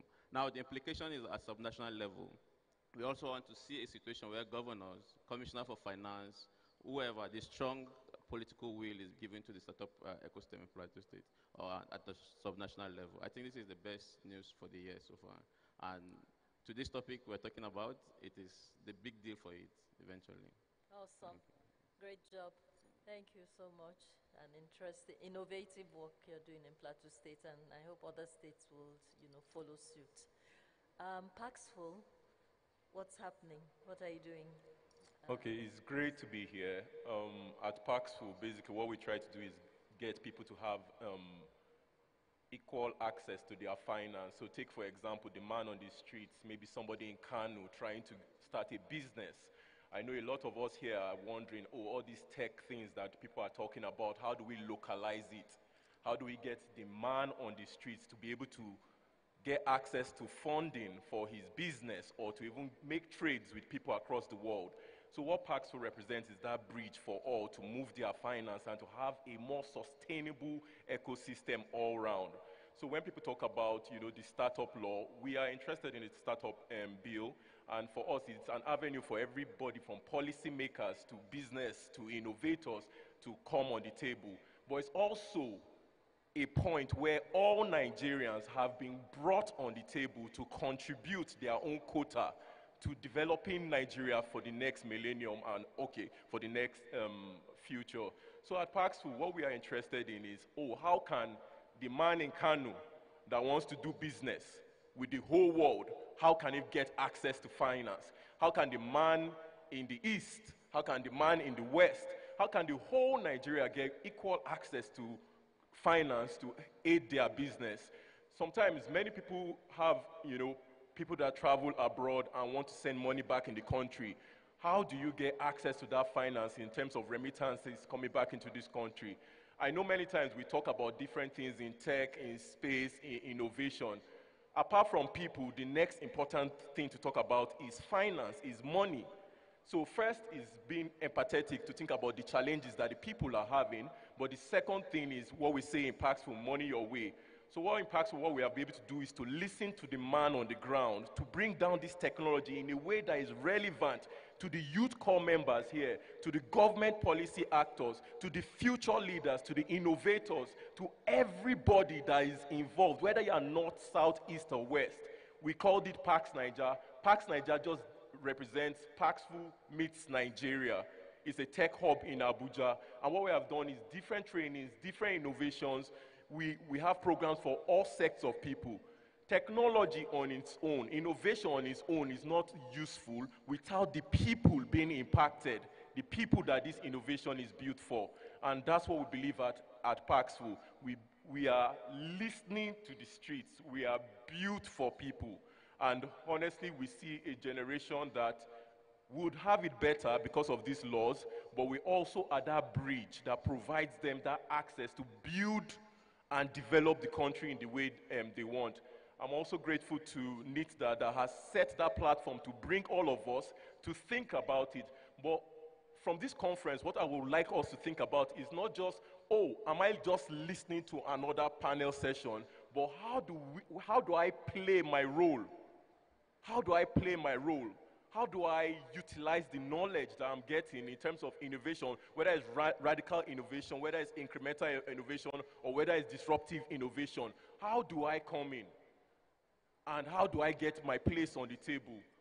But once you come in, remember that Paxful is that friend that definitely would help you with your finance and help you scale what you want to build. We believe in you, and I think my time stops now. Thank you very much. Thank you, Yewale. Um, taking action is key, and that's um, the message that has come from him. Nasir? Yes. Okay. So thank you very much for having me here today. My name is Nasir Mohammed. I wear two hats actually. I'm a board advisor at Dominion Blockchain Solutions, and I'm also a partner at Impact Point. Um, so I'll talk about block, uh, Dominion first, and then I'll talk about what I do as a partner at Impact Point. So at Dominion uh, Blockchain Solutions, essentially we do what we're trying, what we're all talking about here. We're trying to leverage the use of technology to solve social problems.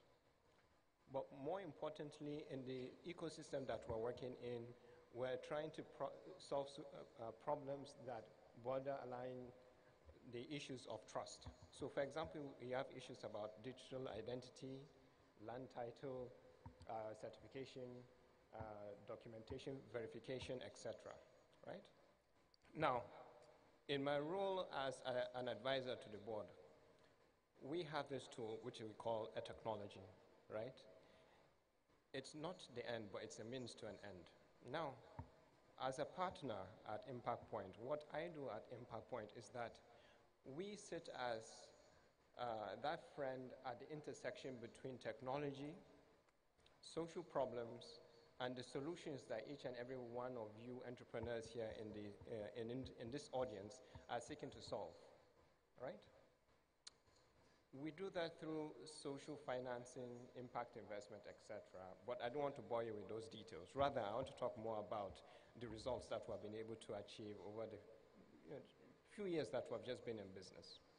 So I'll give you an example of one of our clients. I won't name names, but one of our clients that we work with extensively in, in Kano. So this is a major fast-moving consumer goods business. And one thing that they are passionate about is social impact, more specifically socio-economic impact. They want to help those who are at the base of the pyramid to improve their livelihoods. Now, this is a huge company, but they understand that the weight of that company is one that they can use to leverage technology, to leverage the social capital that they have to really improve the lives of the men, women, and children who are working at the base of the pyramid. So what we help them to do is that we help them to develop what we call a theory of change.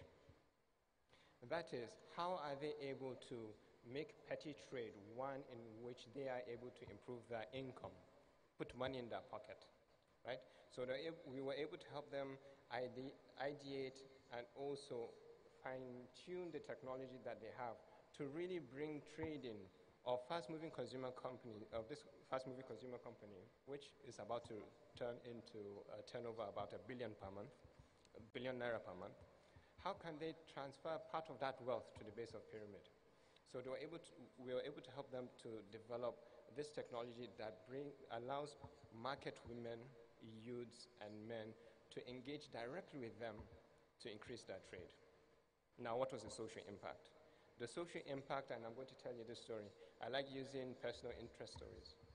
We had a lady who had signed up for this particular program who used to sell firewood.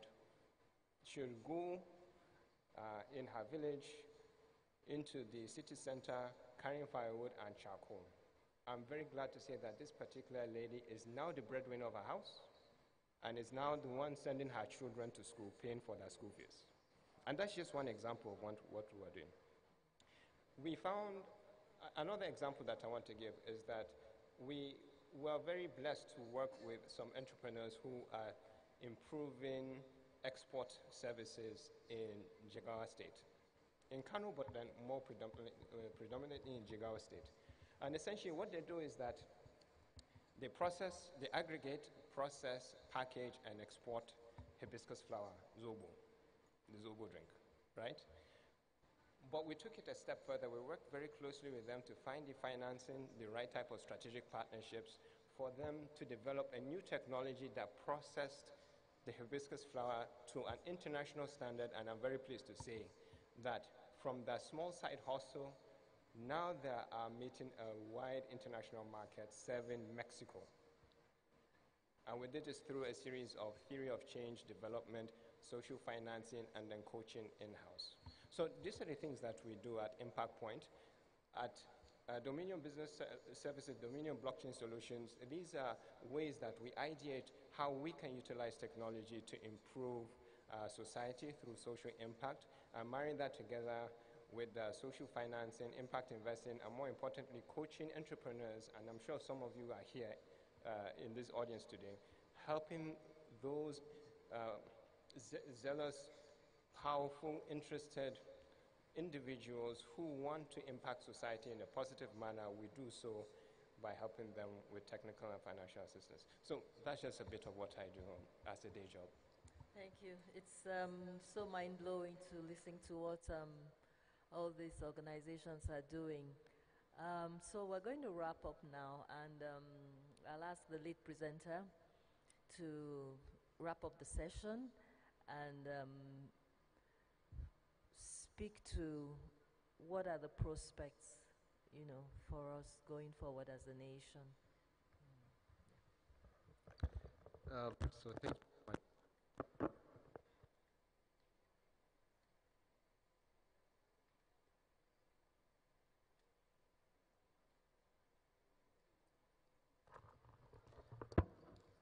I think we have enormous prospects in terms of uh, unblocking innovation potential in Nigeria.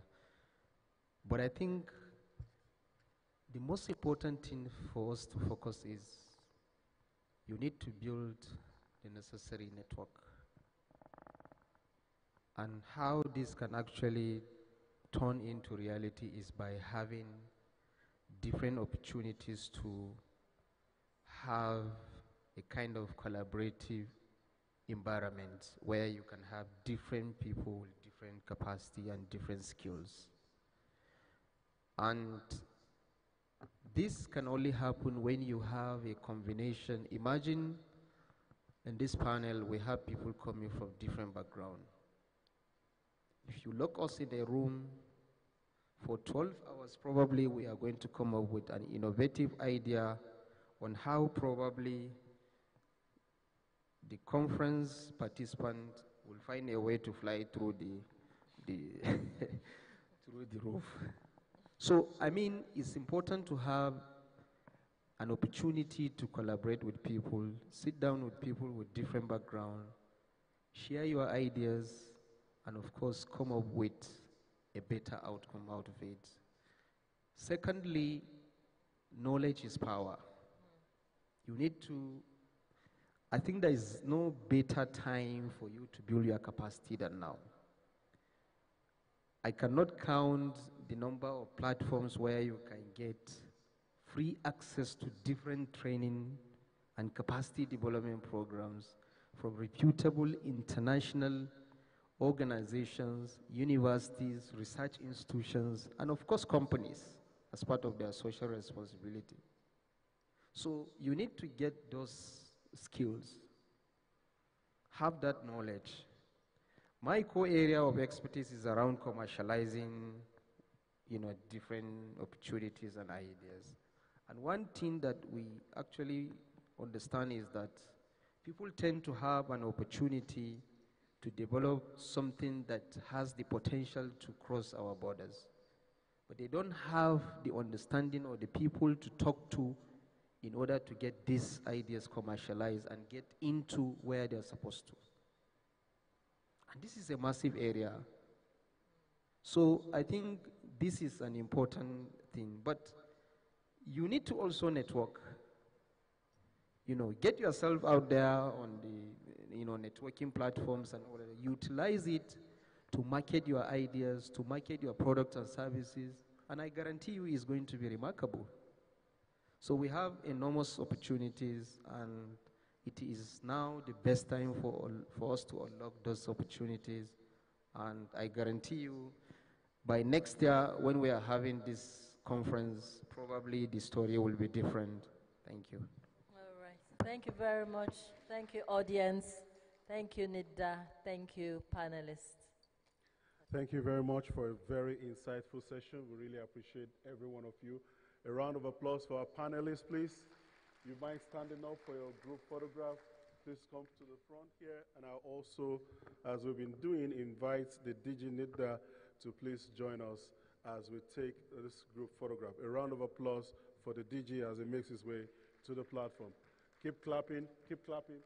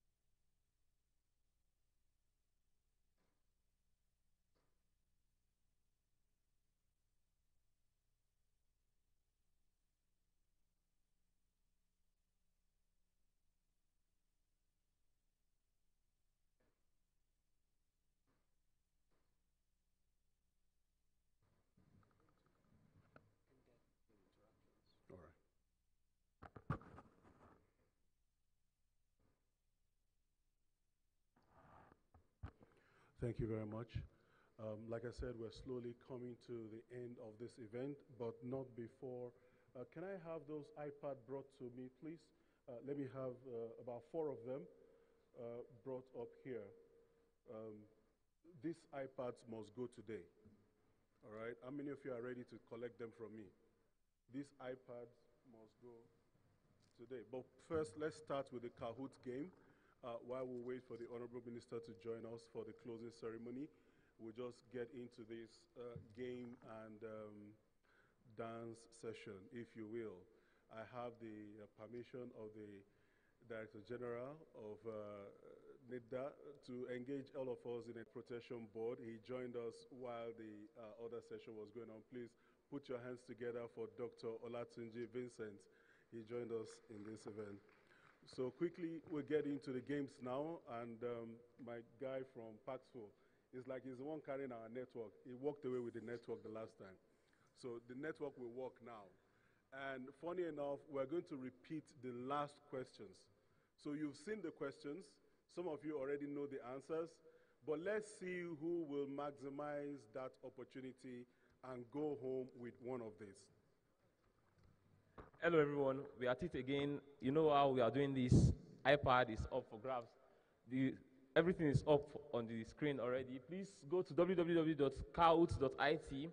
Use the game pin 484. Oh, 484 I ca- oh, 58 participants. Let's see. Let's, let's get it to 200. We need to be fast about this. The questions are very, very easy. As a matter of fact, I used Merriam-Webster dictionary while I was setting this up the dictionary will define, define drive as the act of moving a car. Zoom. So all the questions are very, very easy. Just three questions. So you need to be very, very fast. If you are very, very fast, you can go back home today with an iPad. So 300 participants already. Let's just do in three. Okay, let's count down from 10. Awesome. Can we start? Media, please, let's start. Pay attention. You need to be very, very fast. Please, you need to be very, very fast innovation vibes. And the first question is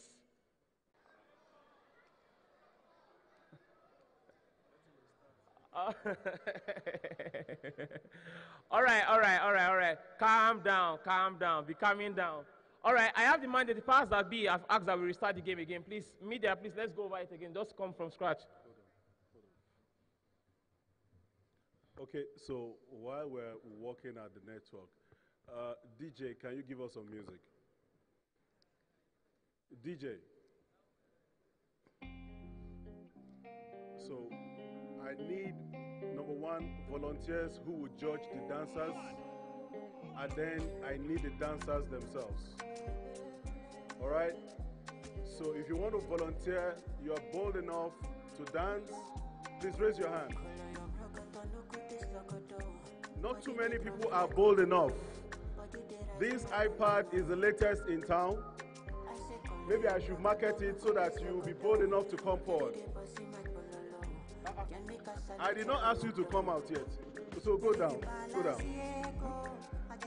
If you want to volunteer to dance, raise your hand. That's instruction. Raise your hand first. Okay, now you can stand up. If you want to volunteer to dance, you can stand. All right, those of us who are standing, please come up here. Come in front here. Be orderly about it.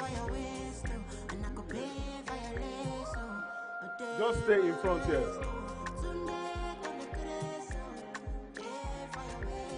Yeah, just stay there. You can face them, face them, face them, face them, face the crowd. Know, that music you made me to dance to, that's the one you are going to play first. uh-huh. Go. Go.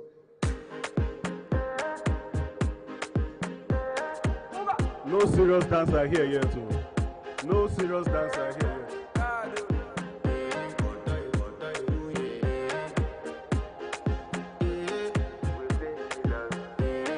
Watch them as they dance. You'll be the one to select. And I want to carry my love. You'll be the one to select. Place she loves. I'm a man, man. I want to impress. And I want to carry my love away to a place she loves.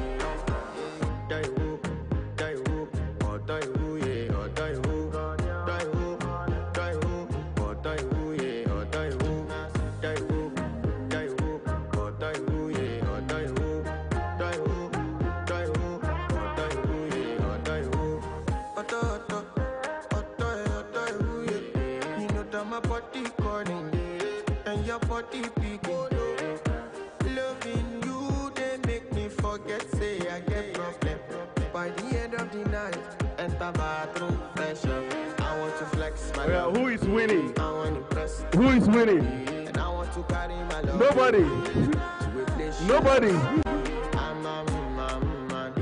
I want to impress. So I'm going to be sending some people to their seats now. We are going to be eliminating them now.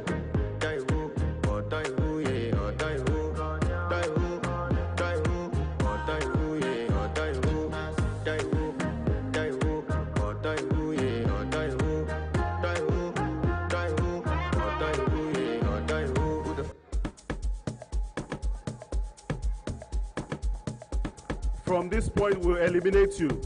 Once I point to you, just go to your seats until we have two dancers in front. Once I point at you, you go back to your seat.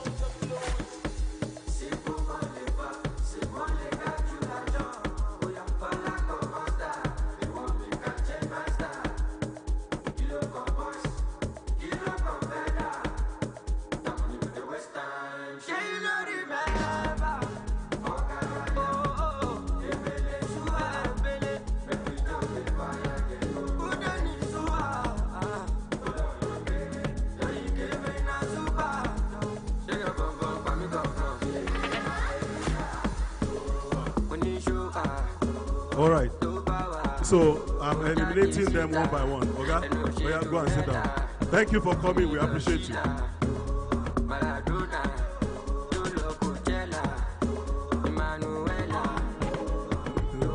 Yeah, okay, go and sit down. Thank you for coming. Yeah, you to follow him. Bye bye. Follow him. Thanks you for coming. Yeah, follow. Thanks for coming. I'm sure you know you are going home. You can go. Thank you for I coming. say like campaign Tropicana. Me, I don't think I don't the marijuana. Here comes Jimmy. Put your hands together for him. Jimmy will hit the iPad. Come on, engage him now. go Jimmy. Go Jimmy. Go Jimmy. Go Jimmy. Go Jimmy. Go Jimmy. When them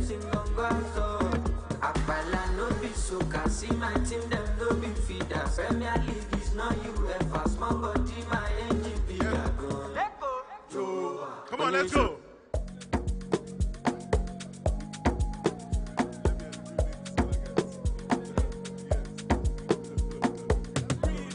Okay, yeah, let's go. You guys can go. Let's eliminate them from. Let's go. You said? Mm, baby, follow my command like zombie. Let's go. Don't worry, we'll, we'll get some other people. Oh, yeah, let's go.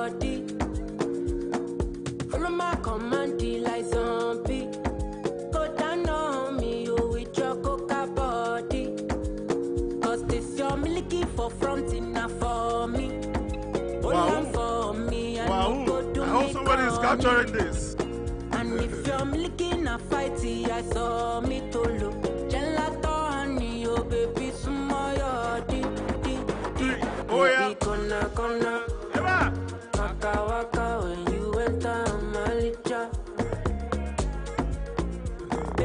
Kona kona. Will you give me sugar? Wala wala. Okay. Jimmy, can you come on stage? Come, come, so that they can see you. Come up here. Macho Mona Lisa. Yes, come up here. Macho Mona Lisa. Macho Mona Lisa. Let the lady also, let the cover come. Hold on, hold on, no, no, no, no, wait.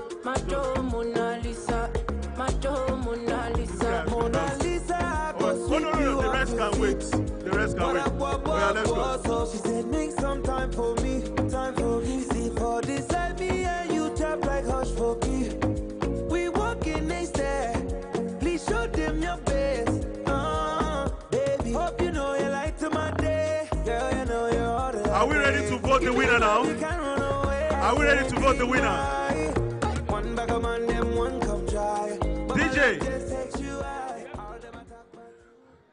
Okay, if you are voting for Jimmy, I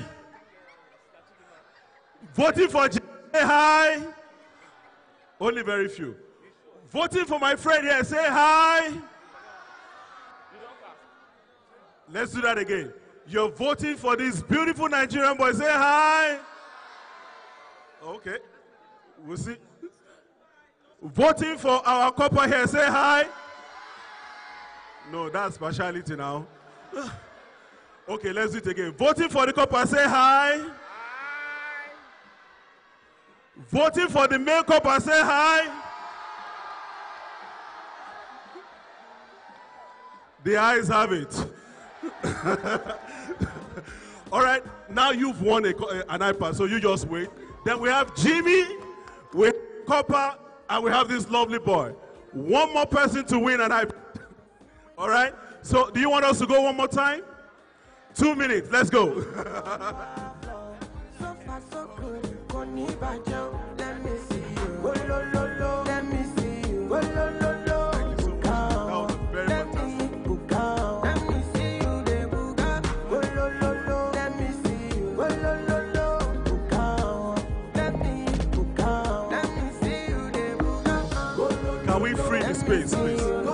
Let's free this space. You can move back. Thank you very much. Wow. Come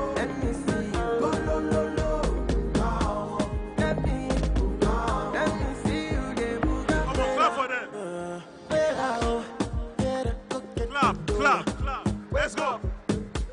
Let's go. Let's go. Come on, clap for them. Encourage them. All right. Now let's do the vote one more time. If you have voted for the lady copper, say hi. Okay, that sounds very loud.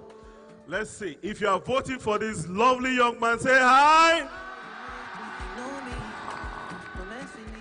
Let's do it again, one more time.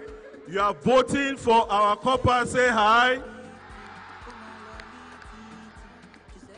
Now, we need to decide. You are voting for this lovely young man here with those fantastic dance moves. Say hi. The eyes have it. Thank you very much. Thank you very much. Clap for them. Clap for them. I'm going to invite Jimmy to present the iPad to the two lucky winners. Me, I just want to be high. Be high. Be high. Me, I just want to be high. Congratulations. Yeah. Please. Be high. Me, I just want to be high. Strike a dance pose again.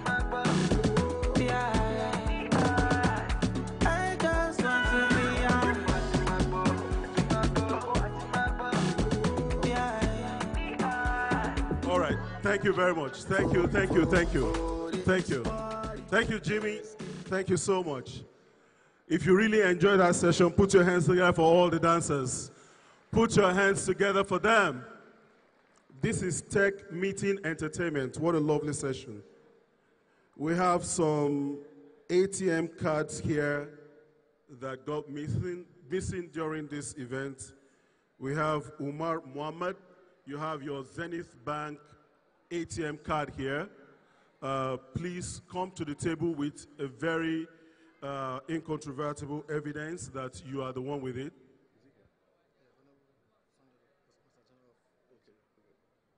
Please, uh, Umar Mohammed, please come and take. Then Tol- Tiwalola Alagbe, you have two ATM cards here actually. So please come with your proof of ID and collect your ATM card at the stand here.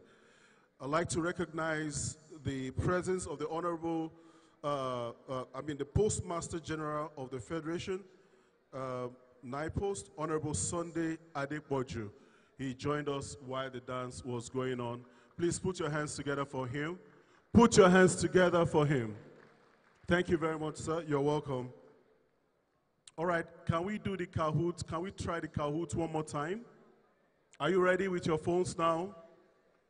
You can change your network and ensure that you are ready for it this time around. No matter what the network says, we are going to give these to whoever comes up on the board as the winner. So if you are ready, uh, bring out your phone, put in the pin. Oh, we already have over 300 people. That's awesome. Over to you. All right. 360 participants are in already, so I think it is good to start. Calm down, no shout. Face your network now. Innovation, let's get to it. On three, two, one.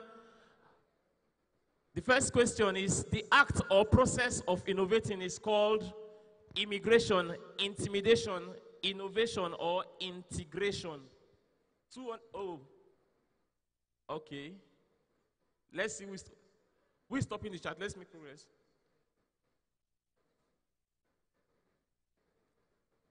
Fatitech is wow, a thousand points already. Next, next question. We just have two questions to go on this round.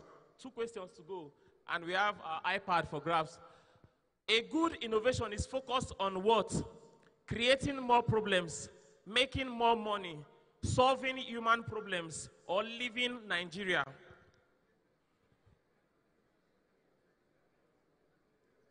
Let's see if Fatitech is still at the top of the table. Oh, next, next, and this is the very last question. At this, we'll get to know who the winner is. We have the questions for this section. An innovator is an individual that what imitates, innovates, relegates, or educates.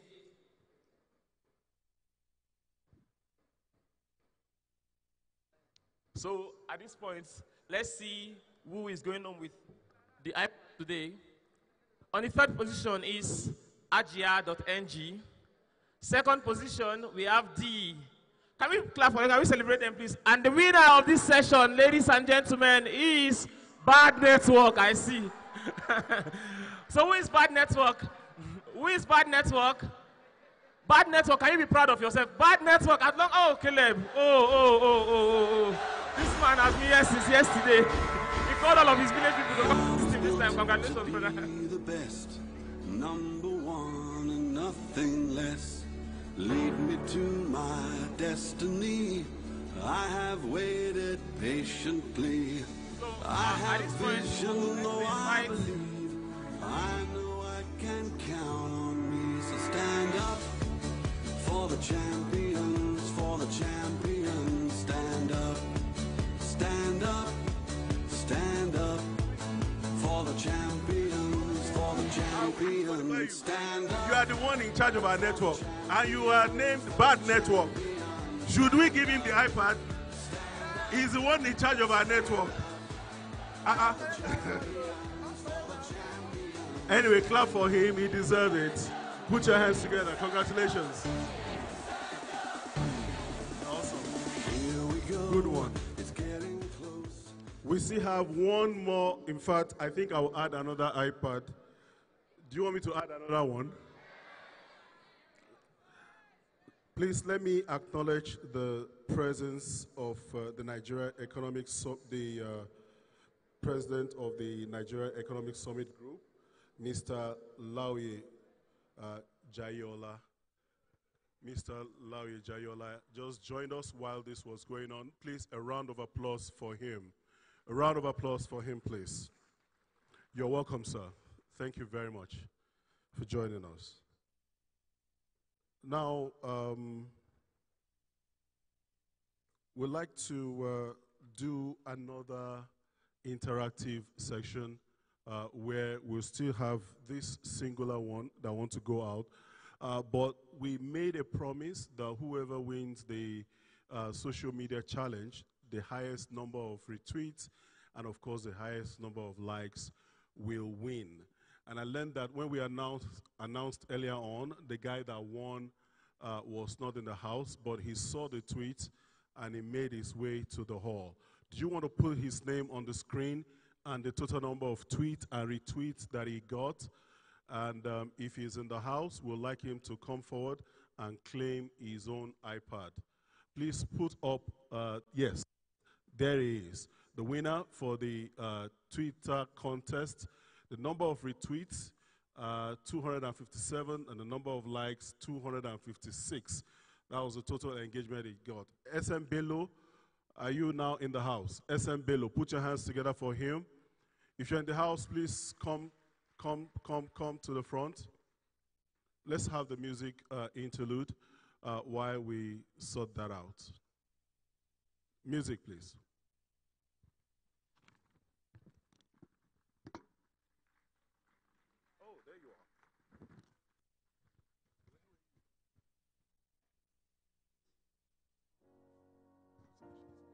All right, so here is the winner of our, come over here, of our Twitter challenge.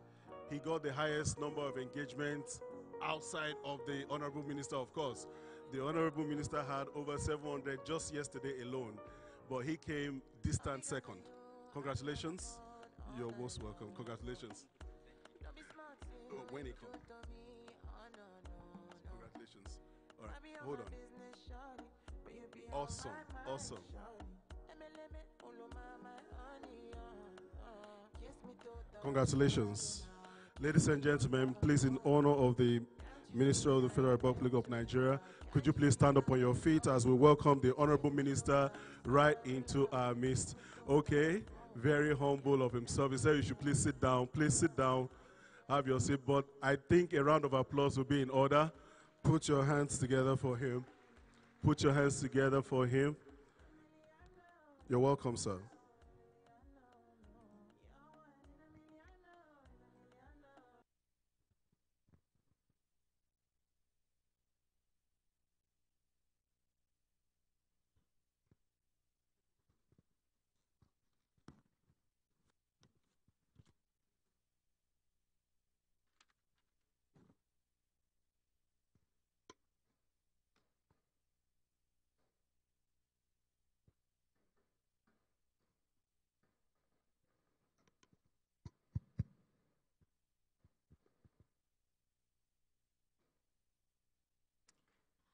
Distinguished ladies and gentlemen, the chief hosts of the Digital Nigeria International Conference 2022 and chairman of the closing ceremony of SAME, the Honorable Minister of Communications and Digital Economy, is in our midst. So,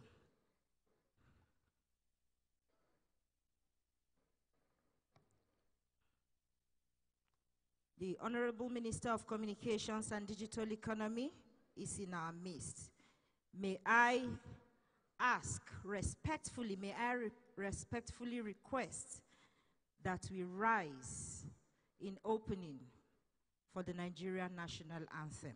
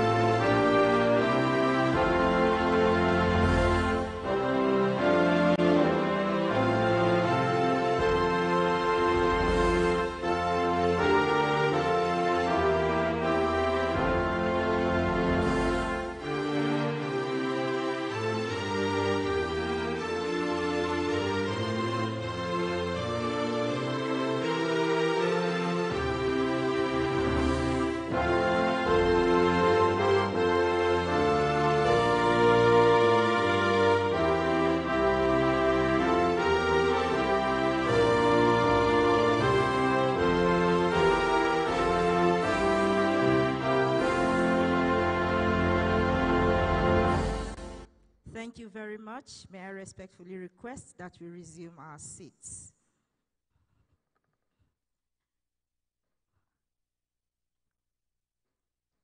The chief host of the Digital Nigeria International Conference 2022 and chairman of the closing ceremony, sir, may I respectfully request your permission to recognize a few dignitaries individually and then proceed to recognize institutions.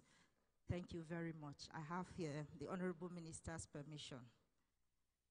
Um,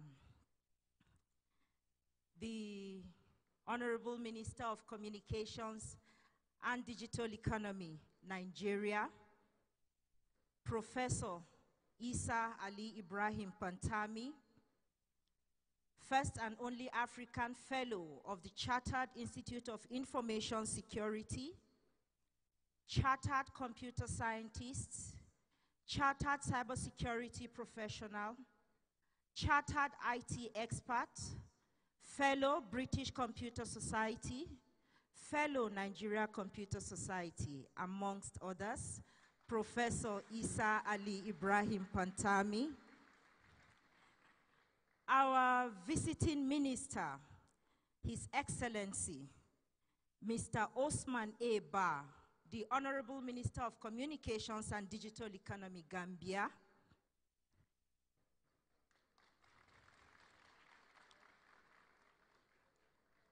members of the National Assembly here present and represented, um, service chiefs, members of the diplomatic corps, CEOs of parastatals and agencies under the purview of the Federal Ministry of Communications and Digital Economy here present, our host CEO, of course, the Director General, National Information Technology Development Agency, NITDA, representatives of the organized private sector, distinguished members of the fourth estate of the realm, our young innovators, stakeholders, ladies and gentlemen, a very good afternoon to you. My name is Uwa Suleiman. I am the humble spokesperson to the Honorable Minister of Communications and Digital Economy, and it is my pleasure to be your mistress of ceremony at this closing ceremony of this auspicious event.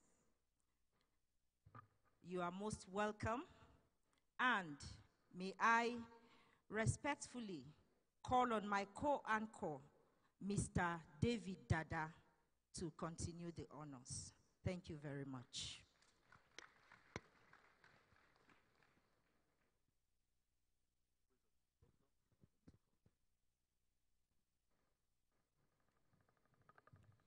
I have the singular honor of inviting the uh, CEO and Director General of NITDA, Kashifu Inowa Abdullahi CCIE, to give us the welcome address at this closing ceremony. Ladies and gentlemen, put your hands together for the DG NITDA as it makes its way to the stage. Keep clapping, keep clapping until it gets here.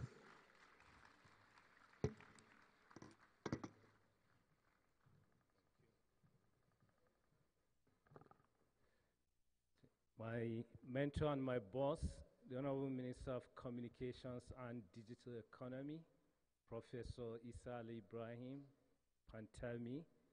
Please permit me to align with already established protocol. Thank you. We are here this afternoon not to close or to end this event, but to close this three days conference because I can see everyone is excited in this room. And the youth here, they have been engaged for the past three days. So we want to continue with the momentum. We want to keep the tempo until the end of November when the President of Nigeria, President Muhammadu Buhari, GCFR, will officially close the Digital Nigeria 2022 ceremony. We are going to use the time to go and come up with the communique to document and transcribe all the sessions, all the experience, all what we, uh, all what you shared with us, our international speakers, our Nigerians from diasporas, and our Nigerians who participated on all the sessions. This year's conference is very rich and there are a lot to learn from it. So like I said in the morning, the government is a listening government and is ready to work with you to make Nigeria the most vibrant ecosystem in the world, not Africa. Because we are already leading in Africa, but if we can compute globally, why do we need to settle for Africa? We have all what it takes to be the global talent factory. And we have you, the youth, you are the greatest resources of this country. When we talk about digital economy or innovation economy, your greatest resources is not what is lying underneath you, but it is what you have in your brain. So Nigerian brand, Nigerian brands are excellent just according to PwC research, they said Nigeria can export brands and become the world superpower. In the research, they talked about how countries developed. Like most of the Asian countries, they started by, they started with low-end manufacturing, then high-end manufacturing, then they developed. But it took them not less than 40 years to become developed. We don't have 40 years to wait. We want to become a developed country. And the easiest way for us is to leapfrog through talent. According to the PwC research, they said there is urgent need of 2 million developers in the global value chain. And Nigeria has the potential to fill that gap. A developer earns averagely between 35,000 US dollars to 150,000. So let's say averagely, if Nigerian, if Nigeria can provide that 2 million and they will add 20,000 US dollars averagely, that means Nigeria can make 40 billion US dollars from just exporting brands. That is far, far more than what we make from oil and gas. So, this conference, we have reviewed what we have achieved so far, we have reviewed our potentials, we have learned from the global community what is happening in other countries and regions, and we understand that all these prosperity, wealth are not evenly distributed. And we have understand what it takes to make wealth is through innovation. Because innovation is the only way you can lift a nation out of poverty. We have the brains, we have the government's political will, and government has provided the enabling environment. What left is for you to use the opportunity, to use the legal framework, to use all what government is doing to complementing it by keying into the Digital Nigeria project. Digital Nigeria is for all of us. Government is just one part of it. And you are all critical stakeholders. And with you on board, nothing is impossible for us. So thank you for coming.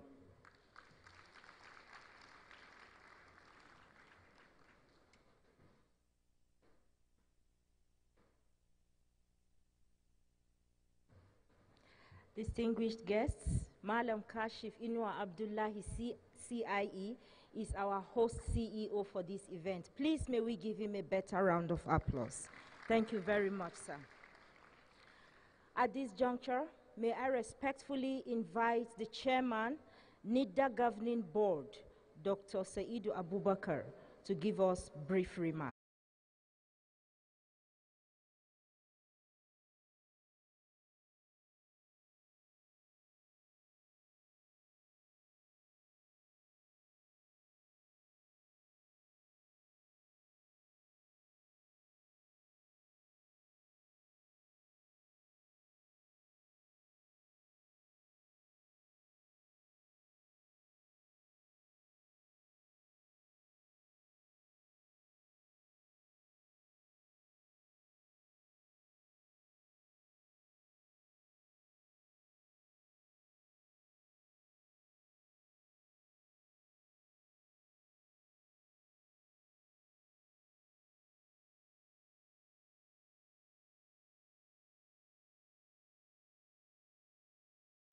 Backbone, Professor M.B. Abubakar. The sixth is the MDCU of which comes out Dr. Abimbola Alale. The seventh is the PMG, Honorable Sunday Adepoju. We have the, e, the ES of USPF, Malam Ayuba Shaibu. And the last but not the least from the public sector is the National Commissioner of the NDPB, Dr. Vincent Olatunji. And from the industry sector, we have Mr. Laoye Jaiyeola, who is the CEO of the Nigeria Economic Summit Group. is going to be the co-chair, and he will speak briefly after this. We have Ms. Juliet Ehimuan Chiazor, member. Uh, we have Mr. Karl Olutokun Toriola, member with, from M- the CEO of MTN Nigeria. Uh, Juliet is the country director of Google. We have Mr. Kiari Bukar, uh, MD CEO of uh, Inlaks. We have Ms. Funke Opeke, um, CEO of Main One. We have Mr. Sim Shagaya, um, the CEO of ULesson. We have Ms. Olayemi Kerry, um, CEO of Hekabela. Uh, we have Mr. Mohammed Darwish, the CEO of IHS. And then we have Mr. Bumi Akin Yemiju, um, the CEO of Venture Garden Group. And then from their secretariat, we have Mr. Chris Abumimen and Mr. Zachary Aliyu. So um, shortly after I depart the stage, will be the next voice we'll be hearing is the voice of the CEO of the Nigeria Economic Summit Group. After that, we'll have the Honorable Minister who will speak and then inaugurate the uh, Industry Working Group. Over to Mr. Jaiyeola from the. Okay, thank you. Thank you very much. Thank you very much, Femi. Honorable Minister and distinguished ladies and gentlemen, permit me to stand on the already established protocol. Again, I want to thank the Honorable Minister for his commitment towards uh, public-private uh, partnership. I mean, recognizing the fact that whilst the government enables the environment for doing business and sets policies, a lot of the money that needs to be galvanized into taking us to where exactly we want to be depends on how much we work along with the private sector. And I know that the commitment and the result to ensure that we both work together towards delivering the much needed uh, objectives uh, is, is, is commendable. It is very clear to us that if Nigeria must meet the challenges and the potentials that we have for year 20, 2050, it is very, very important that we leapfrog using the digital economy to accentuate all the possible, all the good things that everybody's talked about today. Which is why on our part, from the private sector, we're very, very committed to ensuring that this partnership works. We're very, very committed to ensure that we take care not only of the current generation of Nigerians, but the truly young people that are emerging, young people that have all the potentials to meet the needs of the fifth the, fifth, uh, uh, not the, emerging generations. So I, I, I want to thank the minister and again reiterate our commitment to see that this partnership works. So I again want to thank you most sincerely for agreeing to the setting up of this steering committee. And I do know that beyond the steering committee, there is a number of other subcommittees, the technical committee, that will work towards delivery of the mandate of these uh, uh, public-private uh, working group. I thank you most sincerely, and I look forward to making it work. I want to apologize that I cannot be with you in person in Abuja, but no doubt, I know that in many ways will stop the work that we both have committed to do. Thank you, Mr. Senator.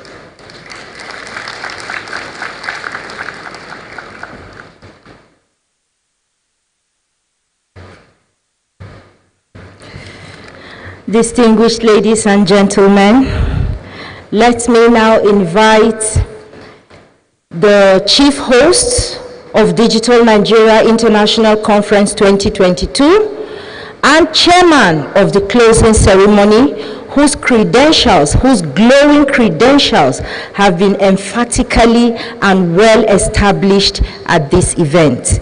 May I respectfully and proudly and humbly call on our chief host, Nigeria's Honorable Minister of Communications and Digital Economy, Professor Isa Ali Ibrahim Pantami, to give us his remarks and inaugurate the Digital Economy Industry Working Group. Sir, you are most welcome. Please, may we welcome.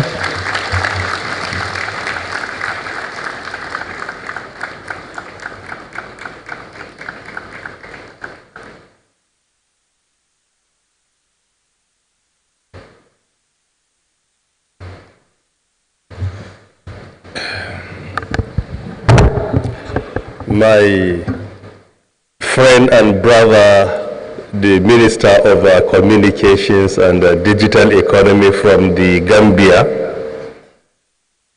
Chairman of uh, NITDA Governing Board, Dr. Abubakar Said, our host, the Director General of uh, the National Information Technology Development Agency, Kashifu Inuwa Abdullahi CCIE, and the Chairman of uh, the National Identity Management Commission Governing Board, Professor Usman Aliyu El Nafati,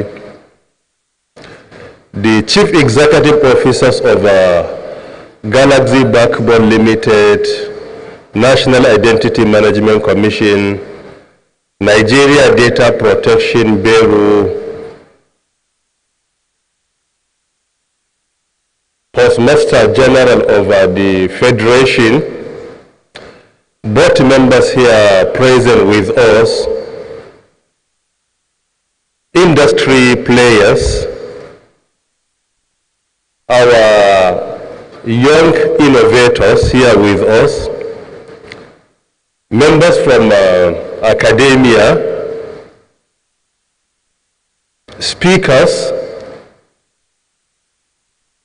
my colleagues from the ministry and also the parastatals, ladies and gentlemen of uh, the press, all other protocols duly and respectfully observed.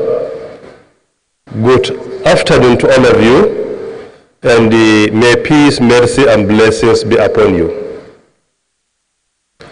I am highly excited that we converge here today for the closing ceremony of our Digital Nigeria International Conference taking place here at the International Conference Center, Abuja.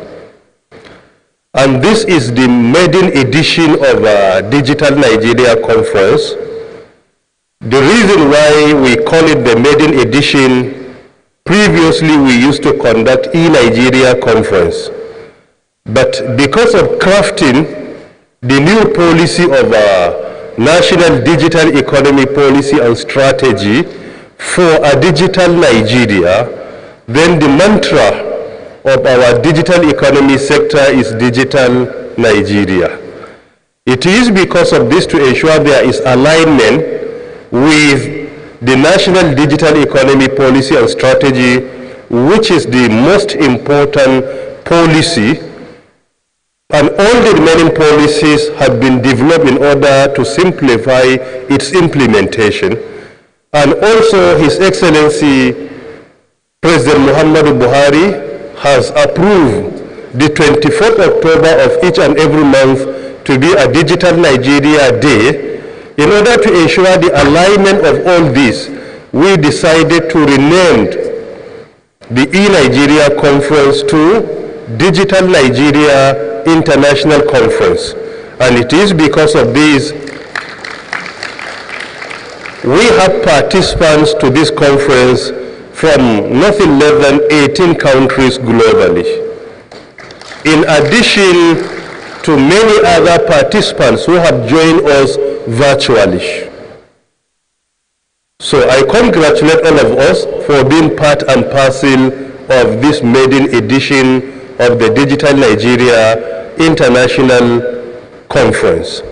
Furthermore, during the opening ceremony, we outlined some of our major gains and achievements within the digital economy sector, particularly the eight priority areas given to us by our principal, President Muhammad Buhari, in which with all sense of humility and responsibility, we have delivered all of them with A++ as assessed by the international and independent organizations and the report has been presented to His Excellency President Muhammad Buhari in which he commended our humble effort.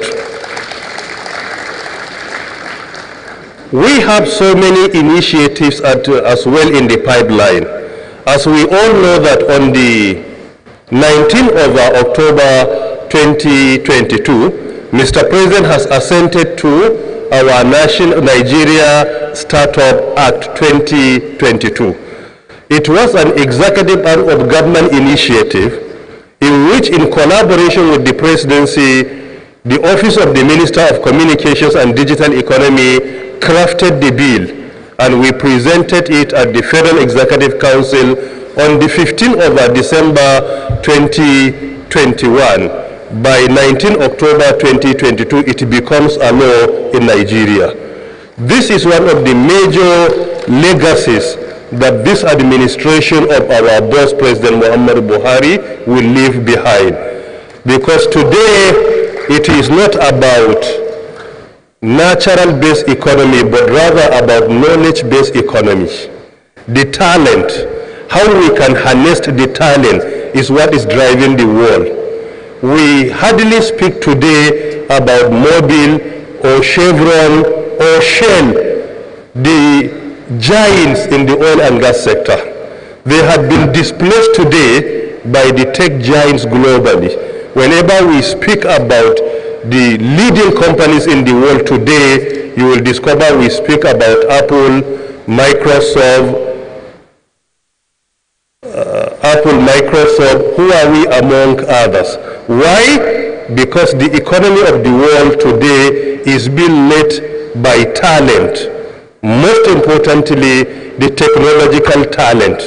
It is because of this, with all sense of humility, Nigeria Startup Act 2022 is one of the major and the most important legislations we have in Nigeria.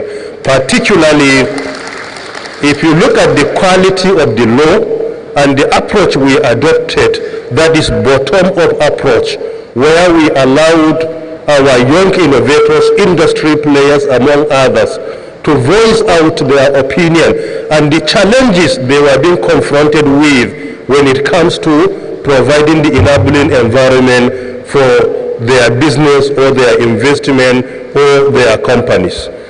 Nigeria is doing well when it comes to providing the environment of doing business. We still have challenges and we are working on addressing the challenges at the national level. But we are making a tremendous progress. When this administration came on board, if you look at the World Bank global rank on the ease of doing business, Nigeria was ranked 170. Within two years, when we initiated some reforms, Nigeria moved higher in the ranking, 39 steps higher within two years. And beside Rwanda, there wasn't any country that moved higher in the global ranking of when it comes to doing business except Nigeria. We moved 39 steps higher, meaning we have overtaken 39 other countries in the global ranking of the ease of uh, doing business from 170 to 131. Furthermore, if you look at the World Bank doing business reform, Ni Nigeria has been ranked within these years among the twice among the top 10 most performing countries globally. Twice among the top 10 globally. In addition to the initiatives, these initiatives are being formulated by the Presidential Enabling Business Environment Council, it, being chaired by the Vice President of Nigeria, and I also happen to be the member of that council representing the digital economy sector. We have initiated and implemented over 160 reforms when it comes to the ease of doing business. Most, some of these initiatives, you will find them like uh, tax holiday, holiday incentives, pioneer status, visa on arrival, and the automation of uh, even registering your company online. In Nigeria, there was a time before your company get registered in Corporate Affairs Commission, it could take you a year or more. Today, you can do it within 48 hours. And most of the activities are automated. This is what brought about. Only last year, Brad Smith was in my office. He came to visit the president of the Microsoft Corporation. When he came, he landed in Nigeria in Abuja airport. My team was there to receive him. From the time he landed and the time he processed his visa on arrival was within 20 minutes. When he came to my office, his first statement was, "Sir, look at how easy it was in Nigeria. I just landed with 20 minutes, I obtained my visa on arrival, and I stepped into Abuja. So these initiatives, sometimes we hardly see them because we are Nigerians, and we always appreciate negative news, not positive news about our country. But in real sense, the result is there for everyone to see. We are still the largest and the biggest economy in Africa with all the challenges we have been encountered with. The economy of Nigeria is not doing that. Still, there is room for improvement and we must continue to improve. As they say, the reward of hard work is more work. So we must continue to work harder and harder and ensure that our country is no more only the giant of Africa, but to be among the giants globally. And this is very possible, and I'm very optimistic. Part of the initiatives to support the digital economy sector in the pipeline, beside the Nigeria Startup Act 2022, which I do hope that uh, we will meet soon to review and unveil it officially by inviting stakeholders, and we can uh, inaugurate the committee, uh, particularly the technical committee that is going to ensure its implementation. Secondly, we also have Nigeria Data Protection Bill. The National Commissioner, Dr. Vincent Olatunji, was in my office two days ago to hand over the draft of the Nigeria Data Protection Bill. I am currently reviewing and I have forwarded it to my colleague, the Minister of Justice and Attorney General today. And I do hope that in the next few days, he will be able to look into it and give us the go-ahead to present it before the Federal Executive Council. This is to ensure confidentiality, privacy, among others, when it comes to dealing with data and citizens' information in Nigeria. We are among the first countries to come up with the Nigeria Data uh, Protection Regulation as a subsidiary law, and now we are in the process of integrating the subsidiary law to a principal law.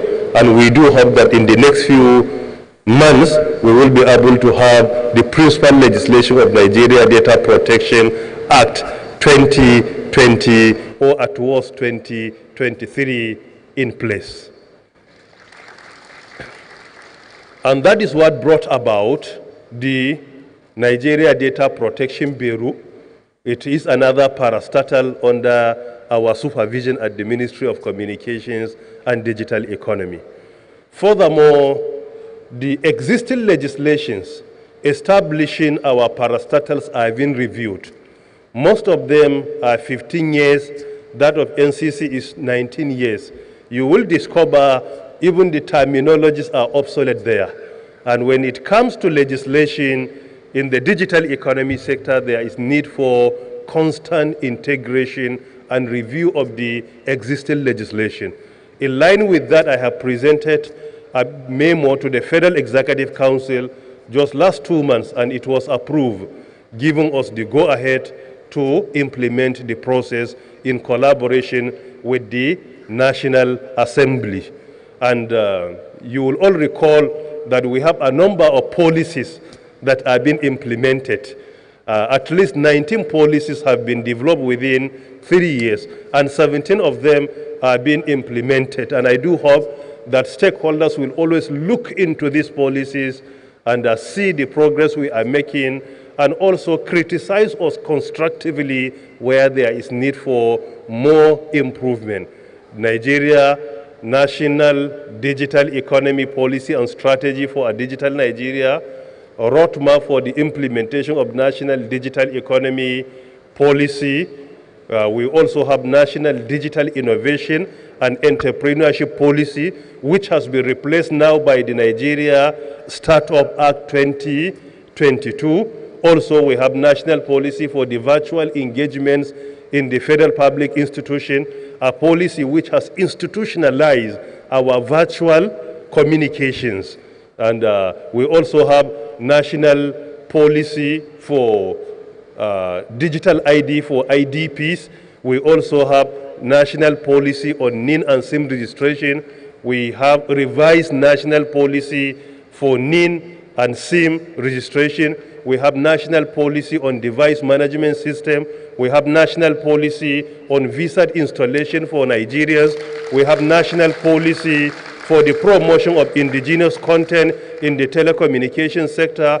We have uh, national policy for the regulation of the Nigerian postal services, among many other policies. We have national DIC-1 policy that will provide fiber optics in the country. So we have a number of policies, and all these policies are being implemented. And they are not armchair policies.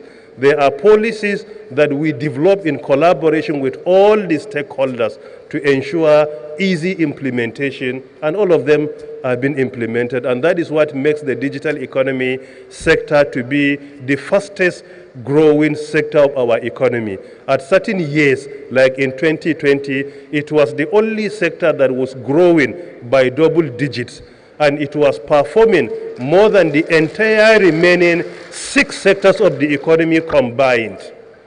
And when it comes to revenue generation, I already presented to you that we increase revenue generation of government quarterly, not in three years. Many papers it wrongly. Quarterly, quarterly means three months. We increase revenue generation from 2019, 51 billion naira to 408 billion naira. More than eight times. And this is in addition, and still don't forget, when we came on board, the average price of one gigabyte of data in Nigeria was 1,200. Today, the average price of one gigabyte of data is 350 naira. The reduction is, is by more than 70 percent. And this is the only sector that the price of broadband or making call is not increasing. Recently, there was a provisional uh, approval for 5% increase. After engagement with the board of the Nigerian Communications Commission, that has also been cancelled. So there is no any increment.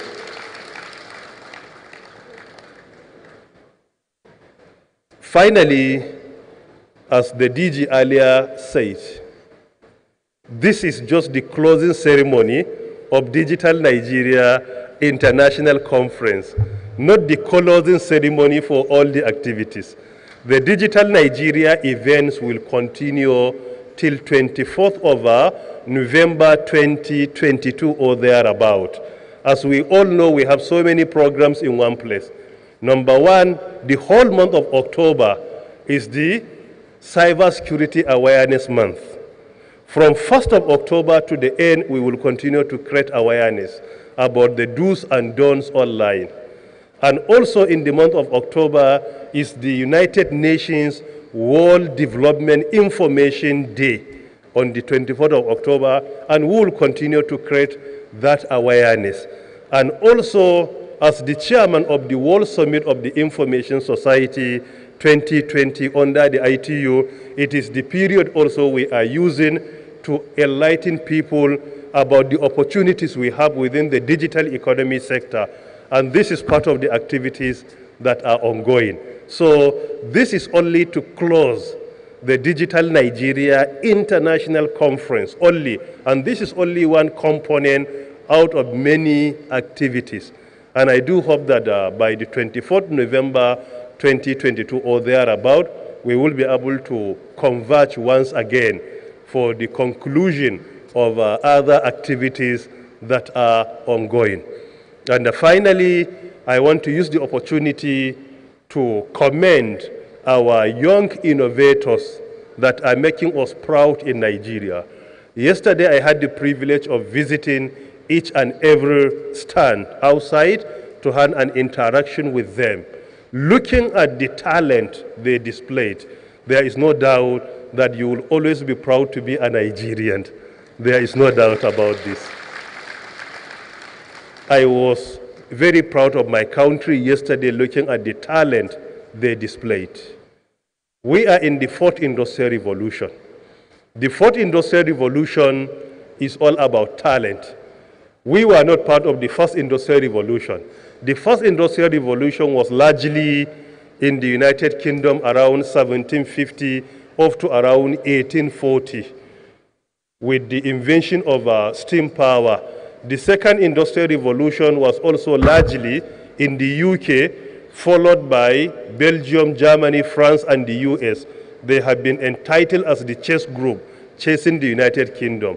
And uh, the third industrial revolution, there were a few new entries, like Japan was a new entry, and Australia.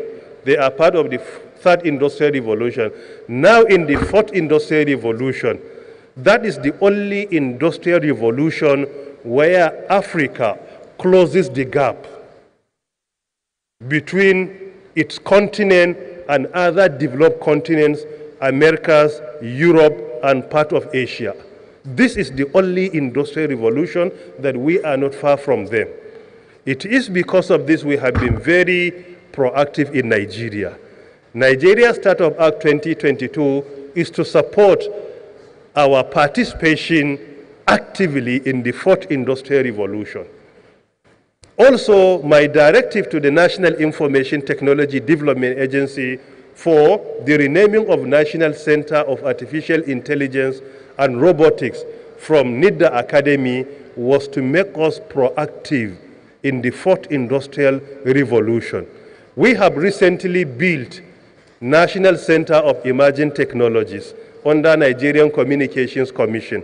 And I have also directed NCC and also another project in NITDA to come up with national cybersecurity research centers in Nigeria. So we are working on each and every important component of the fourth industrial revolution because we, want to, we don't want to be left behind.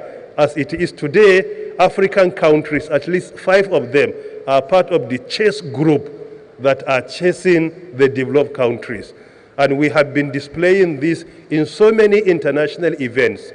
Two years ago, we were in GITEX. A young Nigerian in artificial intelligence won the Global Best Prize.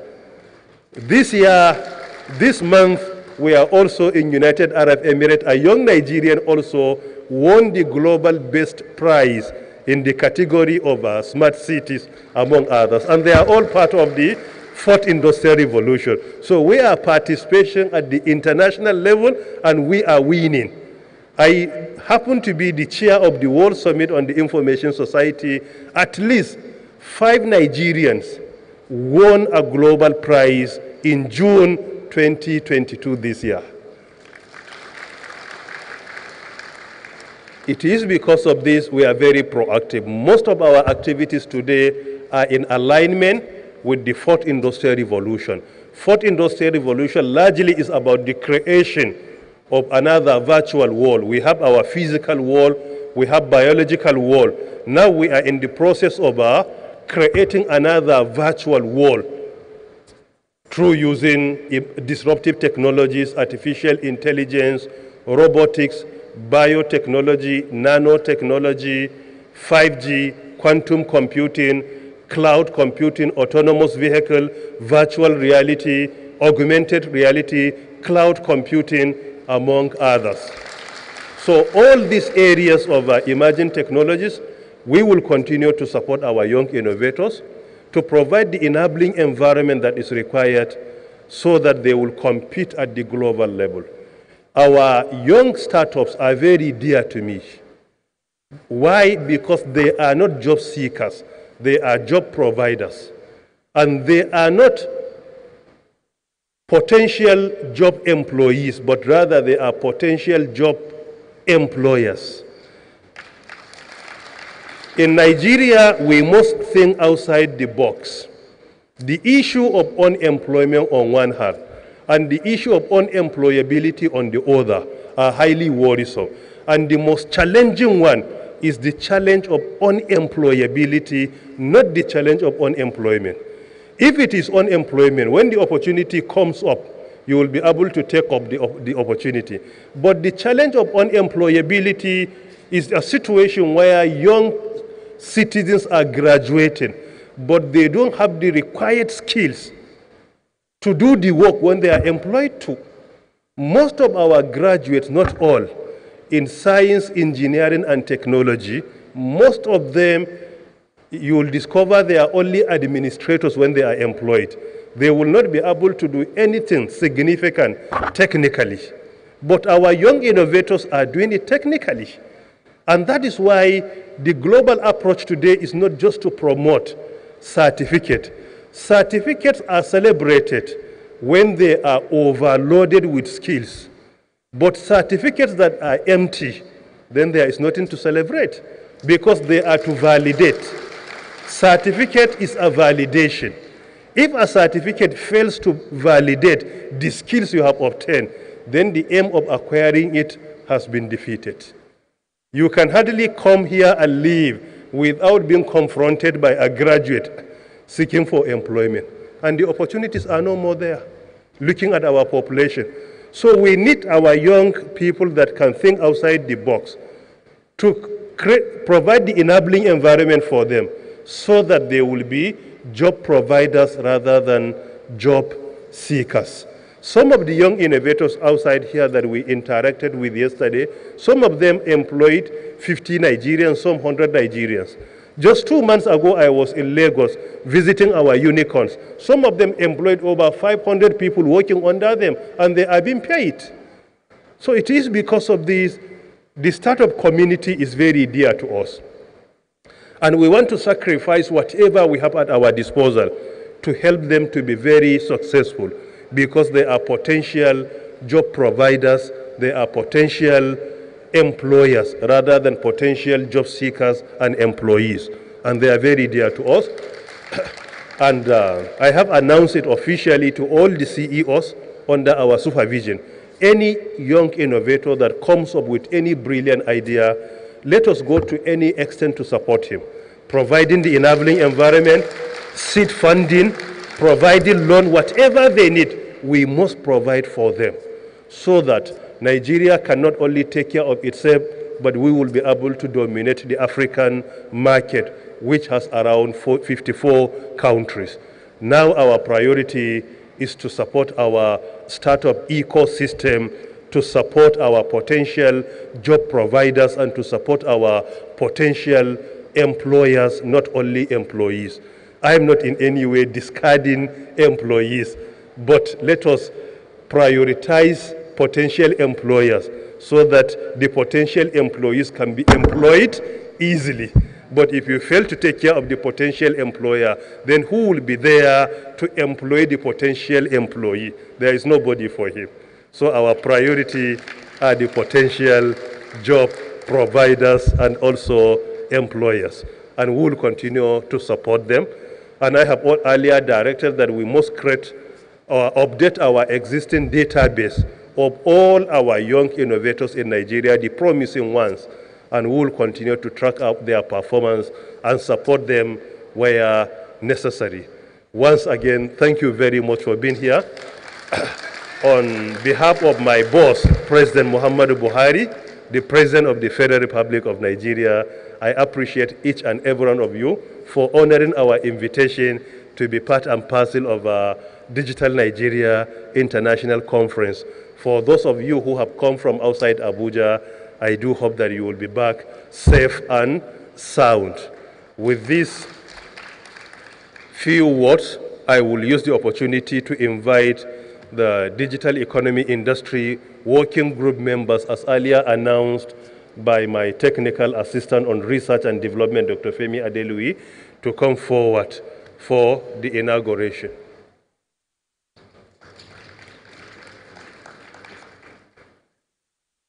No problem. For those of us that are here physically should come forward. And uh, our colleagues from the private sector are here with us virtually. This is, the, this is part of the fourth industrial revolution, the creation of another world. We are here in the physical world and they are here with us in another virtual world and we get connected to work together.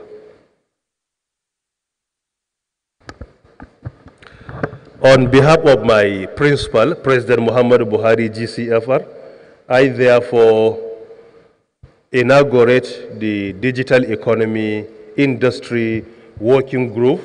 Uh, the members that are here with me physically and those that are with us virtually.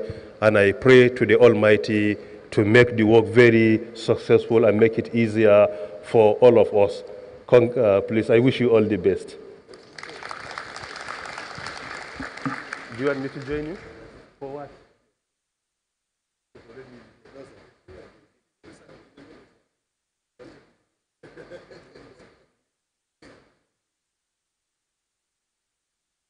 So how can the virtual members join us here?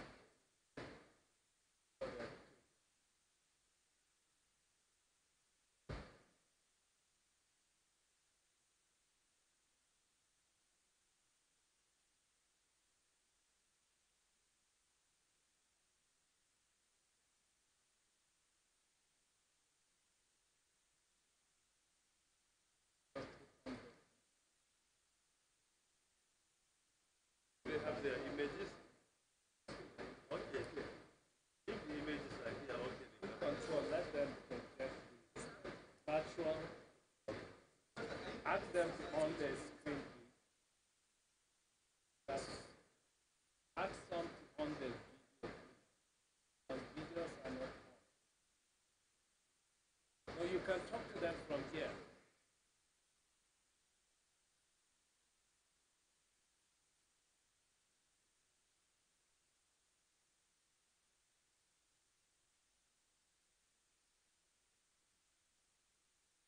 Please, can all members join in virtually on the videos? I think Zachary, Zachary Aliyu, please can you on your video? And Bello, and Nigerian Economic Summit Group also, please on your video.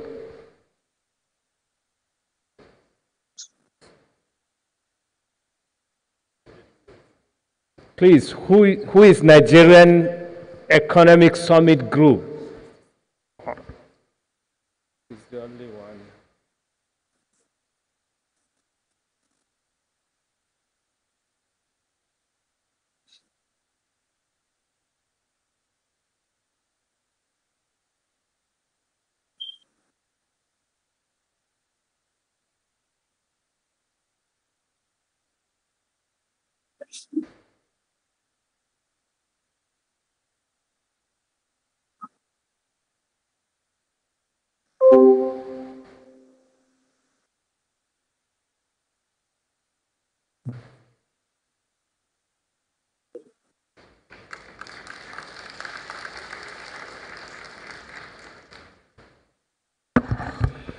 So I do hope that uh, this uh, digital economy industry working group will uh, continue to work together.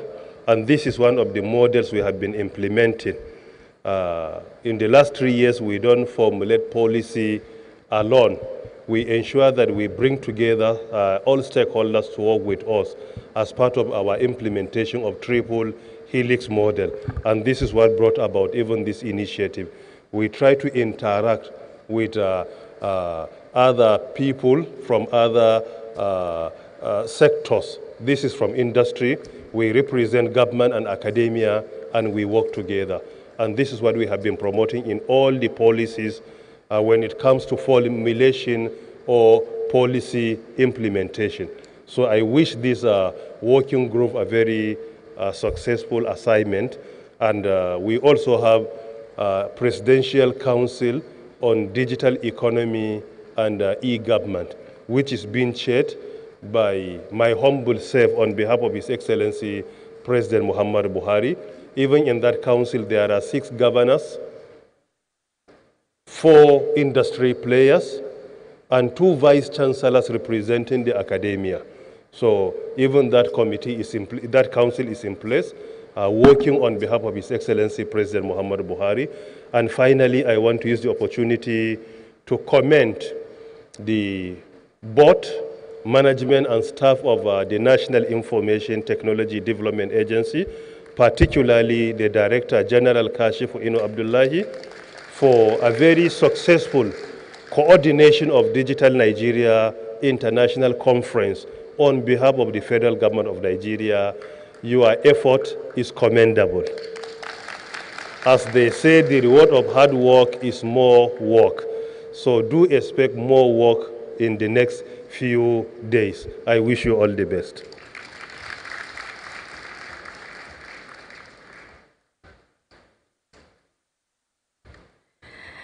Distinguished ladies and gentlemen, we have heard from Nigeria's digital trailblazer, someone who has led the digital transformation, not just in Nigeria, but he has inspired something in Africa.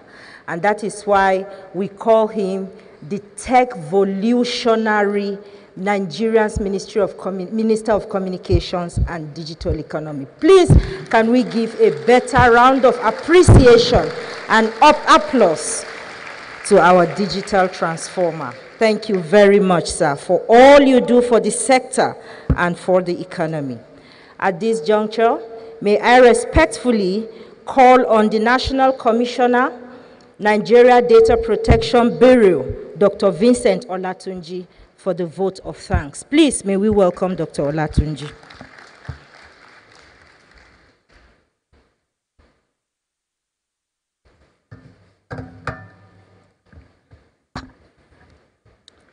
Honorable Minister, sir, I would like to seek your permission to skip the protocol and just go ahead with the vote of thanks. Thank you, sir. I would like to start this vote of thanks by giving glory and honor to the Almighty God for making this happen this year. Uh, no matter how robust our plan must have been, you know, for the grace of God, we won't be able to be here to say that we are closing this uh, ceremony. So we give glory to God. From all we've heard in the last four, three days, all we've seen, it's obvious that there is a paradigm shift in the way things are being done in Nigeria now. There's a revolution that is leading to so many things, leading to globally competitive human capital, leading to innovations in several sectors, leading to job creation, leading to wealth creation, or that will lead to sustainable development. But there's one single sector that is propelling this revolution, and that is the Nigeria digital economy sector. And this is under no other person than Professor Isa Ali Ibrahim Pantami. I've been in the public sector for over 30 years. I must say here that I've never seen a minister that brought the kind of change we're witnessing in Nigeria today. We've heard this through the National Bureau of Statistics placing the ministry and the minister ahead of other ministries and being the largest contributor to the GDP in the country. The minister did not do this. And through international assessors of all ministries, all ministers, we also witness what the outcome is. For a ministry, for a minister to score an average of 173% for a mark that is about 70%, I think that is really commendable. In the, in the local parlance here, we say you are doing well. But my own word, I will say, Honorable Minister, sir, you are doing very, very well. And we are very, very proud of you. In fact, four days ago, when we met to kick off this uh, program, when I grabbed a copy of the minister's speech, highlighting the achievements, even for myself within the sector, I didn't understand this thing that much. You know, if you don't compare figures, you won't really know the extent of what you are doing. And these were done by international assessors, not by anybody. And I quickly grabbed a copy. When I go back to the office, I gave my team members, said, please convert to soft copy. This is a very good resource for our research and our presentations. But graciously, in the evening, the Honorable Minister shared a copy with me. You wouldn't know how excited, how excited I was, sir. Immediately I shared with my team members. Please, this is a very good resource for us in our presentations going forward. We thank you, sir. And this would have, wouldn't have happened without your tenacity, without your vigor, without your energy, without your commitment to all the things that you are doing in the country. We really commend you, and we are happy to be associated with you, sir. Thank you very much, sir. Even for sustaining e-Nigeria and now leading to digital Nigeria, which you are witnessing the many events. Some ministers will come, maybe they come in, most of the things that are already going, they just discard them. But in his own wisdom, even as the DG of NIDA, he sustained this, and that is why we are here today. And I must say that in terms of the level of organization, participation, quality of resource persons, I think this is really, really commendable. Thank you, sir. And in the, I'm not a politician, but all things I've said, the, uh, the quotations and everything, the, uh, the figures, you can go and verify.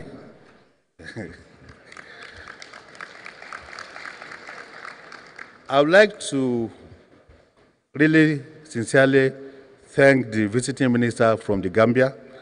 You've been here for the past three, four days, and for you to leave your country, to come here to share your knowledge with us, and to even see what we are doing in Nigeria, we really appreciate you for this. Thank you very much, sir. And if, even the Secretary General of Digital Cooperation Organization, we also, although she has left, but for leaving her country and our busy schedule to be here with us, we really appreciate it. This shows the international dimension that is in this digital Nigeria. Thank you very much, madam. Now, the, a lot of people have contributed to make, to make this happen. The DG of NITDA, who is the driver of the whole process, my DG, we commend you for sustaining this and for keeping the flag flying. It was not a mistake that Professor Isa Ali Ibrahim put you there to step into your shoes. Thank you very much. The chairman of the board of NITDA, very fine, quiet gentleman. He's been with us here since we, we started. And there was a time I walked into this hall that I didn't see you around. That shows the commitment and the passion that you have for what we do. We really thank you, sir. The chairman of the board of DMC2 that is here, we really appreciate you, sir. Then all the CEOs that have contributed in one way or the other to the success of this program. We are, we are not doing it for ourselves alone. We are doing it to support our boss, and we are doing it for Nigeria. We really commend you, your, all your support, and all the various things you've done to ensure that we have a successful conference. How about the resource persons that came from far and near? You can't have a successful conference without quality resource persons. From the discussions that we've had, from the inputs, from the conversations, it shows that people are really eager to make things happen in Nigeria. And a lot of things happening within the ecosystem to stimulate growth, to stimulate development in this country. We really appreciate you because to even present a paper, to prepare a paper, you need to take time, do your research and everything. And for the quality that we're seeing here, we really appreciate you for all your efforts. Then the exhibitors that have come here to show us what we are doing in Nigeria, what we have in this country, we appreciate you too. In addition to that, we have the professional bodies I can say the president of CPN, the president of NCS was here, and all the professionals, the startup community in the country that participated one way or the other, we really uh, appreciate you. And to all the youth here, the corps members, the students, all those who have come from far and near to be part of this process this year, we appreciate you, and we believe that when the communique is ready and their follow-up activities, all of us will work together because in this ecosystem, collaboration is really key. Government is just here to give the policy direction, to create the enabling environment. Private sector organizations will come in, civil society will come in, even the media will come in, women, young people will come in for us to be able to make this thing work. And we believe by the time we come, we come, we call you next year, will see you again to even participate more actively and make more input that will really propel Nigeria to that global position that we want. Thank you very much. We wish all of you safe journey back to your various institutions. Thank you very much and God bless you.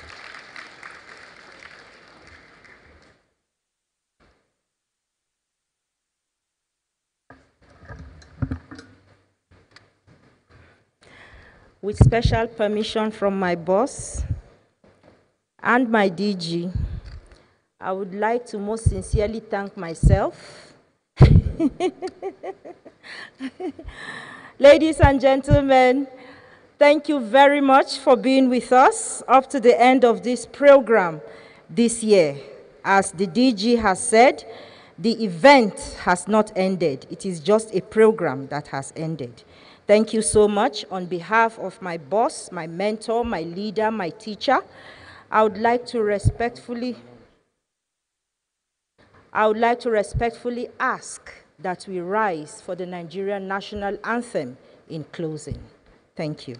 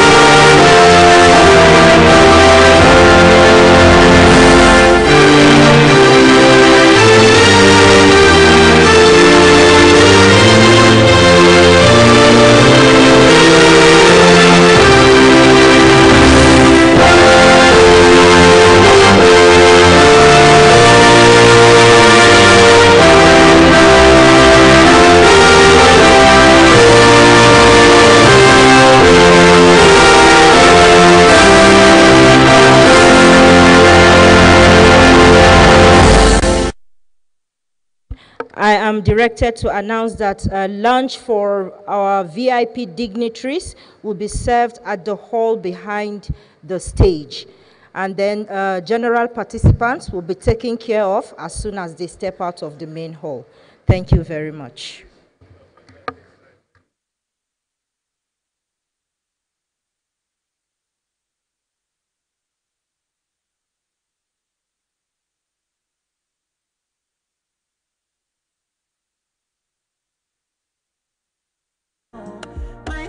me.